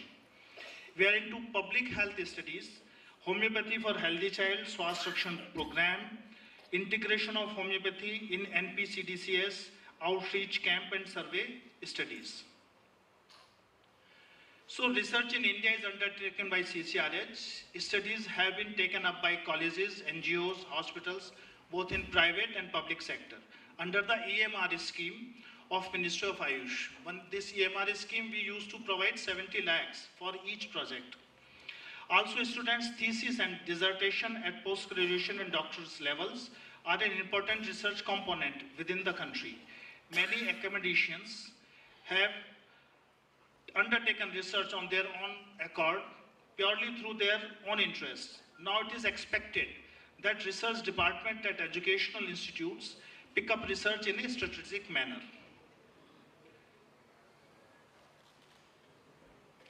Uh, currently, the Ayush, including homeopathic knowledge, is largely based on tradition, which is at the topmost. However, it is desirable that medical practice is evidence-based, for which the pyramid needs to be inverted to ensure that traditional knowledge and know-how are built upon the systemic studies to develop treatment modalities.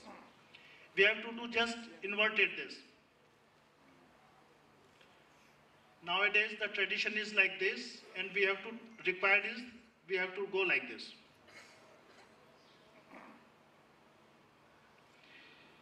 Here you can see this is the evidence pyramid. We have to go like this only. So here the hierarchy of study design is used to translate the result of studies into clinical practice guideline. And most importantly, we should publicize the good work through publications. Whether whatever we are documenting, be it case report, case series, results of observation study or RCTs, systematic reviews or meta-analysis, we shall do it with utmost sincerity and without any bias. So we have individual brilliance, but at institute level we are not.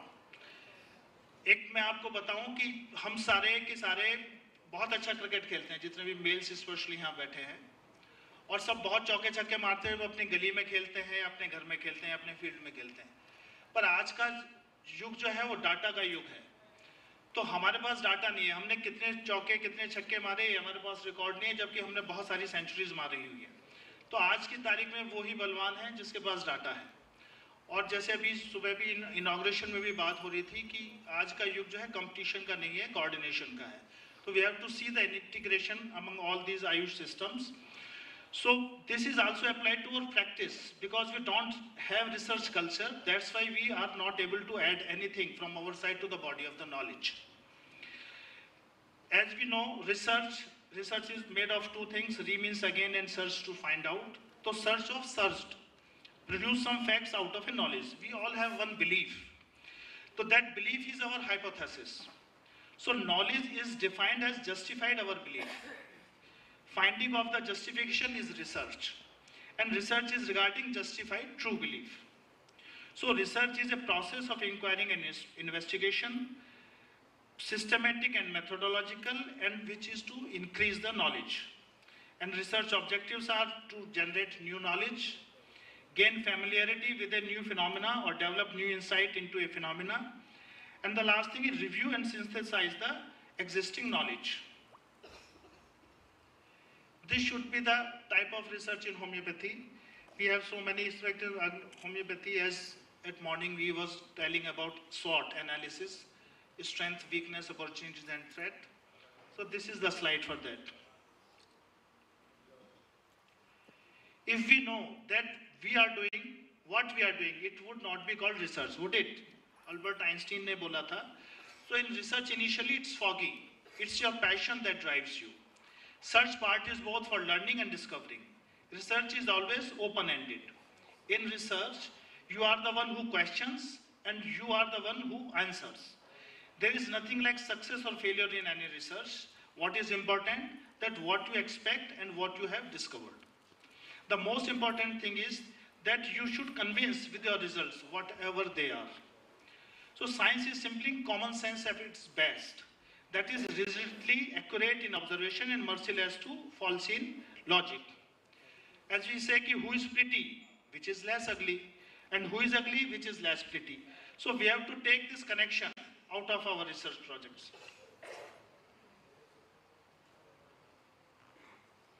So this research process, these are the some stages, six steps are there. When we talk about formulating and clarifying a topic or a research question or research objective, area of interest should be broad. Review the literary research, we have to figure out the gaps, work done and work not done. Then designing, designing the research with clear concept, type of research, what we are going to do. Collecting of the data, collection of the data, then analyzing the data, and write-up up must follow a structure. And these are different type of research on the basis of objective. You can see exploratory. We are going to explore, then descriptive, describing the explore, whatever we have explored. Then correlation, relationship between two variables. Then experimental, then explanatory. And on the basis of outcome or classification, we can see the fundamental basic. This is all theoretical. No product we can receive from this. Then applied then action for immediate solution of a burning problem in the population. And on the basis of logic, there are two type of deductive and inductive on the basis of process, qualitative and quantitative. Qualitative is of emotions, may not be indigenous to that group, whereas quantitative, almost all clinical research reproducible in nature. When we talk about qualitative and, uh, so I'll come later. These are the characteristics of research. Objectivity means research without bias. Subjectivity is biased. Anything which has different meaning for different people is subjective. That is, say for example, indigestion. If one, someone say to, I am suffering from indigestion, so you may think about constipation, diarrhea, heartburn, anything. And what is subjective? This uh, subjective, the anything which is has mean all for all, that is objective. The suppose one say कि it's taxes. तो objectivity का की अगर हम बात करें तो subjective symptom change हो सकता है अपने अपने परसेप्शन के हिसाब से लेकिन ऑब्जेक्टिव वो है जो सब ऑब्ज़र्व करे एक साथ then reliability consistency getting same or similar result can be termed as verifiability. Then reliable validity stand for accuracy procedure research instruments tests etc accuracy is degree to which research process instruments and tools are related to each other. Then generalizability degree to which research findings can be applied to a larger population. Whereas systemic research should follow a definite procedure and replicable, it can be verified by other also. These are the different recipes for research. Can, no need to read out all. These are the area of interest in terms of relevance, innovation, acceptability, cost effectiveness, and ethical issues. This is our, this is our publication. But this is a peer-reviewed uh, pioneering open access, peer-reviewed homeopathic research journal in India. This is quarterly publication and you can all access it free online from our, your mobile and computer also. So these are the famous publications of CCRH. These are same. These all publications can be purchased from CCRH. You can write to CCRH publication at gmail.com. Online purchase is not available now, but it will be initiated soon.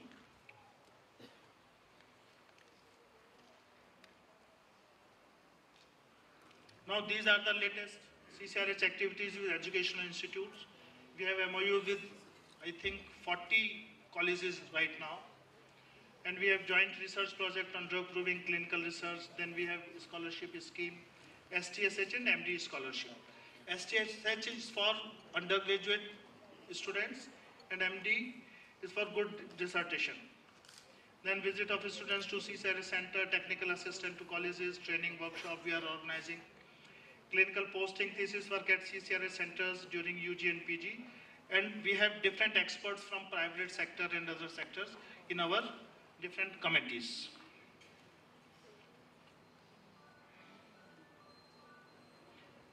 This is the scholarship, I think all of you know, this STSH program.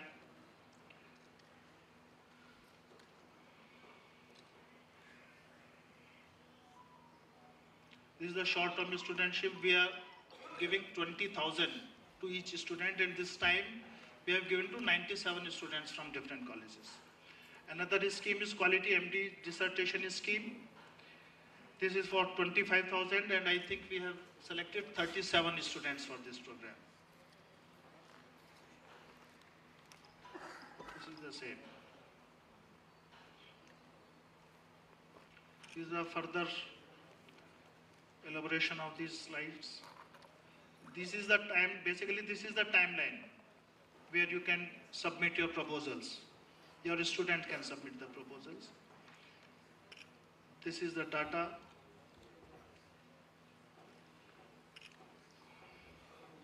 This is the data of under STSH.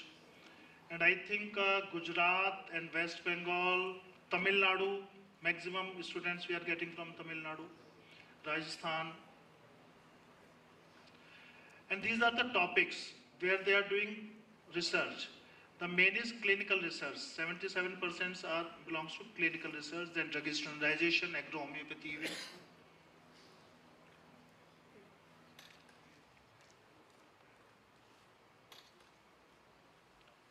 So we are having this vision with colleges, what we want from you. These are the activities of CCRH with collaboration of your colleges.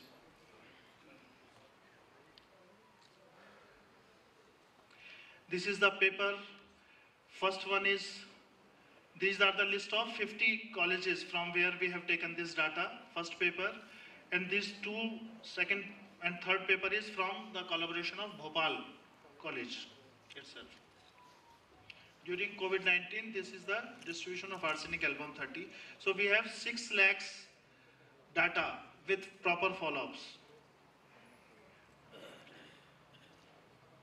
And because this, under the NCH Act, research policy is an integral component, so research can not be held in isolation by a single body.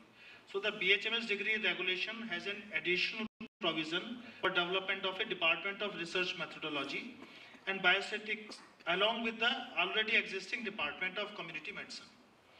Other than the activities being taken by the Department of Community Medicine, this department needs to identify strategic directions for research in the institute.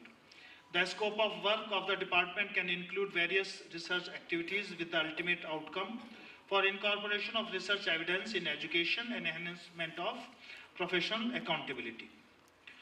So how research can be undertaken in colleges and inculcating in students will be taken up next by Dr. Harleen. Please come.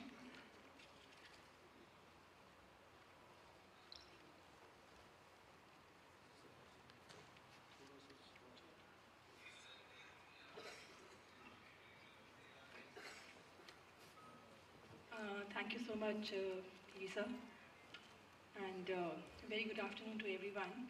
Uh, I think uh, our uh, Director General CCRH, Dr. Subhash Kaushik, he has given a very crisp outline of how to do research and what are, how is CCRH enabling research in colleges and what are the various schemes that we are providing to encourage research in uh, academic circle. So I'm very quickly going to, uh, can we have the slide bigger? Uh, maybe if I can go from, yeah, thank you so much. So um, basically, medical colleges, we don't have a better ideal ground for innovative research. You know, now we're not talking about homeopathy here, we're talking about medical colleges. Barely for the plethora of clinical exposure that it offers. I don't think that there's a better place if you want wide range of researches, wide range of clinical, uh, you know, symptoms and diseases. So anything from head to toe. I think that's the best way, best platform to inculcate research inclination in the mind of students. If that is where the seed of research is sown, it will definitely bear fruits eventually. So medical colleges literally are cradles of innovation and knowledge creation. One, because there's exposure. Second, because the youth always want to do something new. They're always downloading new apps in their mobile gadgets because they are looking for innovation. So I think it's all about encouraging them that why don't you create one? If you like innovation, if you're always looking for something new, then the profession needs you. So maybe it's just about channelizing their energies into research mode. So researchers colleges can be the source of generating high caliber human resource for research in homeopathy sector, which if channelized properly, may bring much needed recognition to homeopathy. The exposure that students get in a medical college for clinical research is an apt resource for designing cohort studies. So cohort studies, observational studies, where you do not really need a comparator, where you just have to observe the difference that is happening with simple homeopathic prescriptions before and in the follow-ups and then after, is something that only needs just bare minimum guidance of how to document your studies and how to scientifically you know, give basis to them by recording evidence properly. That's about it. So I think cohorts is something, observational or interventional studies are something that every college, the smallest from the, the smallest to biggest, can be taken up right into OPDs. If you have a minimum OPD of 100 patients in a day, your, your people, your, your students have enough ground for researchers. And also, RCTs, why not? I mean, why, do, why, why can't colleges think of randomized controlled trials? The RCTs do not have to be only CCRH domain or only a research-specific person's domain. RCTs are simply, simply a study gone finer just because we have a comparator and a randomization added to it. So I think what we really lack is first the, the basic, very basic know-how of research methodology. RCT might be the gold standard, but conducting RCTs doesn't require much, except for just very basic understanding of what research is, what clinical research is about, and just, just comparing it. That's it. So I think if you have a comparator available, or if you can take a placebo, if ethically it's allowed, if you have, if your college is attached to an allopathic college, where you have, uh, you can have uh, simple researches by, by a small MOU, I think that's the ground for doing RCTs, which is a gold standard for clinical research. But I understand, I think we all understand that a medical teacher is very different from a college academic teacher. They have so many, so many multiple responsibilities, ranging from undergraduate and postgraduate teaching to clinical work in OPDs and in IPDs, administrative assignments, assessment-related work, being a guide for postgraduate dissertations and mentoring. However, despite all of this, last but not the least, doing quality medical research is also an important responsibility which would improve patient care, medical education, would prove the effectiveness of homeopathy, and will benefit the society at large. So I think medical teacher definitely has a lot of responsibility, but uh, this is one thing that cannot be understated. Now, encouraging students for research is always a challenge. It's not only in homeopathy colleges. This is the data that you can see is from uh, a published uh, piece uh, from medical colleges all over India. So I'm talking about conventional medical colleges here. Six to 10 medical colleges of India publish more than 60% of research papers in index journals out of the existing 450 medical colleges in India. So this is 2016 data, so it might not have changed that much now. So the point is that this is the state of affairs. The medical colleges that are doing researches are doing researches anyway. So 60% of data is actually coming from those 10 medical colleges. And 450 medical colleges lag behind. Rest of the colleges lag behind. But I mean, let's not be, let's not imitate them in this. Let's try to change this for our homeopathy colleges at least. And the prerequisites are uh, many, but most of them are available. We need good mentors who have a good track of research capability. Now, when we say research capability, it might not be that they have published at least 10, 20, 30 clinical research papers, but they, they have research know-how. They have been a part of one or two clinical researches, but they, they have a good hold on what clinical research is about. So they can be a good mentor to, uh, to, the, to the students. And aiming to develop a tradition of research in college. So just like we have tradition of you know, classical practicing in medical colleges, in our homeopathic colleges. We have a tradition of, uh, you know, respecting Samuel Hahnemann. We have, a, we have, so colleges have their own traditions.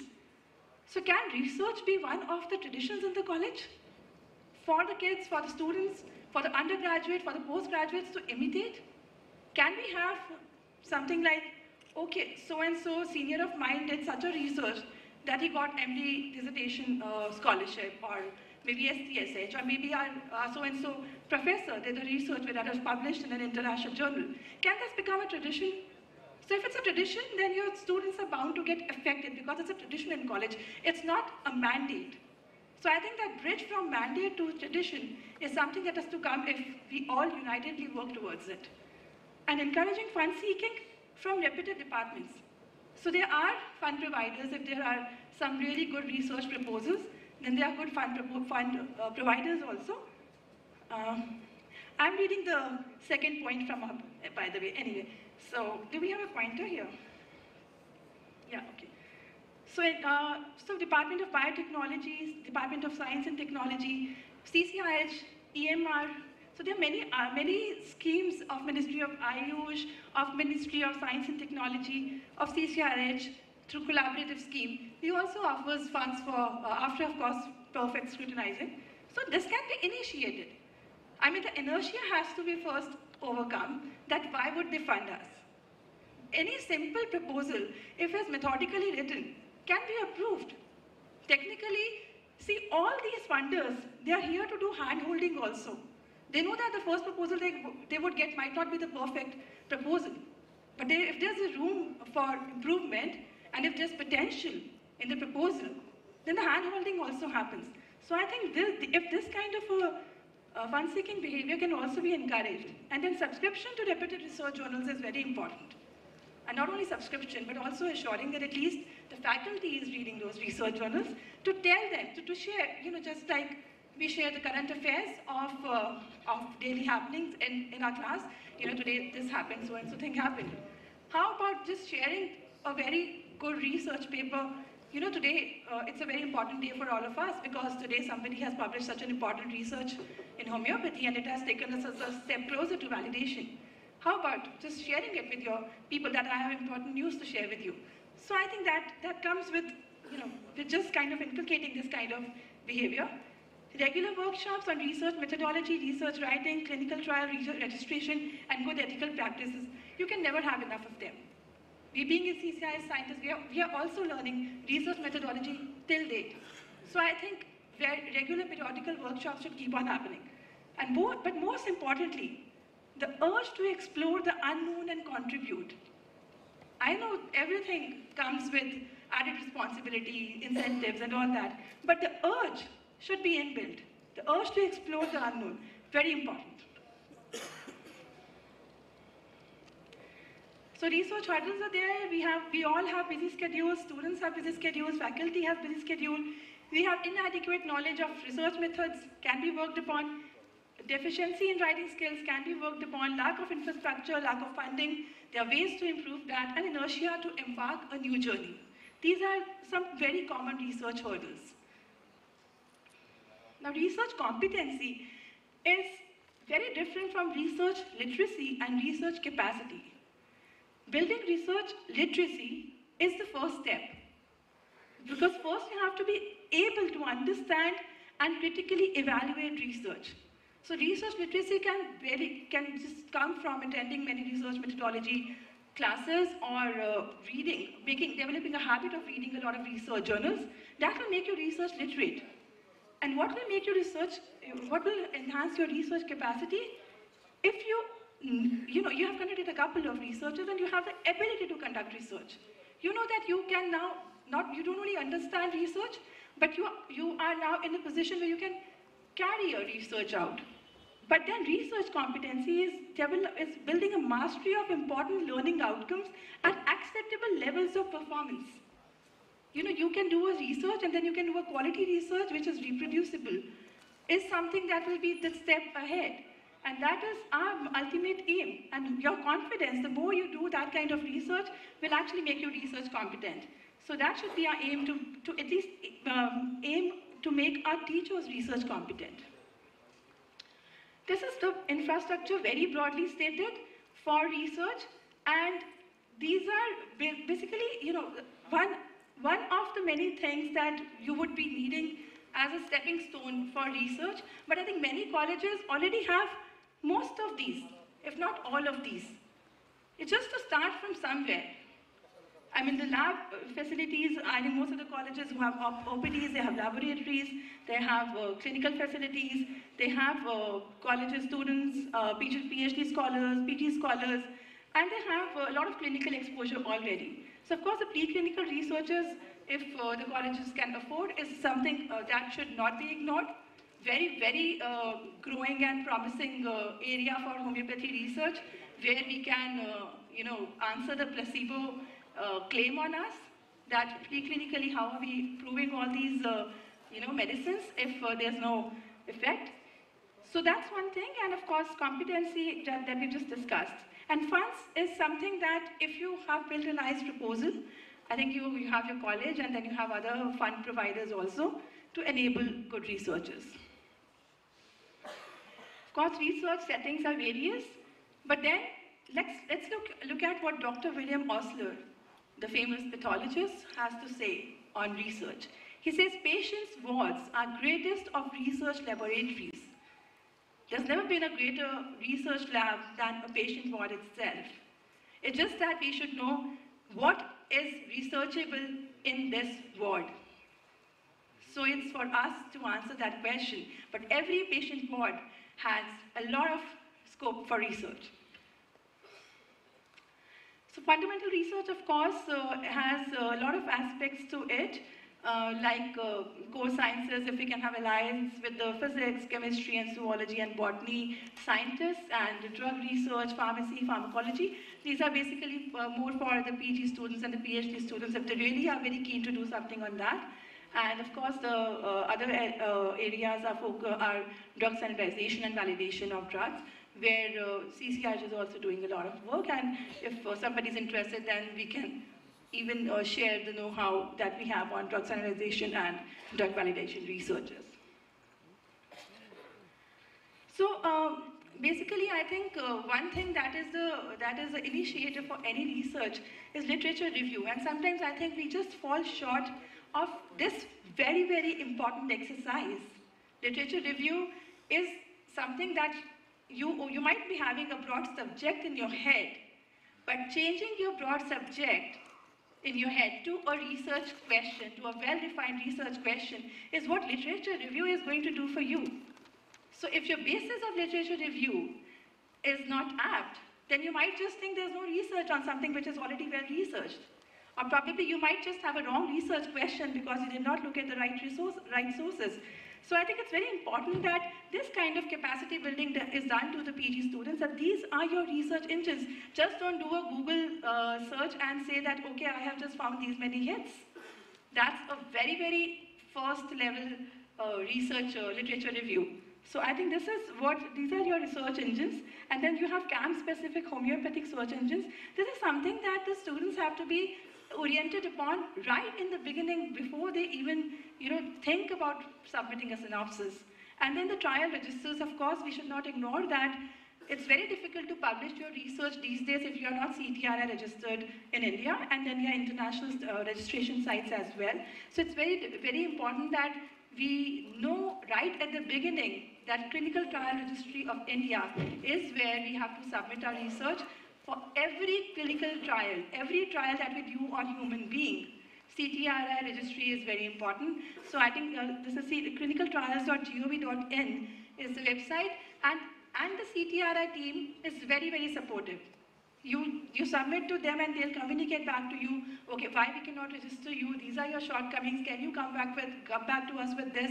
So it is, it is actually a couple of teething troubles that you will face and then you would know that every student uh, that is doing study can be CTR, can get CTR registry is not actually climbing a mountain. And then, of course, the manual search sources will always remain the authentic ones. So there are some uh, priority research areas in homeopathy and now I've taken some part of it from Homeopathy Research Institute while they are, uh, they are always uh, you know, up to date with the researches. And the, the common notion that's coming is that it makes little sense to continue to put a whole system of medicine on trial by point scoring कि इस पर भी research कर लिया इस पर भी कर लिया इस पर भी कर लिया इस पर भी कर लिया no it's not important always that you find a point where research is never done it is better to concentrate our research efforts on a small number of most promising clinical areas. And you know what? These clinical areas are more or less identified. But good quality researches are still awaited on those areas. We have preliminary evidence. There are systematic reviews on those areas where they have identified that these are the areas where we want more evidence to say homeopathy works. So let's not go and you know, do research left, right, and center on everything. It's better to just focus on a couple of things that already has given us some footage, some, some small evidence, and then we have to build on to further to that. And then the priority areas like endemic diseases, diseases with limitations, in parallel systems of medicine, diseases with high prevalence, preventive role, where homeopathy can play a preventive role, and role of homeopathy in management of debilitating a terminal illness. Very important, very, very niche area, but very, very, um, you know, workable area. And then, of course, a word of caution, I think you all must be aware, you're all senior uh, faculty sitting here, uh, is that your students should not fall into trap of predatory journals.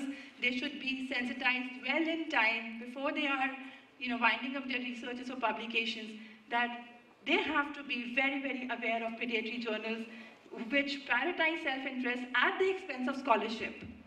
And are characterized by false or misleading. It's very, very difficult.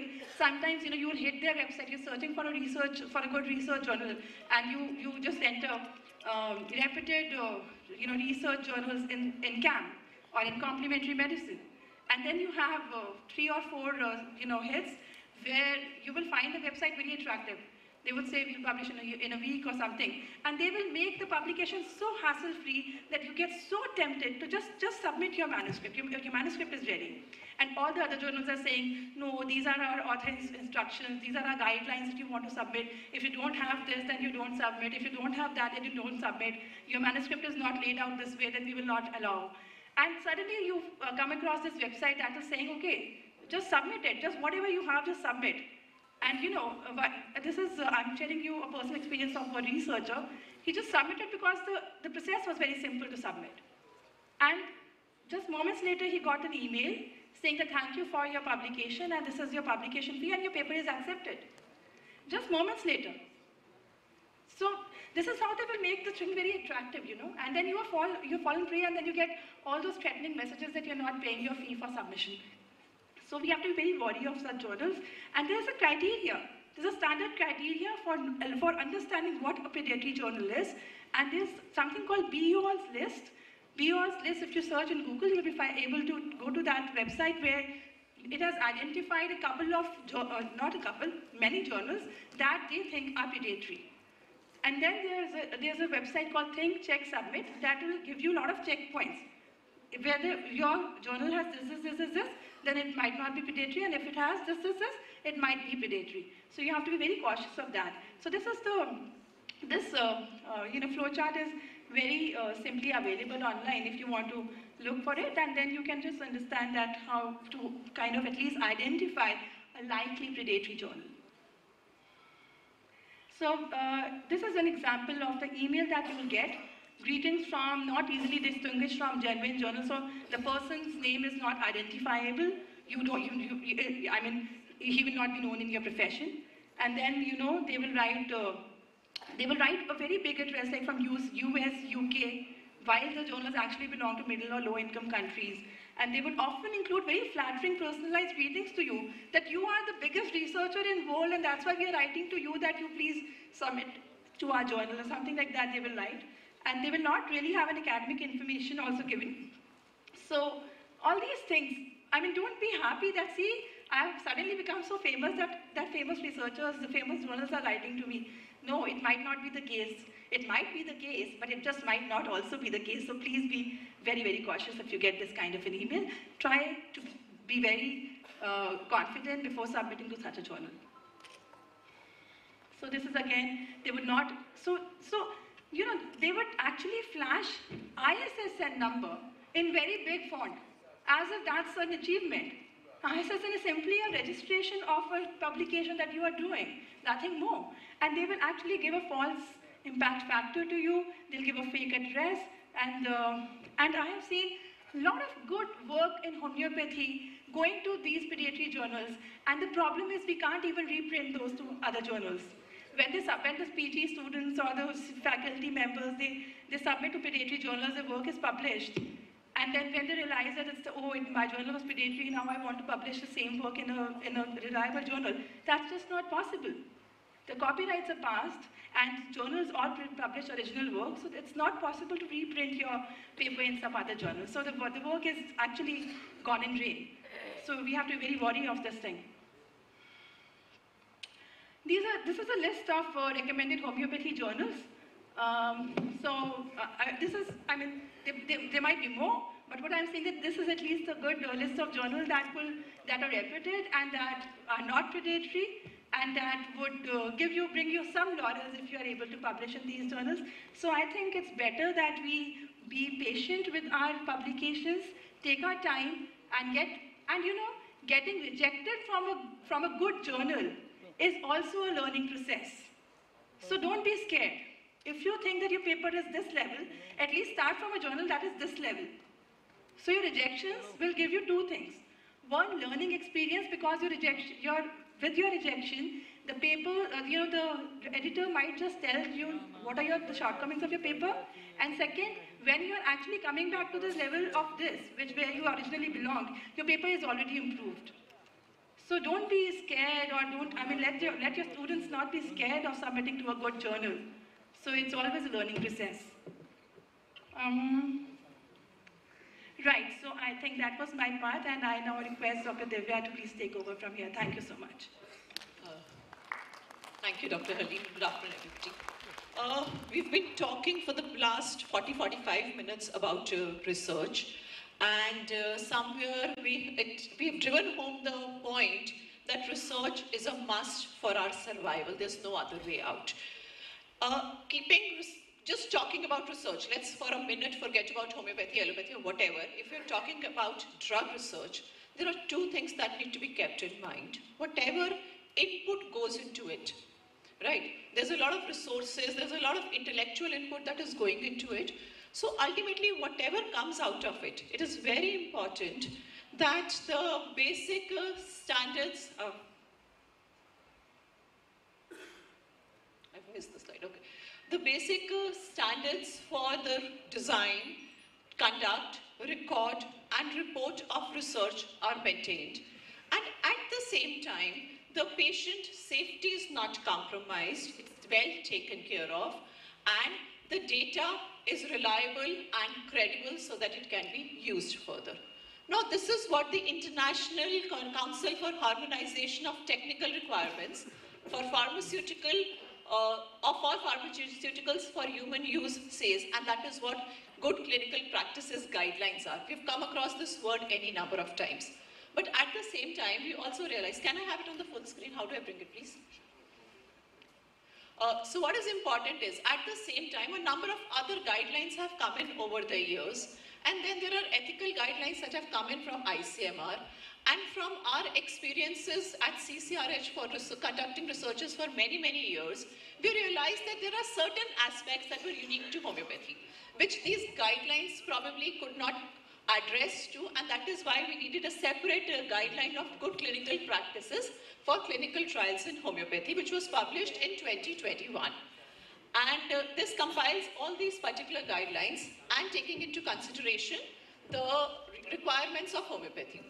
So what is coming next is the objective why these guidelines were done, just to provide a guiding tool on how to do quality research and whatever research is done, we are able to do in, an ethical manner and ensure that the data is reliable and credible. And then there were a lot of questions. How do we bring in novel products? What do we do about new drugs? Uh, during COVID times, we saw a lot of WhatsApp messages coming in, but what is the process that should be there? So there were a lot of clashes happening, and somewhere down the line, this particular set of guidelines tries to answer those questions as well. So talking about clinical trials, now this GCP guidelines has got 14 principles. These 14 principles take care of clinical trials, it takes care of participants, it takes care of documentation, it takes care of publication, and all these aspects are addressed in the various chapters that this particular guideline has. So clinical trials, number one, they should be conducted in accordance with the ethical principles that have their origin in Declaration of Helsinki and consistent with GCP Edge and other applicable requirements.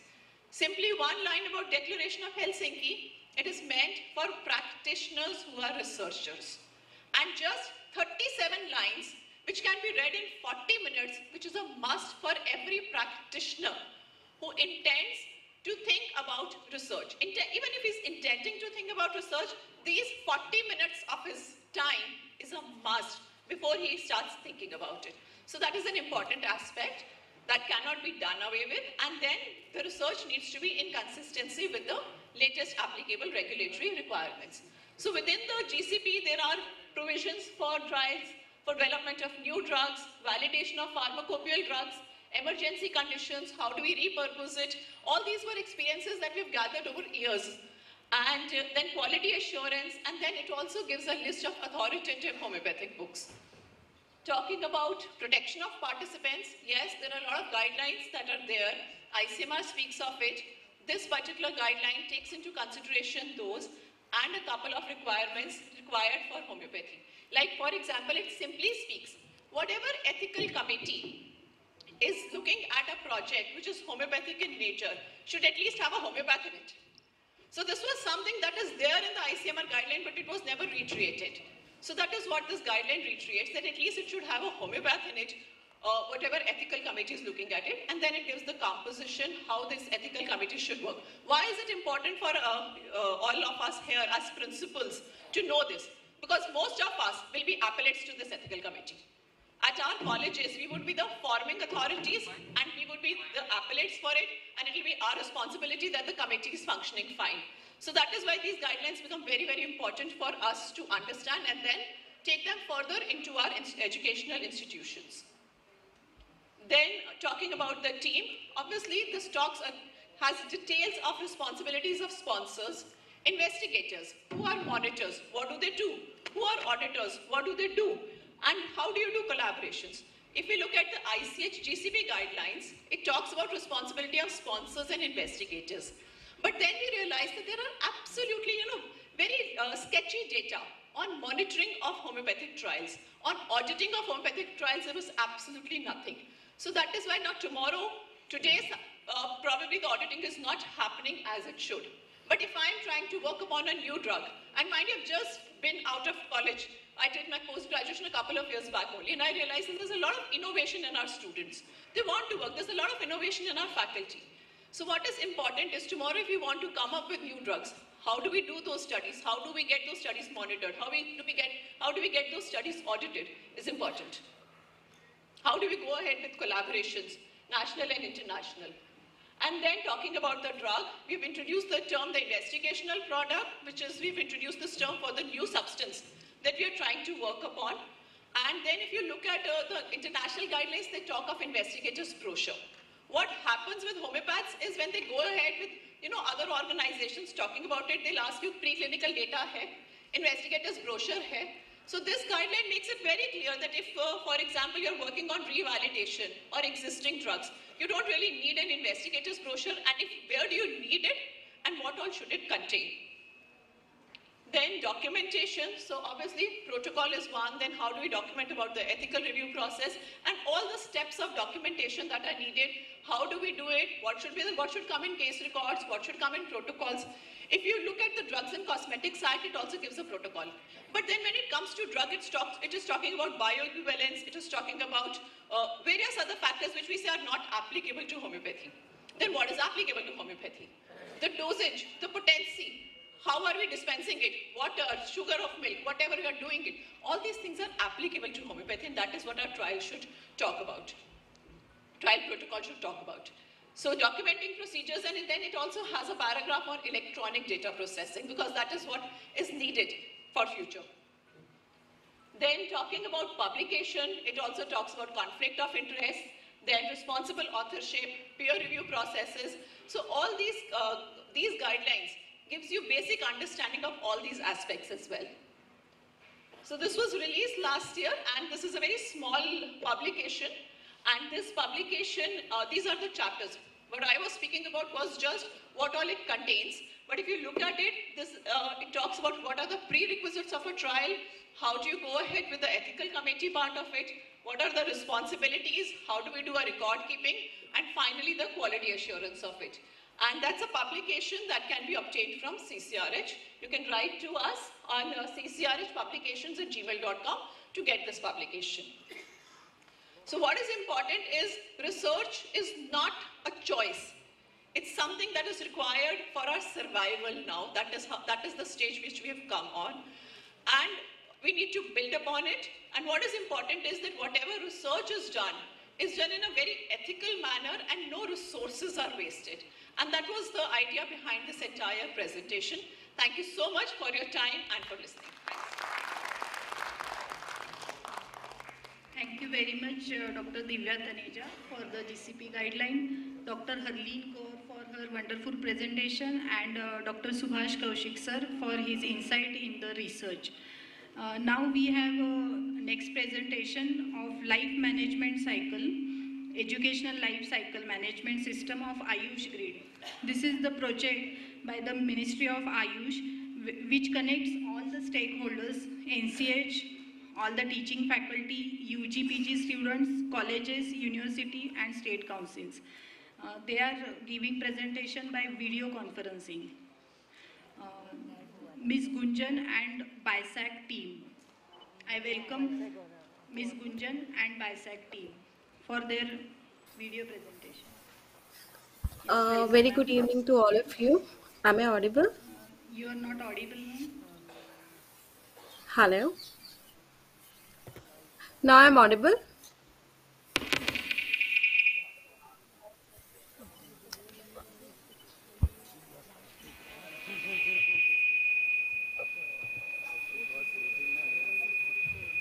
Hello.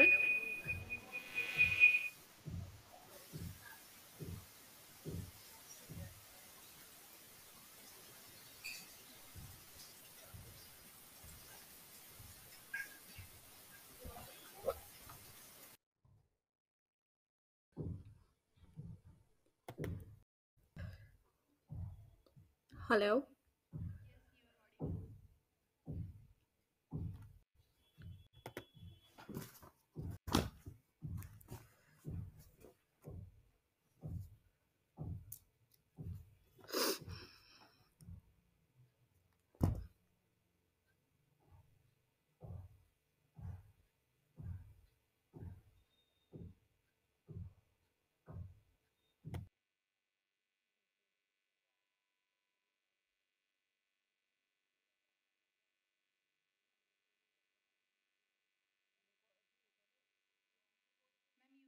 Start your presentation. Am I audible, ma'am?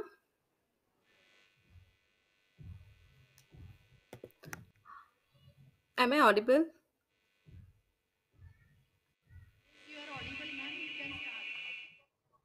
Okay. A very good evening to everyone. Uh, my name is Gunjan. I'm an IT project manager in Bhaskaracharya National Institute of Bioinformatics and Space Application. Uh, so currently, we are the auto scientific autonomous body of Ministry of Electronics and IT. Yeah. So we are a uh, scientific society of Ministry of Electronics and IT. So currently, uh, we are working in sectors of software development, geospatial tech applications, and satellite communication. So currently, we are associated with the Ministry of Ayush for regarding the education sector of the Ministry of Ayush. So we are developing uh, some of the modules like management system for the National Commission of Homeopathy. So please next.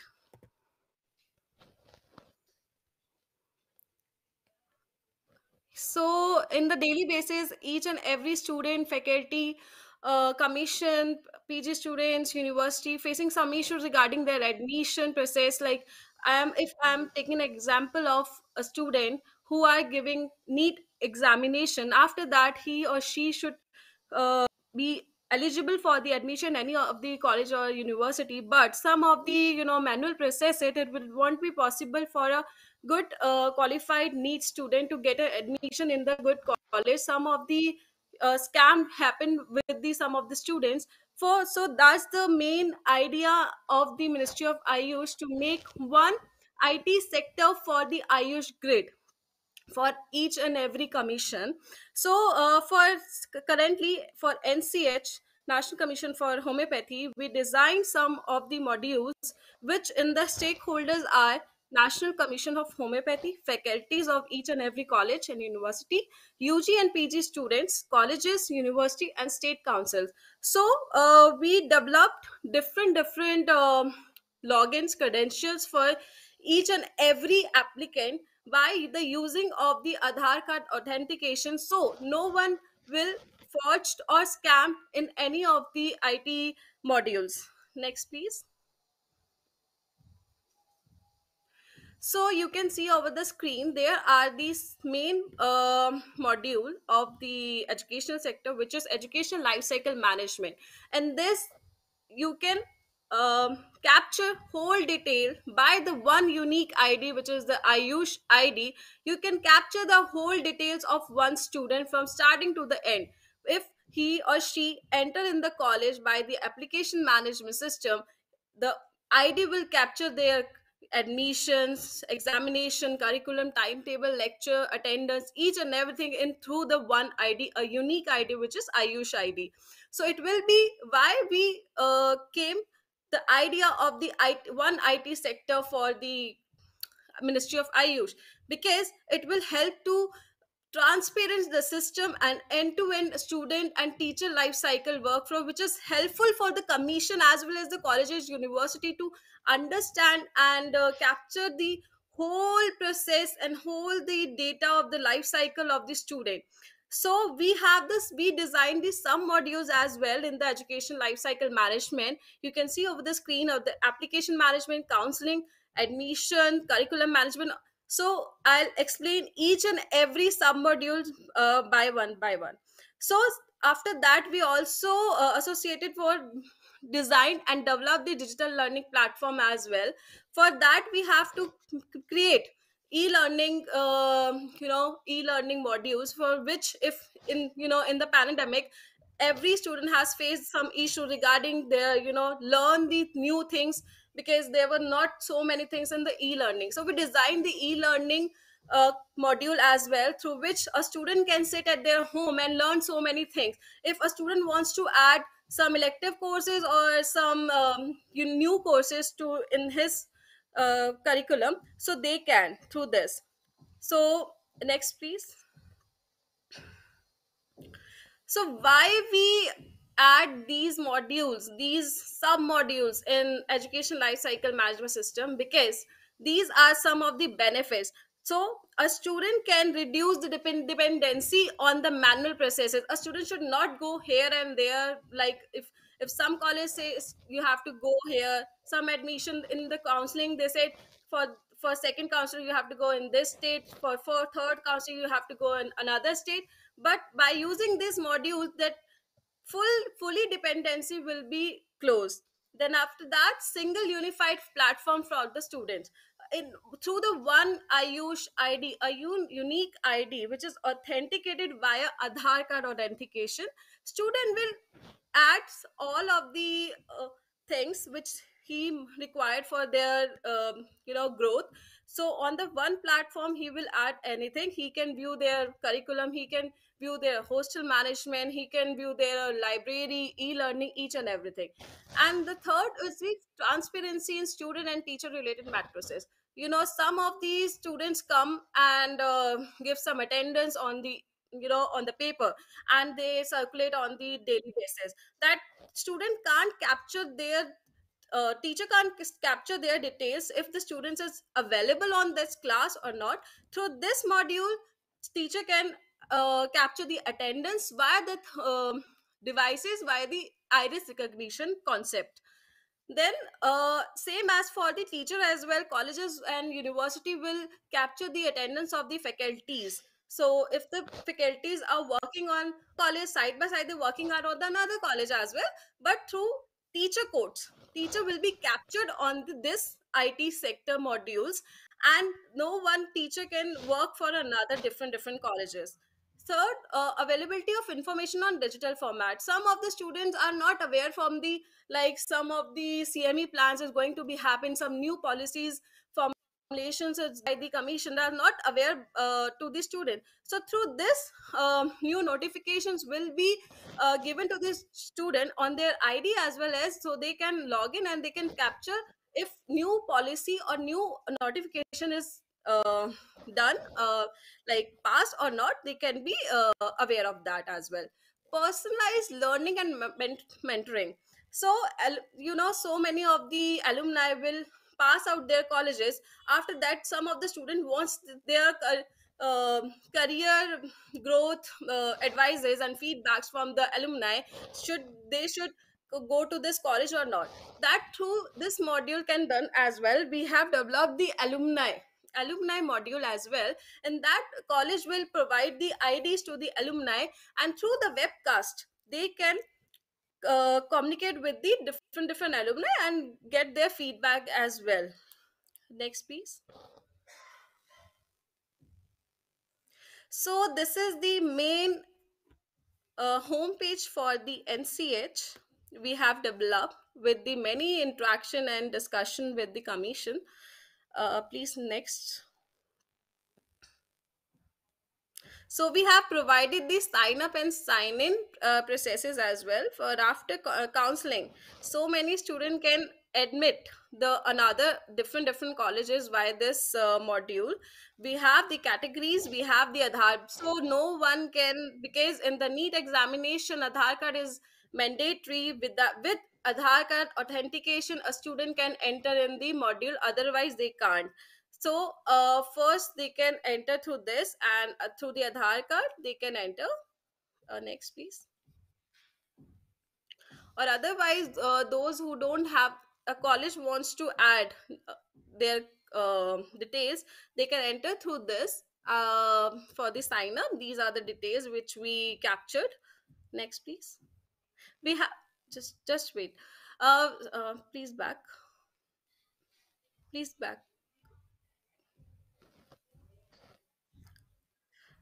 Okay, so we have the alumni uh, sign up over here. Some of the colleges has provided the uh, alumni for the registration, but some of the colleges, do, some of the alumni don't have their login, so they can sign up through over here, and they can add their all the details on over the form which was provided on the uh, module as well. Next, please. Next. Uh, please next. Next. Next, please. Next. Yeah. So uh, after NEET qualification, uh, when the student got their result for the particular college, after that the journey will start over here. The student can fill their form, their personal details, basic basic education details, upload their documents as per requirement, the college declaration, each and everything will be after filling out this form, the uh, Ayush ID will generate to the student. Now the capturing of their data from their starting to the end will start over here. So this is very helpful for UG and PG student to capture their whole details. They have not to go here and there and there should be authenticated. So this data is authenticated with the NIC servers and no uh, of the data will be happen after this um, IT structure that's the main reason of the ministry of ayush to create ayush id and make the id structure because currently and any of the commissioners of ministry of ayush is not having their own uh, database to having this kind of data. Uh, next piece so after filling all of the things this will be the form of the preview and the person will add and it will be sent it to the college and university for the uh, physical verification. Next. So we have uh, developed some curriculum management uh, module as well as we discussed. In the curriculum management so as per the university those who wants to their professional wise they can create curriculum as per the curriculum lecture management will be designed. So uh, curriculum will be designed accordingly then the lecture will be designed. So it will be very helpful for student to un- uh, to analyze which lecture will be helpful for them and which is the courses. Each and everything will be showing on the student dashboard and as well as on the colleges ncis and nch everything. Okay next. Okay next please uh abhishek you want to add something on this Yes, ma'am. Uh, T3 object learning uh, curriculum in a curriculum. T3. Uh, hello, I'm audible, ma'am. yes abhishek you're audible yeah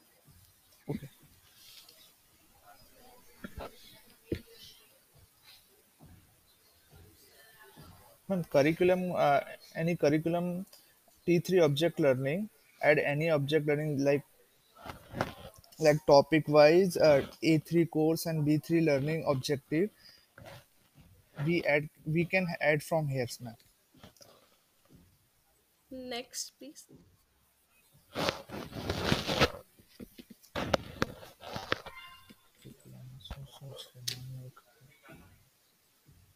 Abhishek, please go. Uh, you can explain all the.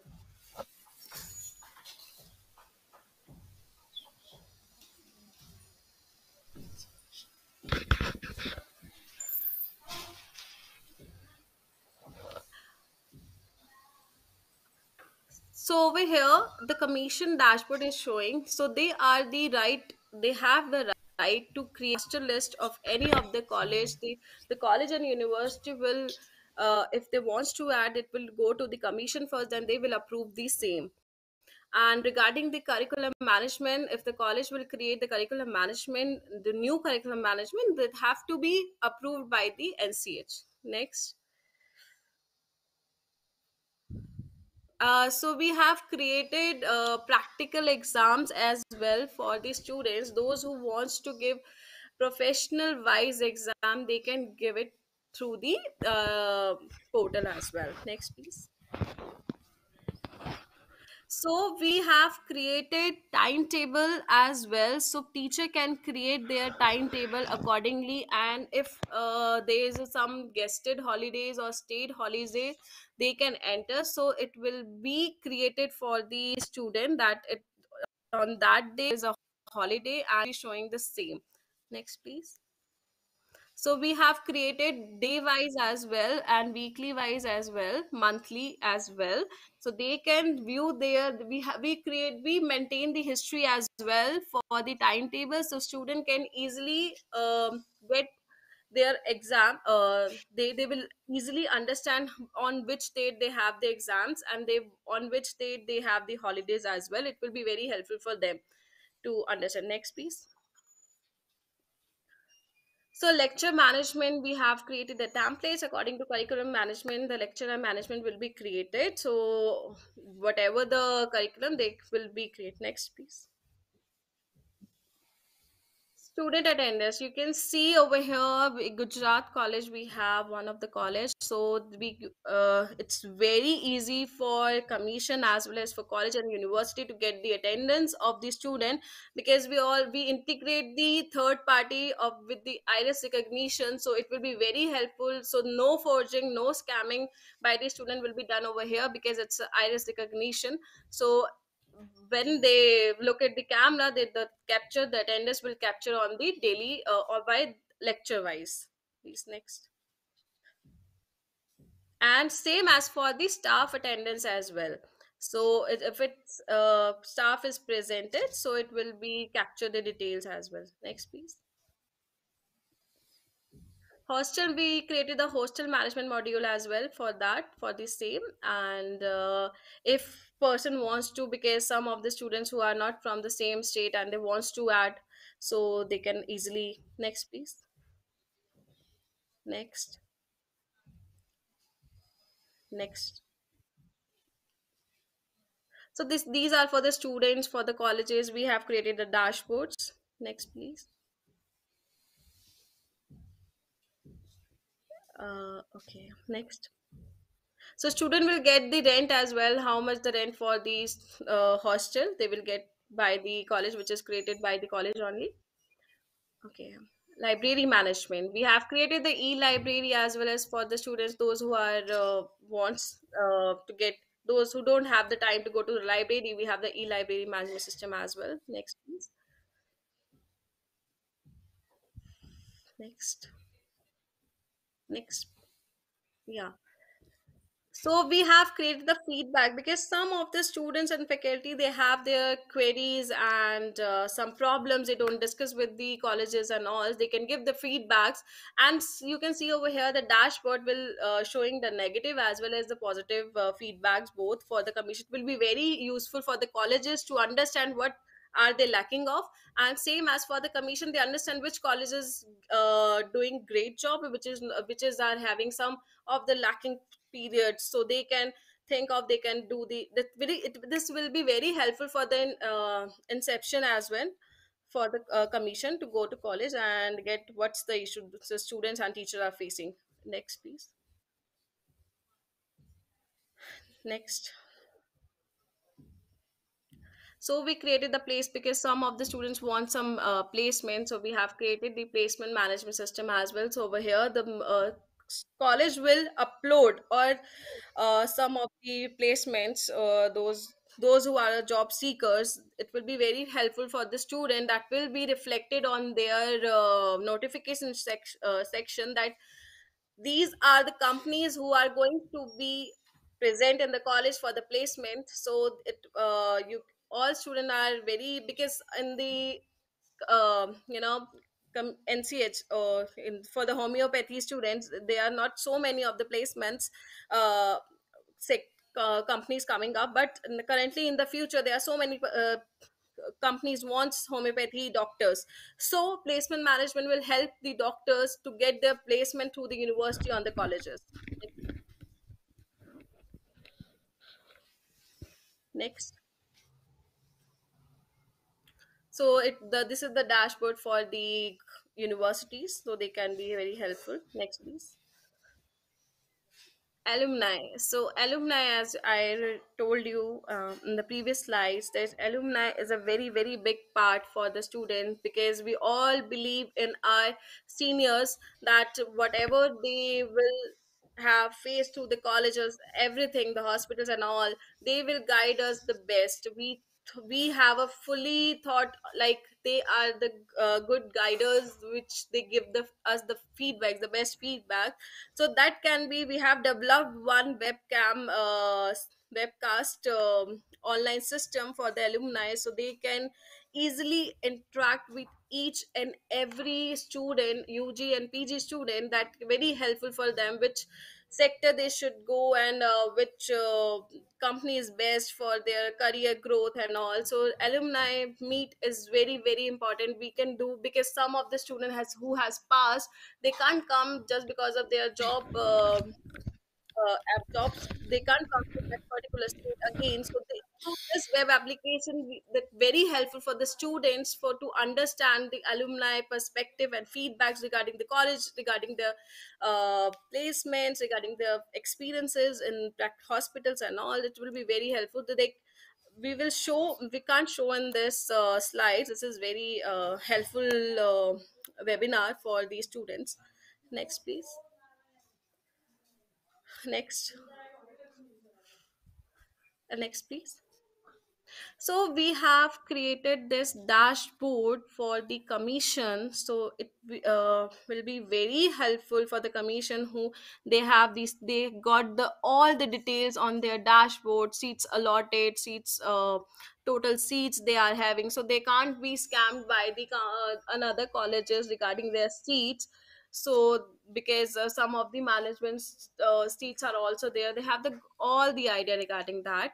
And some of the uh, how many seats are allocated how many good feedbacks given by the uh, seats universities institute, each and everything. Next please. Uh, so we have already showed you uh, this um, dashboard. So commission for the commission will be very understandable that uh, how many seats are available how many is there any scam is going on in any states they can um filter that as well so all this it structure system will help the students faculties colleges uh, universities uh, state councils and most of the main uh, commission to capture all the details to the one id only ayush id all the details only one from their starting to end. So this is the uh, main idea behind the uh, ministry of ayush to create it structure for each and every commission of the who are associated with the ayush ministry of ayush. So, uh, next please. So i hope i deliver my thoughts to everyone and um, if anyone having any doubts so we can clear on the call as well. Thank you so much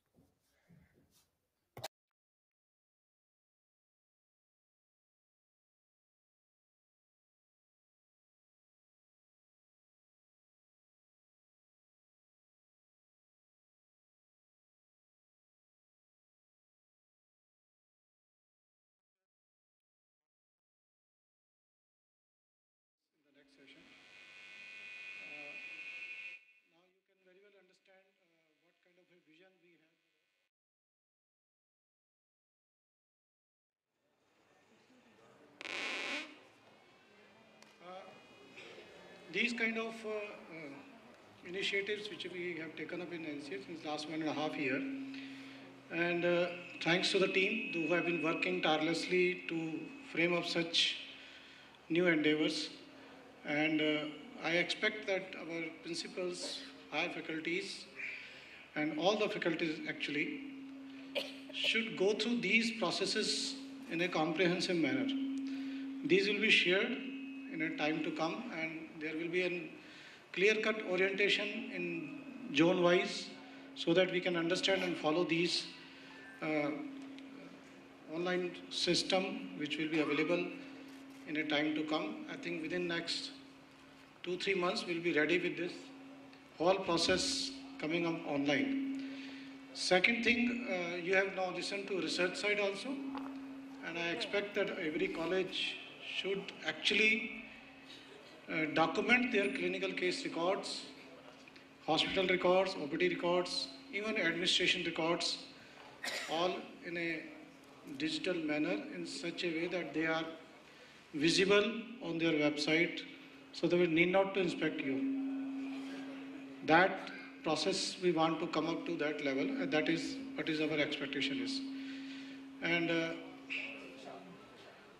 you are welcome to ask any queries whenever you can you want to talk to us in the commission you can send those queries on email. We will be happy to revert back to you. But certainly there are two things which are very strictly which we are following is uh, we will not compromise with the minimum essential standards. That is one thing. And you have to achieve those minimum essential standards in your colleges.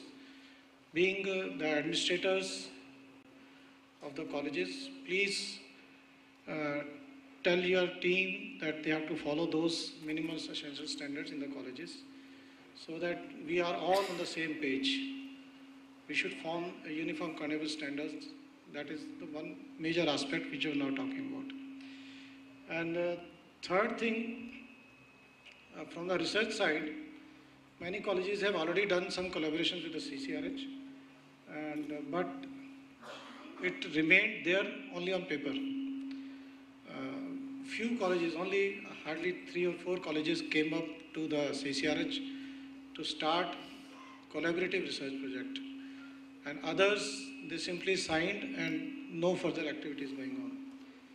So kindly uh, motivate your nodal officers who are dealing with this research. And it will be better if you can identify a nodal officer who can take up research in your college. Share those name of those nodal officers to the commission so that we can connect you with the team of researchers so that those kind of mandate can also be taken up in a time to come. And uh, in the next two lectures, which we'll be taking up, is about the records. Dr. Naveen Pavaskar will be talking about those record system. And before that, uh, Dr. Sanjay, he'll be talking about legal provisions. I think these are the two lectures. Okay. Thank you so much. Thank you, sir. And thank you so much, ma'am, Dr. Uh, Gunjan ma'am. Your session was full of passion and priceless knowledge. Consequently, I would like to invite upon stage Professor Dr. Sanjay Gupta, sir. He is presently working as a Secretary, National Commission for Homeopathy. He worked as a Professor Practice of Medicine, Government Homeopathic Medical College and Hospital, Bhopal. He was a state nodal officer for Joint Ayush Malaria Control Program through homeopathy. He too was a former member, Board of Governor to erstwhile CCH. For oral presentation, his topic is legal obligation while the college fulfills the statutory provisions. Over to you, sir. Thank you.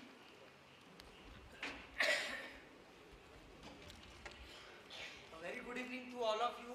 I am happy and encouraged. And today we shall be realizing what happens with the student when they are for such length of time continuously sitting in the class. And it has been observed, you see the front rows, they may see at their back, almost hall is full till 15 minutes back. So it is an encouraging thing for the commission and I know कि we are in short of time and it is the pretty subject where the Commission does not enjoy good relationship as far as litigations are considered. So I will try to spell out, we reduce this situation of stress and we understand the act in toto. So there are minimum litigation and the intent is clear. Because what I feel, the litigations come when our intents different. But I am sure when the question of intent is considered, we all have a common intent, common interest, and that is the upliftment of homeopathy, interest of homeopathy, to which nobody will be denying. But even then, we have certain litigations. So I will try to spell out and to make that clear thought in our intent from commission point of view. I should not say commission point of view, but from act point of view. Dear friends, I'm sorry I don't have a PowerPoint presentation with me this time because of busyness. When you go through this, ki what all legal binding you have as an institution principal or as a senior faculty of an institution, I think we should go through the first paragraph of the act. And what does the act says? Act कहता है कि हमको एक ऐसी शिक्षा और ऐसा चिकित्सा सेवा और ऐसा चिकित्सक डेवलप करना है जो कि अफोर्डेबल हो शिक्षा हो, चाहे चिकित्सक हो, चाहे सर्विस हो, वो आम जनता की रीच में हो। उसका कम्युनिटी पर्सपेक्टिव हो। नेशनल हेल्थ गोल को प्रमोट करे और कोई ग्रीवेंस हो तो वो आसानी से मिट जाए। यदि ये पाँच बातें एज अ संस्थान के प्राचार्य या सीनियर प्रोफेसर या मैनेजमेंट हमारे दिमाग में आ गई तो मेरे को लगता है कि ये जो जितना कोर्ट केस है, ये खत्म हो जाएगा। और मुझे बड़ा दुख होता है। I have been professor like you और मैं वहाँ देखता हूँ कि कई विद्यार्थियों से फ़ीस बहुत मुश्किल से आती है। कुछ लोग संपन्न भी होते थे उनसे कलेक्ट करना मुश्किल होता है। और हम दोनों लोग मिलके ये अधिवक्ताओं को इतना पैसा देते हैं जिसका ज़रूरत नहीं है। तो मेरे को लगता है कि यदि आज इस लेक्चर के बाद litigations are reduce between us तो it will be a win-win situation for us so as i told you in the very first paragraph of the act there are the bindings with which we are linked to as an institution as an individual or as an any sort of stakeholder. So if we have that clear intent so we can have a situation of reduced litigation. Besides that in the very same paragraph there is uh, our role to contribute to research and high ethical standards. See, ethics cannot be taught, they have to be developed. And for that, there should be a source of inspiration. My experience says that when I see people around me who follow meticulously one path and there are ups and downs, but at the, at the end of the day, there is success, there is appreciation, there is respect. It encourages me I follow the same path.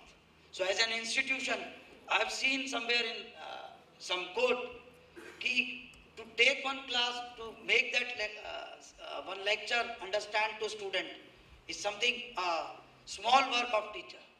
It is not fair enough for a teacher. What a teacher should do is he should inspire students and then he rolls by himself.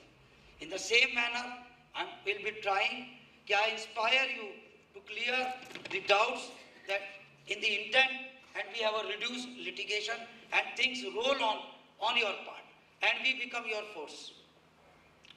So most of the things when they are being followed means when they are into operation, the operative part, there comes the difference. And what I've seen there at com- uh, commission for six months कि there are two types of sets of cases litigation between us one is related to government sector institutes and another is related to private sector institute in government sector most of the litigations are related to service matter or where some faculty is involved. Whereas in private sector i think it is like a rare situation कि there is any litigation between a faculty and a management. There may be differences but there is no litigation. But there are litigations related to mostly permission. And in the last, you can say you, that is something related to recognition of qualification. But my dear friends, I say this is not only the three spheres where commission has to act. You understand the gravity of the situation. There is a one office and in that office there is a chairperson who enjoys, yeah, who is with the responsibility of equal cadre of Secretary Government of India. There are three presidents of autonomous board who enjoys the cadre of additional Secretary Government of India, which is like Chief Secretary of Government, uh, State Government. And there are cadre of Joint Secretary Government of India, nine people in that office, which are equivalent to Principal Secretary in the state. You see one Principal Secretary, how much it works in the state, with what onus it has. So it, it becomes a larger responsibility from your end to this commission keeps functioning the act intended to do so. And there are certain things which should be clear in your mind. Act says the highest authority to decide is Government of India. See, whether we like it, we don't like it. But as a democratic country, when it is an act, we have to follow. There may be situation, there are provision in the act which creates difficulty, but we can sit and find a solution. Secondly, there is the provision, you as a regulatory body, if something is suggested, it has to be followed. If we go into litigation, so how does the system comes up? I don't oppose ki any of the stakeholders should not be the part of consultation process. Because consultation will only reduce the litigation. But I also see the situation when there is the time to consult, very few people write to commission.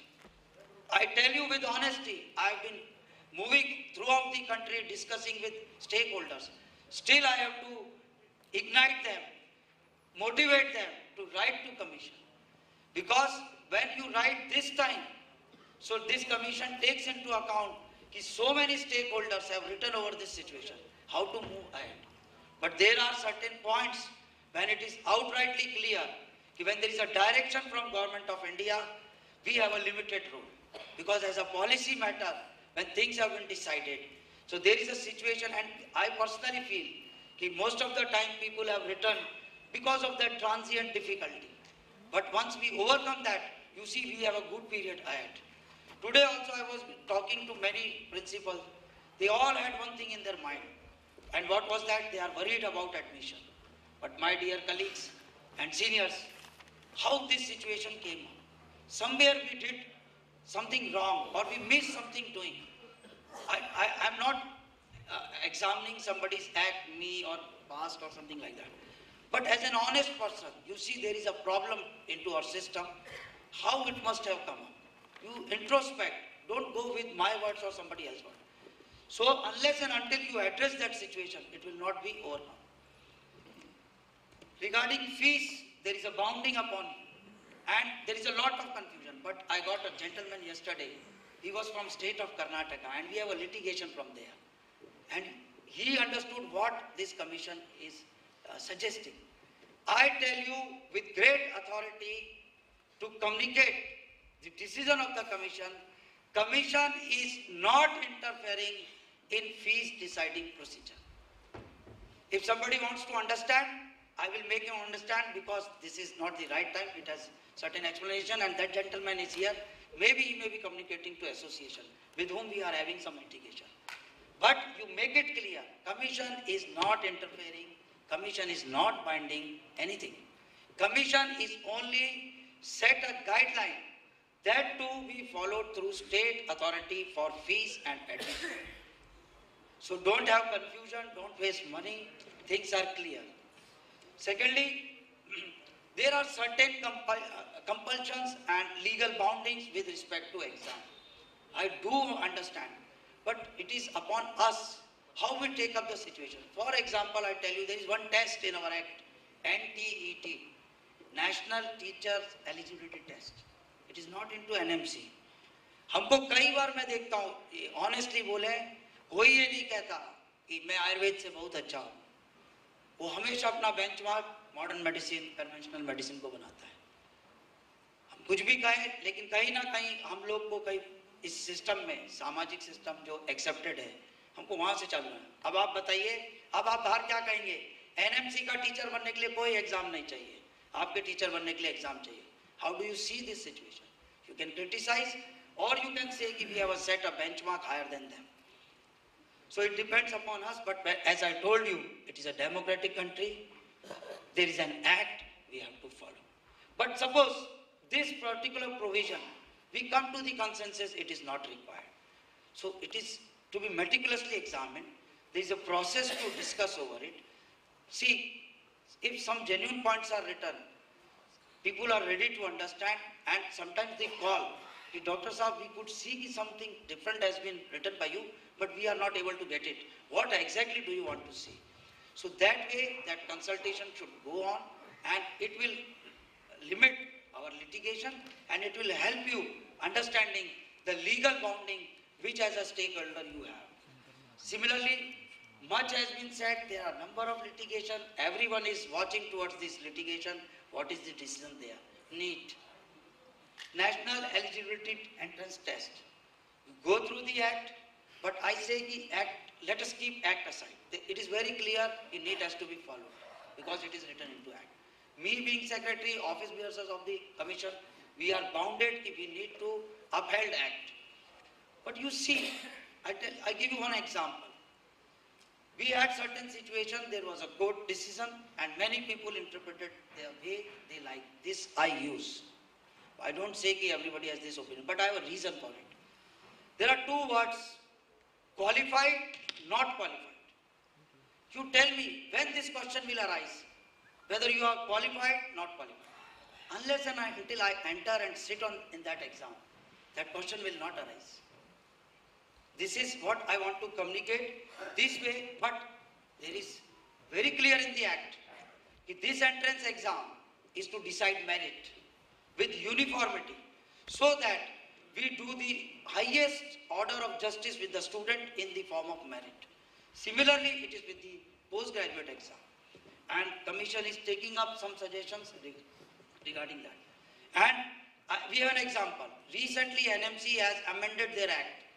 So it was, if I'm not wrong, it was in 19. NMC Act was in nine, uh, 2019. It was implemented, executed. And in 22, they came up with an amendment.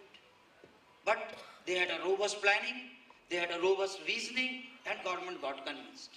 So the same procedure we have to follow, and at least I say we will have to be optimistic and have to have faith with each, into each other. Then there are certain obligations as an institution, new act, there are functions. We expect the institution should have to have activities which facilitate development and training of faculty. Most of the time what we do is we pick up that MSR and we start counting itna room ho gaya hai, itna ye ho gaya hai. If you ask me personally, I say that is only one third part. And that should not decide the fate of the college for permission. Actual fate should be on the simple line. It is a good learning center and it has a functional hospital. Genuine teachers are there, genuine teaching is there. And we don't need any records. Sir. If somebody is doing, there are number of things to demonstrate. Otherwise, वो हम सब उसी में जाते हैं मेरा ये कागज है मैं वो भेज दिया It is not in the interest of system. Choice is ours. I told you it is very difficult to collect the fees, and I am seeing people are charging high. Then there is one more compulsion. See, this uh, whole act has been written with a vision behind. ये जो आज का NCH act है ना ये थानेदारी के लिए नहीं है। अभी हम लोग सिर्फ़ चार साल के लिए एक टीम तो मेरे से भी आगे चल रहे कुछ officers they will be leaving this commission and I will be leaving there after any of you among us will be here again लेकिन ये सब लोग दिमाग में बैठ ले चाहे हम यहाँ खड़े हों चाहे वहाँ खड़े हों। ये थानेदारी बंद हो गई है। Suo motu. आपको खुद को रियलाइजेशन होना चाहिए। ये होम्योपैथी के लिए ठीक नहीं है। इतना तो नहीं करूँगा मैं। उतना सक्षम नहीं हूँ, उतना सामर्थ्य नहीं हूँ, लेकिन दो कदम हर बार आगे बढ़ूँगा। ये इंटेंट इस एक्ट में और मैं ज़िम्मेदारी से कह सकता हूँ though I don't deal with the permission but I seen my authorities viewing that picture into the, your forms. क्योंकि एक बार क्या हुआ, मेरे को बोले, सर, मेरे पास सब कुछ है। मेरे पास कोई मिलने आया? है मैं बोला, क्या क्या है? बोले, सब है, सब खरीद डाला। तो हमने बोला, क्या करें? बोले, सर परमिशन दीजिए, हमको परमिशन गलत मिला है। तो मैंने उनको बोला, सर, आपके पास सब कुछ है, इस कमरे में डब्बे में ला के रख दीजिए। अभी क्या करूँ, आपको परमिशन दे दें?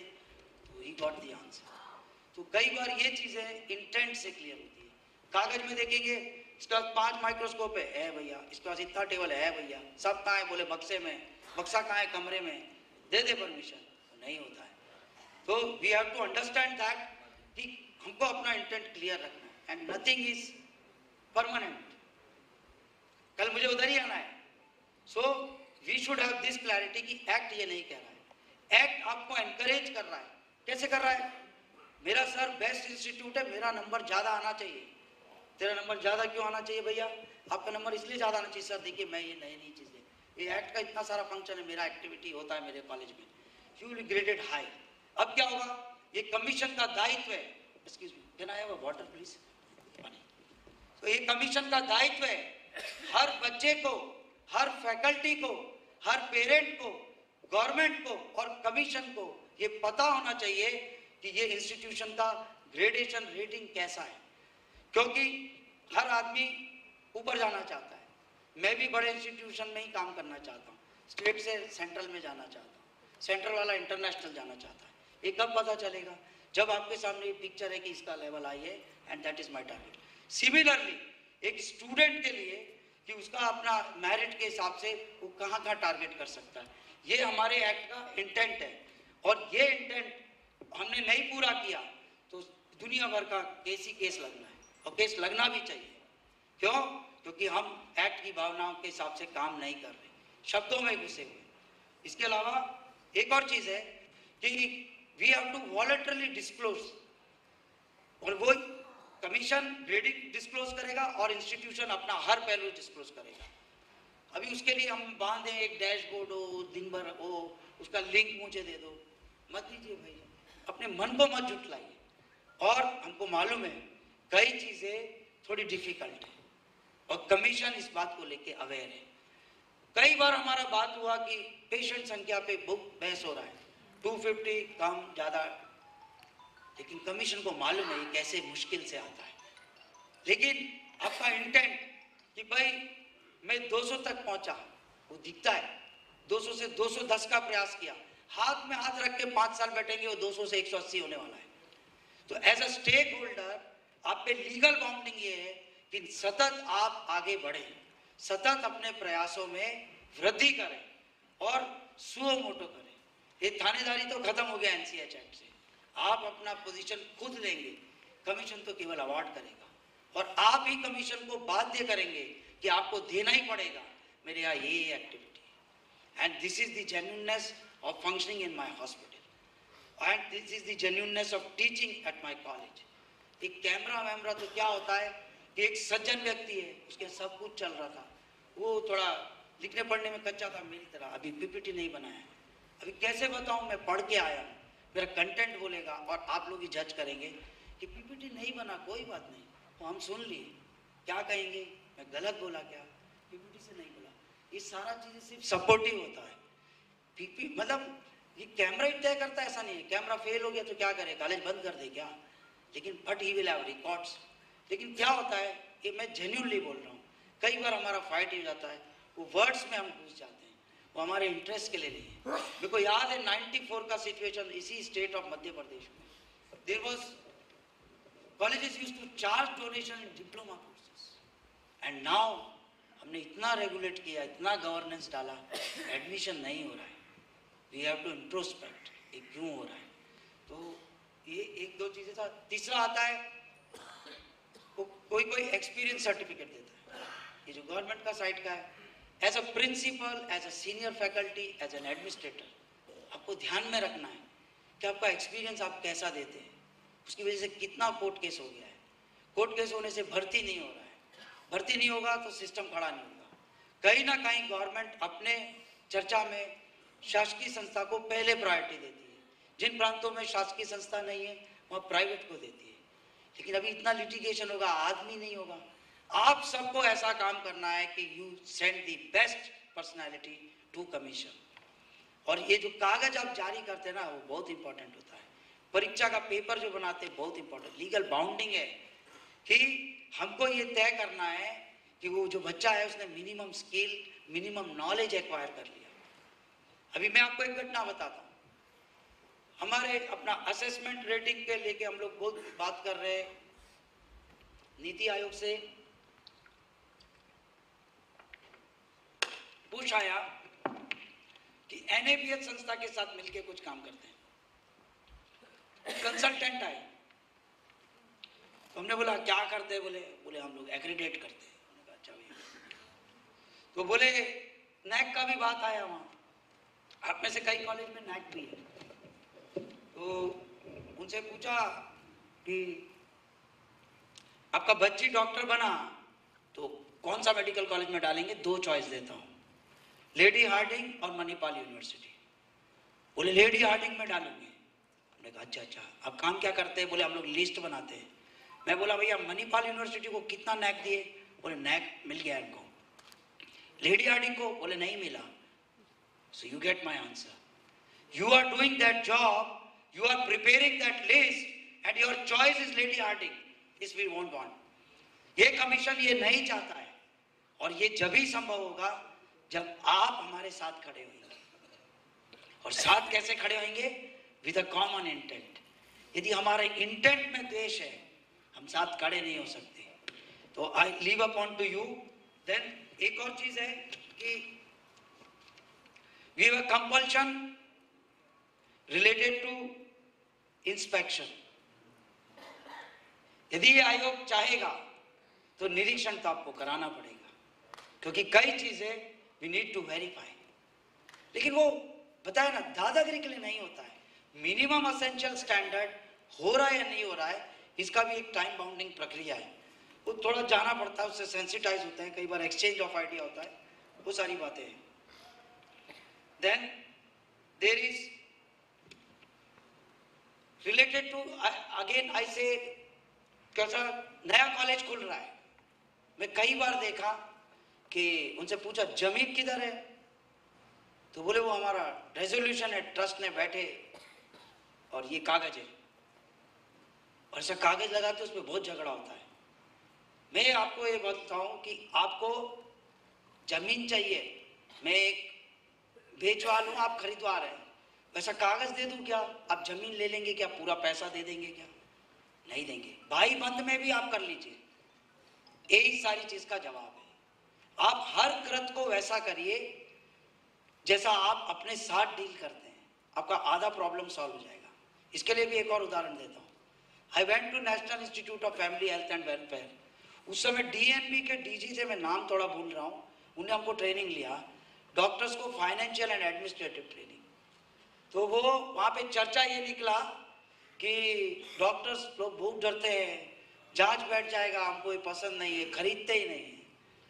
वो इतना रूल कौन पढ़ता है? करके ऐसा है। तो उन्होंने हमको एक ही बात बताया, आप कोई घर में भी तो खरीदारी करते हैं, वहाँ पे जनरल फाइनेंशियल रूल्स लेके खरीदते हैं क्या?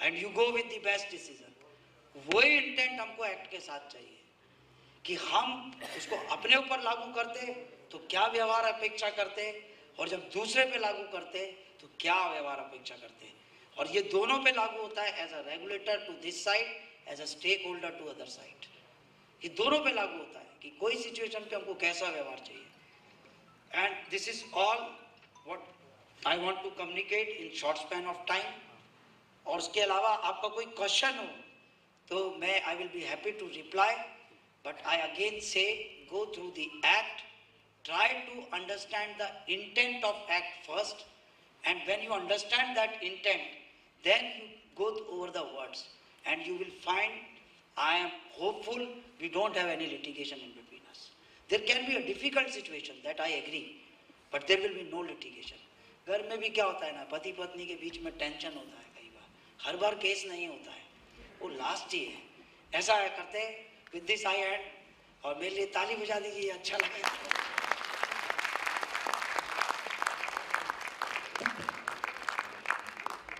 questions or I leave? Thank you.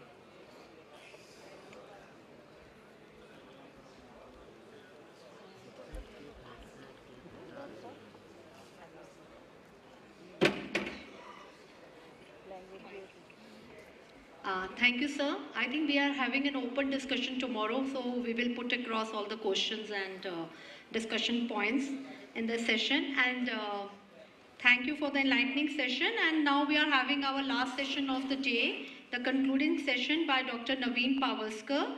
He is the director, GEMS Homeopathic Medical College and Hospital, Telangana.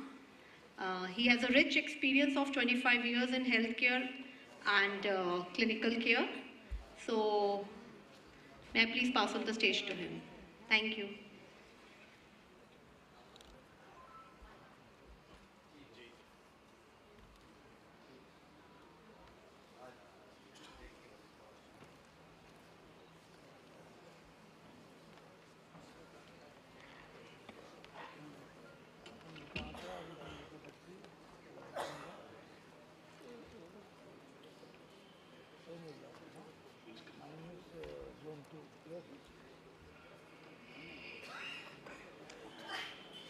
Well, uh, good evening, everyone. Respected principals, uh, senior teachers, directors, uh, council members, uh, thank you all for your patience. I have been watching everyone. They've been peacefully and cordially listening to whatever has been said so far. I'll keep my talk very short and I'll be very, very direct. I assure you, no philosophy, just direct uh, actions that need to be seen in order to be seen as maintaining your records. I think the underlining word is a functioning hospital. And uh, what you need to first maintain as records to be seen as a functioning hospital.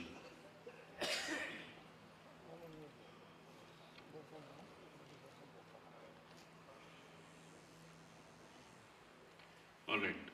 So most of us might be of uh, carrying a fallacy that only NCH regulates our hospital.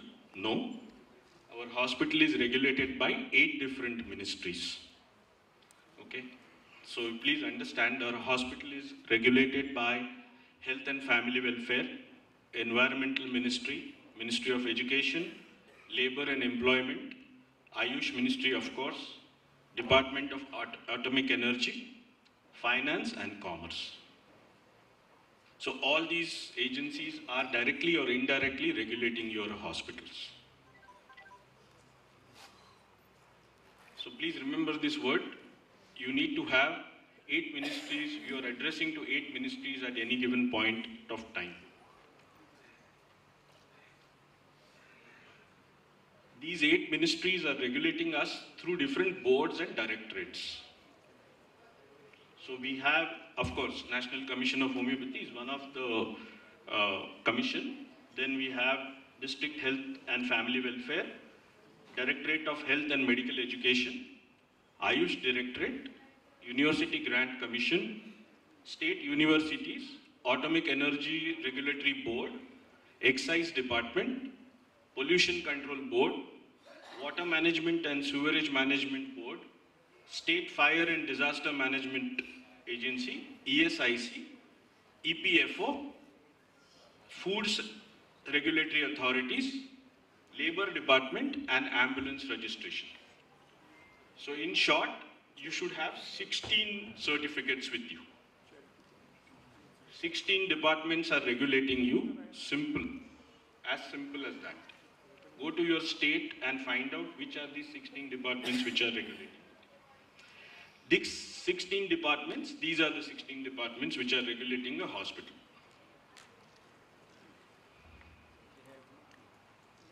This has nothing to do with uh, homeopathy, Ayurveda, Unani, modern medicine. If you are a clinical established, if you are providing clinical care, you are under Clinical Establishment Act and these 16 bodies will regulate you irrespective of what is the therapy that you are offering in your hospital. So these are the different licenses and approvals that you need for a for demonstrating a functional hospital. You need first land registration and stamp uh, departments. Hospital constructions, you have to have state metropolitan development authority approvals. State power distribution company will give you a different approval if you are a hospital. Water supply department will give you a different approval if you are a commercial hospital. Sewerage and NOC from sewerage department is a must because you are going to send out biomedical waste not just in solid form but also in liquid forms. Your labs are you know sending out urines and bloods drained into the system so you have a separate uh, you know NOC that is required for that. Of course, you need dry waste management, which is non-biomedical waste. Then you need a biomedical waste management, a fire license, which clearly indicates what are your fire security uh, measures in case your hospital catches fire. Then hospital registration and clinical establishment from your Directorate of Medical Education, or if, it, if you are in a rural area, then the district health medical officer. You need labor license because you are going to employ non-medical staff, which have, falls under, as somebody was saying in the morning, should have minimum wage scale, so that comes under your labor license. And of course, you need a pollution control NOC. This is not it. There we go. We need patient transport vehicle registrations for transportation of patients. You can't just transport patients in any vehicle. Ultrasound scanning, I think everybody knows we need the PCPNDT registration. You need an alcohol license from state excise department to use alcohol in your laboratories. Registration and birth and death certificate. Sterilization and autoclaving is an authorized thing that you can do under the Ministry of Health and Family Welfare. District Medical Officer regulates it. If you are going to store oxygen and nitrous oxide, then you need a contract with a legal vendor who has these license. If you are managing a canteen or a hospital catering, then you need an FSSI license and a contracted vendor who also has an FSSI registration.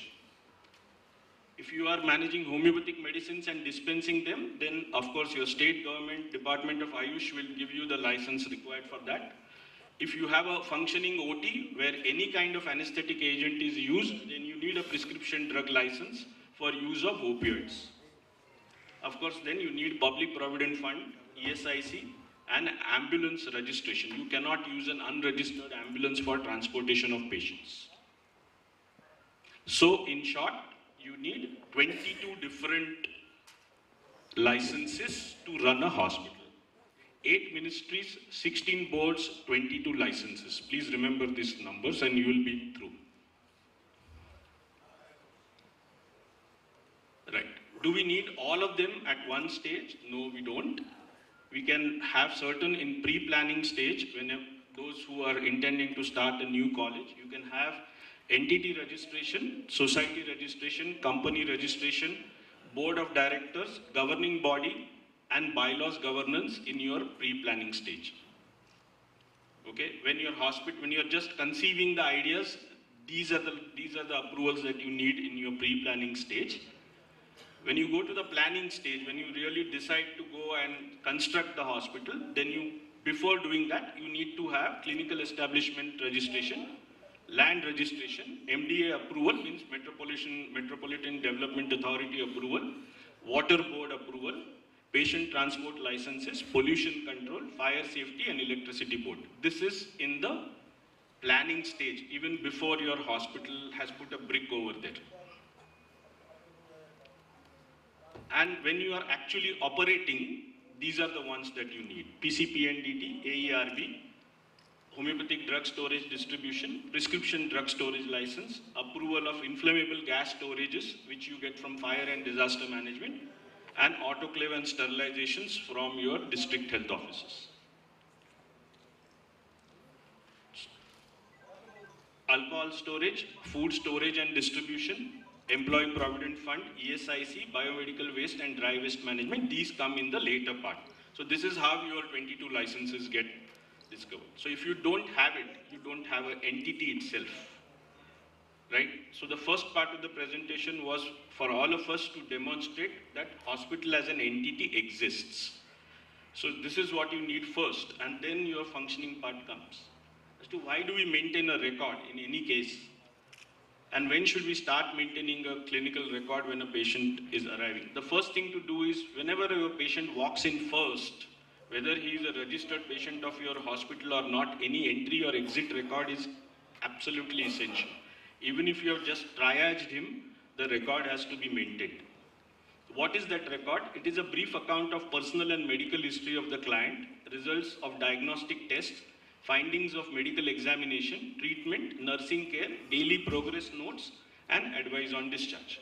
These are the records that are absolutely essential. I'll list them out later on for you.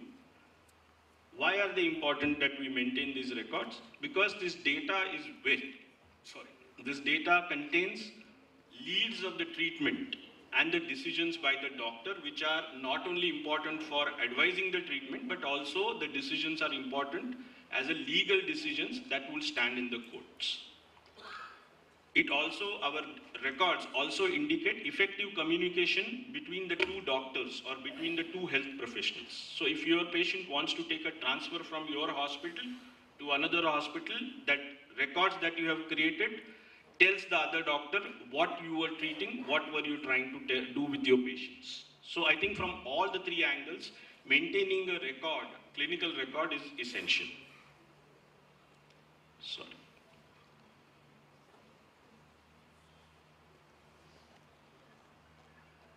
So, uh, and very clearly, your documentation involves certain rules, regulations, and procedures and protocols.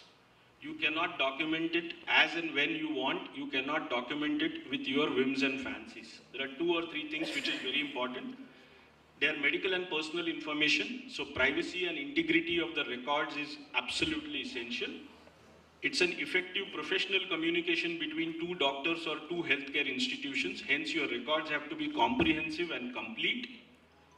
And it has to do with continuity of care, which is very, very important for the patients because patients will migrate from one hospital to another hospital and it has to do with the treatment decisions whatever be your therapy, your treatment decisions should be recorded on the prescription. And it involves certain clear procedures, protocols, rules and responsibilities which I will show you in the next slide. So what is the use of record keeping? Yes, of Q karna. It doesn't fetch us money directly, right? It doesn't generate any kinds of funds for us. One, it tells that the patient had was admitted in your hospital or had walked in for any kind of care in your hospital. Two, it gives a completeness because you give a complete necessary notes, clinical records, and discharge summaries. It helps you archive your records, which is very, very important in a teaching hospital. I'll come to that point why we should be archiving this. It gives you a patient statistics, it gives you your statistics for research, it gives you the statistics to upload for regulatory agencies. These are important issues. And most important, what is now going to happen is we are already working with the insurance uh, agencies. So your records will be needed to even code the diagnosis. Because without that, your patients will not be able to get any insurance coverage and their reimbursements. So you need the records to do your coding as well. So these are five different things. Some of them are useful directly to the patients. Some of them are useful for you to uh, you know, up- update your regulatory authorities. And some of them are useful for you to understand the continuity of the care. So how many types of records do we have in a hospital? We have basically four types of records in the hospital. There are treatment decision records, which essentially are the common records that we use, case records, diagnostic records, vital charts, diet charts, prescription charts, anesthesia charts, input-output charts. This is something that a doctor uses day in and day out. Then there are legal records like consent forms, death certificates, birth certificate, fitness certificate, disability certificates. These are called legal records, which are equally essential. Then we have quality control records, which essentially speak about infection control in the hospital, your sterilization, autoclave records, SOPs for in- infection controls, and patient feedbacks. And the last, your business records, which essentially tells you what is your OPD register, how much is your coffer ringing, how much money you are earning, how much is coming from which part of your hospital, how much coming from IPD, how much is coming from your investigations, how much is coming from your OPD. So you need all types of records to run a hospital. So if you want to really demonstrate a functioning hospital, then all these records should be interconnected and available at any given point of time. They are all interconnected records. So these are the registers that one need to maintain in the hospital. A central OPD register, an IPD register, casualty and daycare register, all diagnostic registers such as ECG, USG, X-ray, sterilization, fumigation, autoclave, how many operations you have conducted, type of operations, their classifications, diet registered, medicine dispensing registered, and pharmacy stock registers. Further, pathology lab sample collections are also required for quality check because many of the samples get mismanaged and then you have litigations. Blood grouping register, which is now very, very essential. Biopsy sample register, security register and movement, which records the movements of the patients inside and outside. Remember, very important, if your patient gets discharged at 5 o'clock in the evening and if it is recorded in your movement register and if he suffers an heart attack at 5-5, you will be saved if you have an entry in your register that he moved out at 5 o'clock from my hospital. So these registers are very critical and legally important. There is an inventory register, a GRN, office inward outwards, birth registers, death registers, MTP, sterilization and most important vaccination registers. If we are going to go with the national Uh, health policy, then all these registers are going to be important. You can maintain a physical copy or you can maintain a electronic copy, it does not matter, but these registers are very, very important. So what are different forms that we need to use in the hospital? Of course, there is a OPD case record, which everybody knows. Your IPD case record should have all these forms maintained over there. There should be a requisition form for investigations, which has to be signed by the doctor. And then there has to be an indent form. Even if you are ordering a farm, homeopathic medicine, Arsenicum 30, it has to be mentioned in an indent form and it has to be ordered from a pharmacy.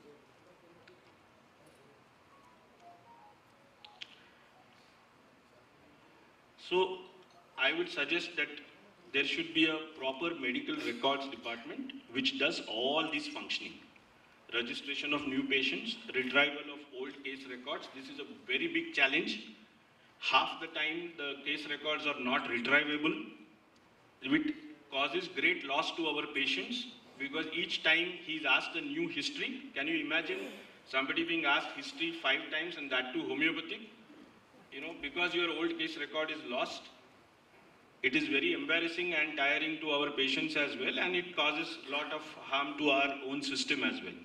You need to have ICD code diagnosis. Mortality and morbidity record should be maintained by the medical records department, birth records, and all other records as we have spoken earlier. This is how is the standard flow chart for your medical records department to function. and your medical records department has to function on a 24-7 basis. It is not once in a year uh, assortment of all your medical records. It is to be functioning on 24-7 basis, at least on a daily basis, if, and this protocol has to be mentioned. So a medical record personnel has to be available in the hospital for 24 into 3 duties. I mean 8 into 3 duties. Then you have personal health, medical records and health records, which are different, different, and they have to be indexed in a different way. How do you take care of the health records? One, put them in the safe custody. Don't put them somewhere here or there in some boxes. No individual sheet of a record should ever be separated from the main record. You should never do that. Records are kept in a hospital which is not accessible to clients and visitors, so nobody should be able to steal them. No stranger should be ever allowed to enter or read the hospital records. You have legal rights over it, you need not allow others to read those records.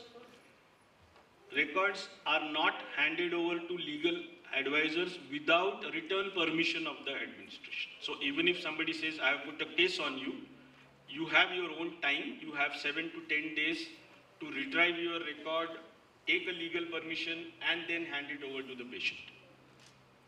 all hospital personnel are legally and ethically obligated to keep confidence the information of the records which are provided.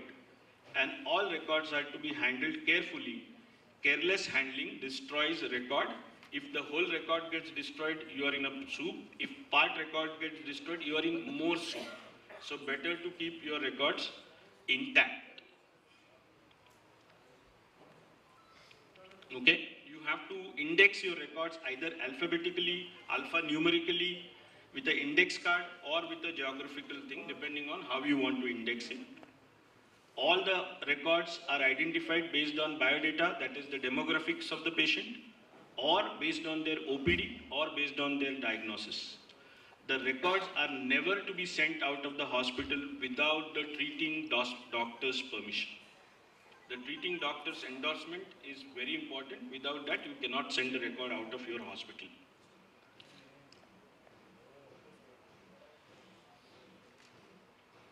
Well, this is how NABH advises you. It should have a retrieval mechanism.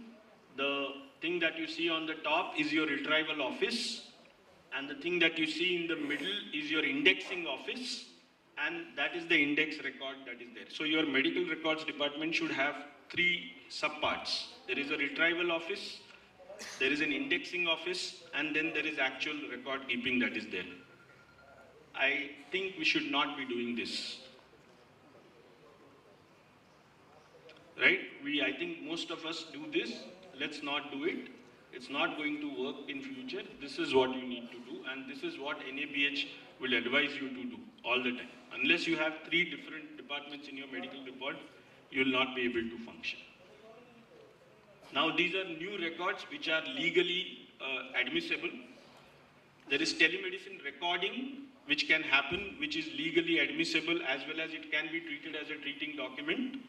There is personal health record with a patient can come, which is like what you see as a Microsoft Health Vault. A patient can come and share that data with you directly and say, this is a part of my record. You can have electronic health records. You have digitalized health records, which essentially means you have written down in physical form and then you have digitalized them and indexed them. It is not just important to just digitalize and put it in a hard disk. You need to index it. You need to also know how to retrieve it. So there are retrieval softwares available. And of course, there are remote gadgets like what you see on the orange. When your patient might be there in an ambulance, this, this remote gadgets can directly transfer information to your hospital before the patient reaches your uh, emergency ward. So these kind of now newer health records are getting created. And yes, this is a very common question. When can I destroy my medical records? We are in a hurry to destroy it, but most of the times, if you are a, just a clinical practitioner in an OPD, you should at least keep your data for three to five years. Five years is ideal. If there is a medical legal case going on, then your record should be maintained for 10 years and plus. And if you are, if it is a non-MLC, an IPD record should be kept minimum for 8 to 10 years. And the ideal situation now is that you digitalize all these records using a high-speed scanner. It takes one day to, dig- to digitalize more than 1,000 papers. High-speed scanners can digitalize it, index it, and then you can throw off all your records. That too after 8 to 10 years. So this is a clear mandate as to how you should be using your hospitals.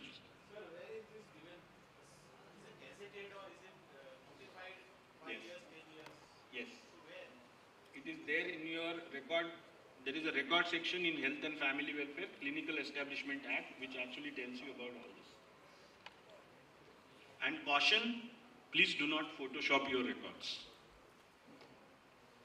You are clearly committing a crime if you are Photoshopping your records. Any kinds of records should not be Photoshopped. They should be preserved as actual. Okay? So I just put a joke over there. Your X-ray shows a rib, broken rib, and we have fixed it with the photoshopping. So that's not what we should be doing. So don't fix it. Don't fix any of your record. Try to create a PDF and then put something else in your record and then try to create a duplicate record. You will get caught, and that will be a problem for you. So this is how a functioning hospital should maintain the records, the decorum of record maintenance, how to take care of your records, when to destroy your records. This is where the situation is. If you want to learn further, there is research, everybody was talking about clinical research, there is data record maintenance research going on, how, what are the best possible research, that, I mean methods to maintain a hospital records. These are some of the references that you can read through for further reading. Well, I think uh, I finished much before what I was supposed to be and I hope that मैंने सीधी सीधी बात की है यहाँ वहाँ की बात कुछ नहीं की है ये करना ही है Thank you very much.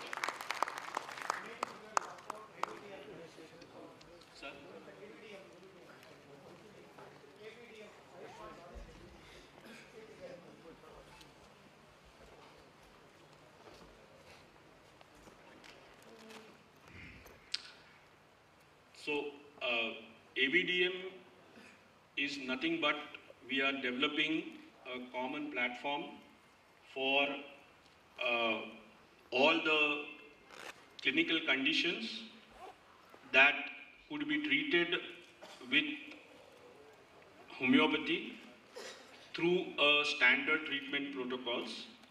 And we have now identified more than uh, 100 conditions for which standard treatment protocols are getting built.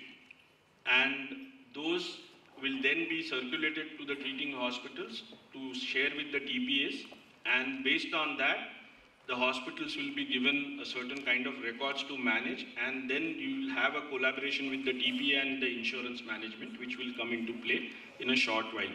I think we've reached a pen- penultimate phase of that. We've been working over it for last two or three years. So after this, you will be able to handle the hospitals will get uh, insurances for admitting patients under Ayush care, especially homeopathy. That is the thing. Thank you very much for your patient hearing. It's been it's been end of the day, and uh, I really appreciate that uh, everybody is in the auditorium. Uh, somebody mentioned about how our students feel when they are made to sit, but I believe this is worthwhile because this is what is going to translate into future of homeopathy. Thank you very much.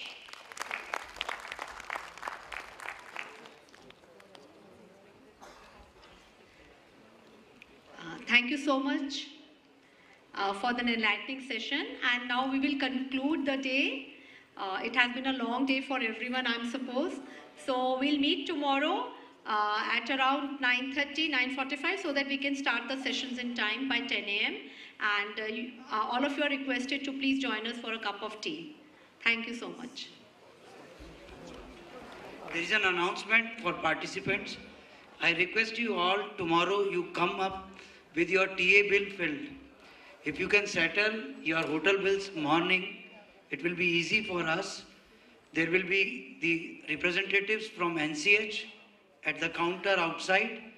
You fill your TA form along with original bills and you submit and there will be a list to sign you have submitted for record and it will be examined and your payment will be uh, made through electronic transfer. Don't argue at the counter, simply put your bills in original along with TA form. I, I will ensure ki and don't forget to mention your account details. There is a column into it. Don't leave, left it blank. A IFSC code and account details are must to get the amount transfer. Thank you.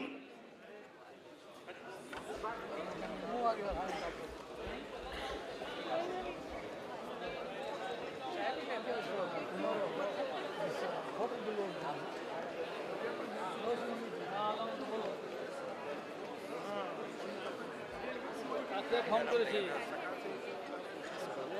소위 잘 쏟다 말이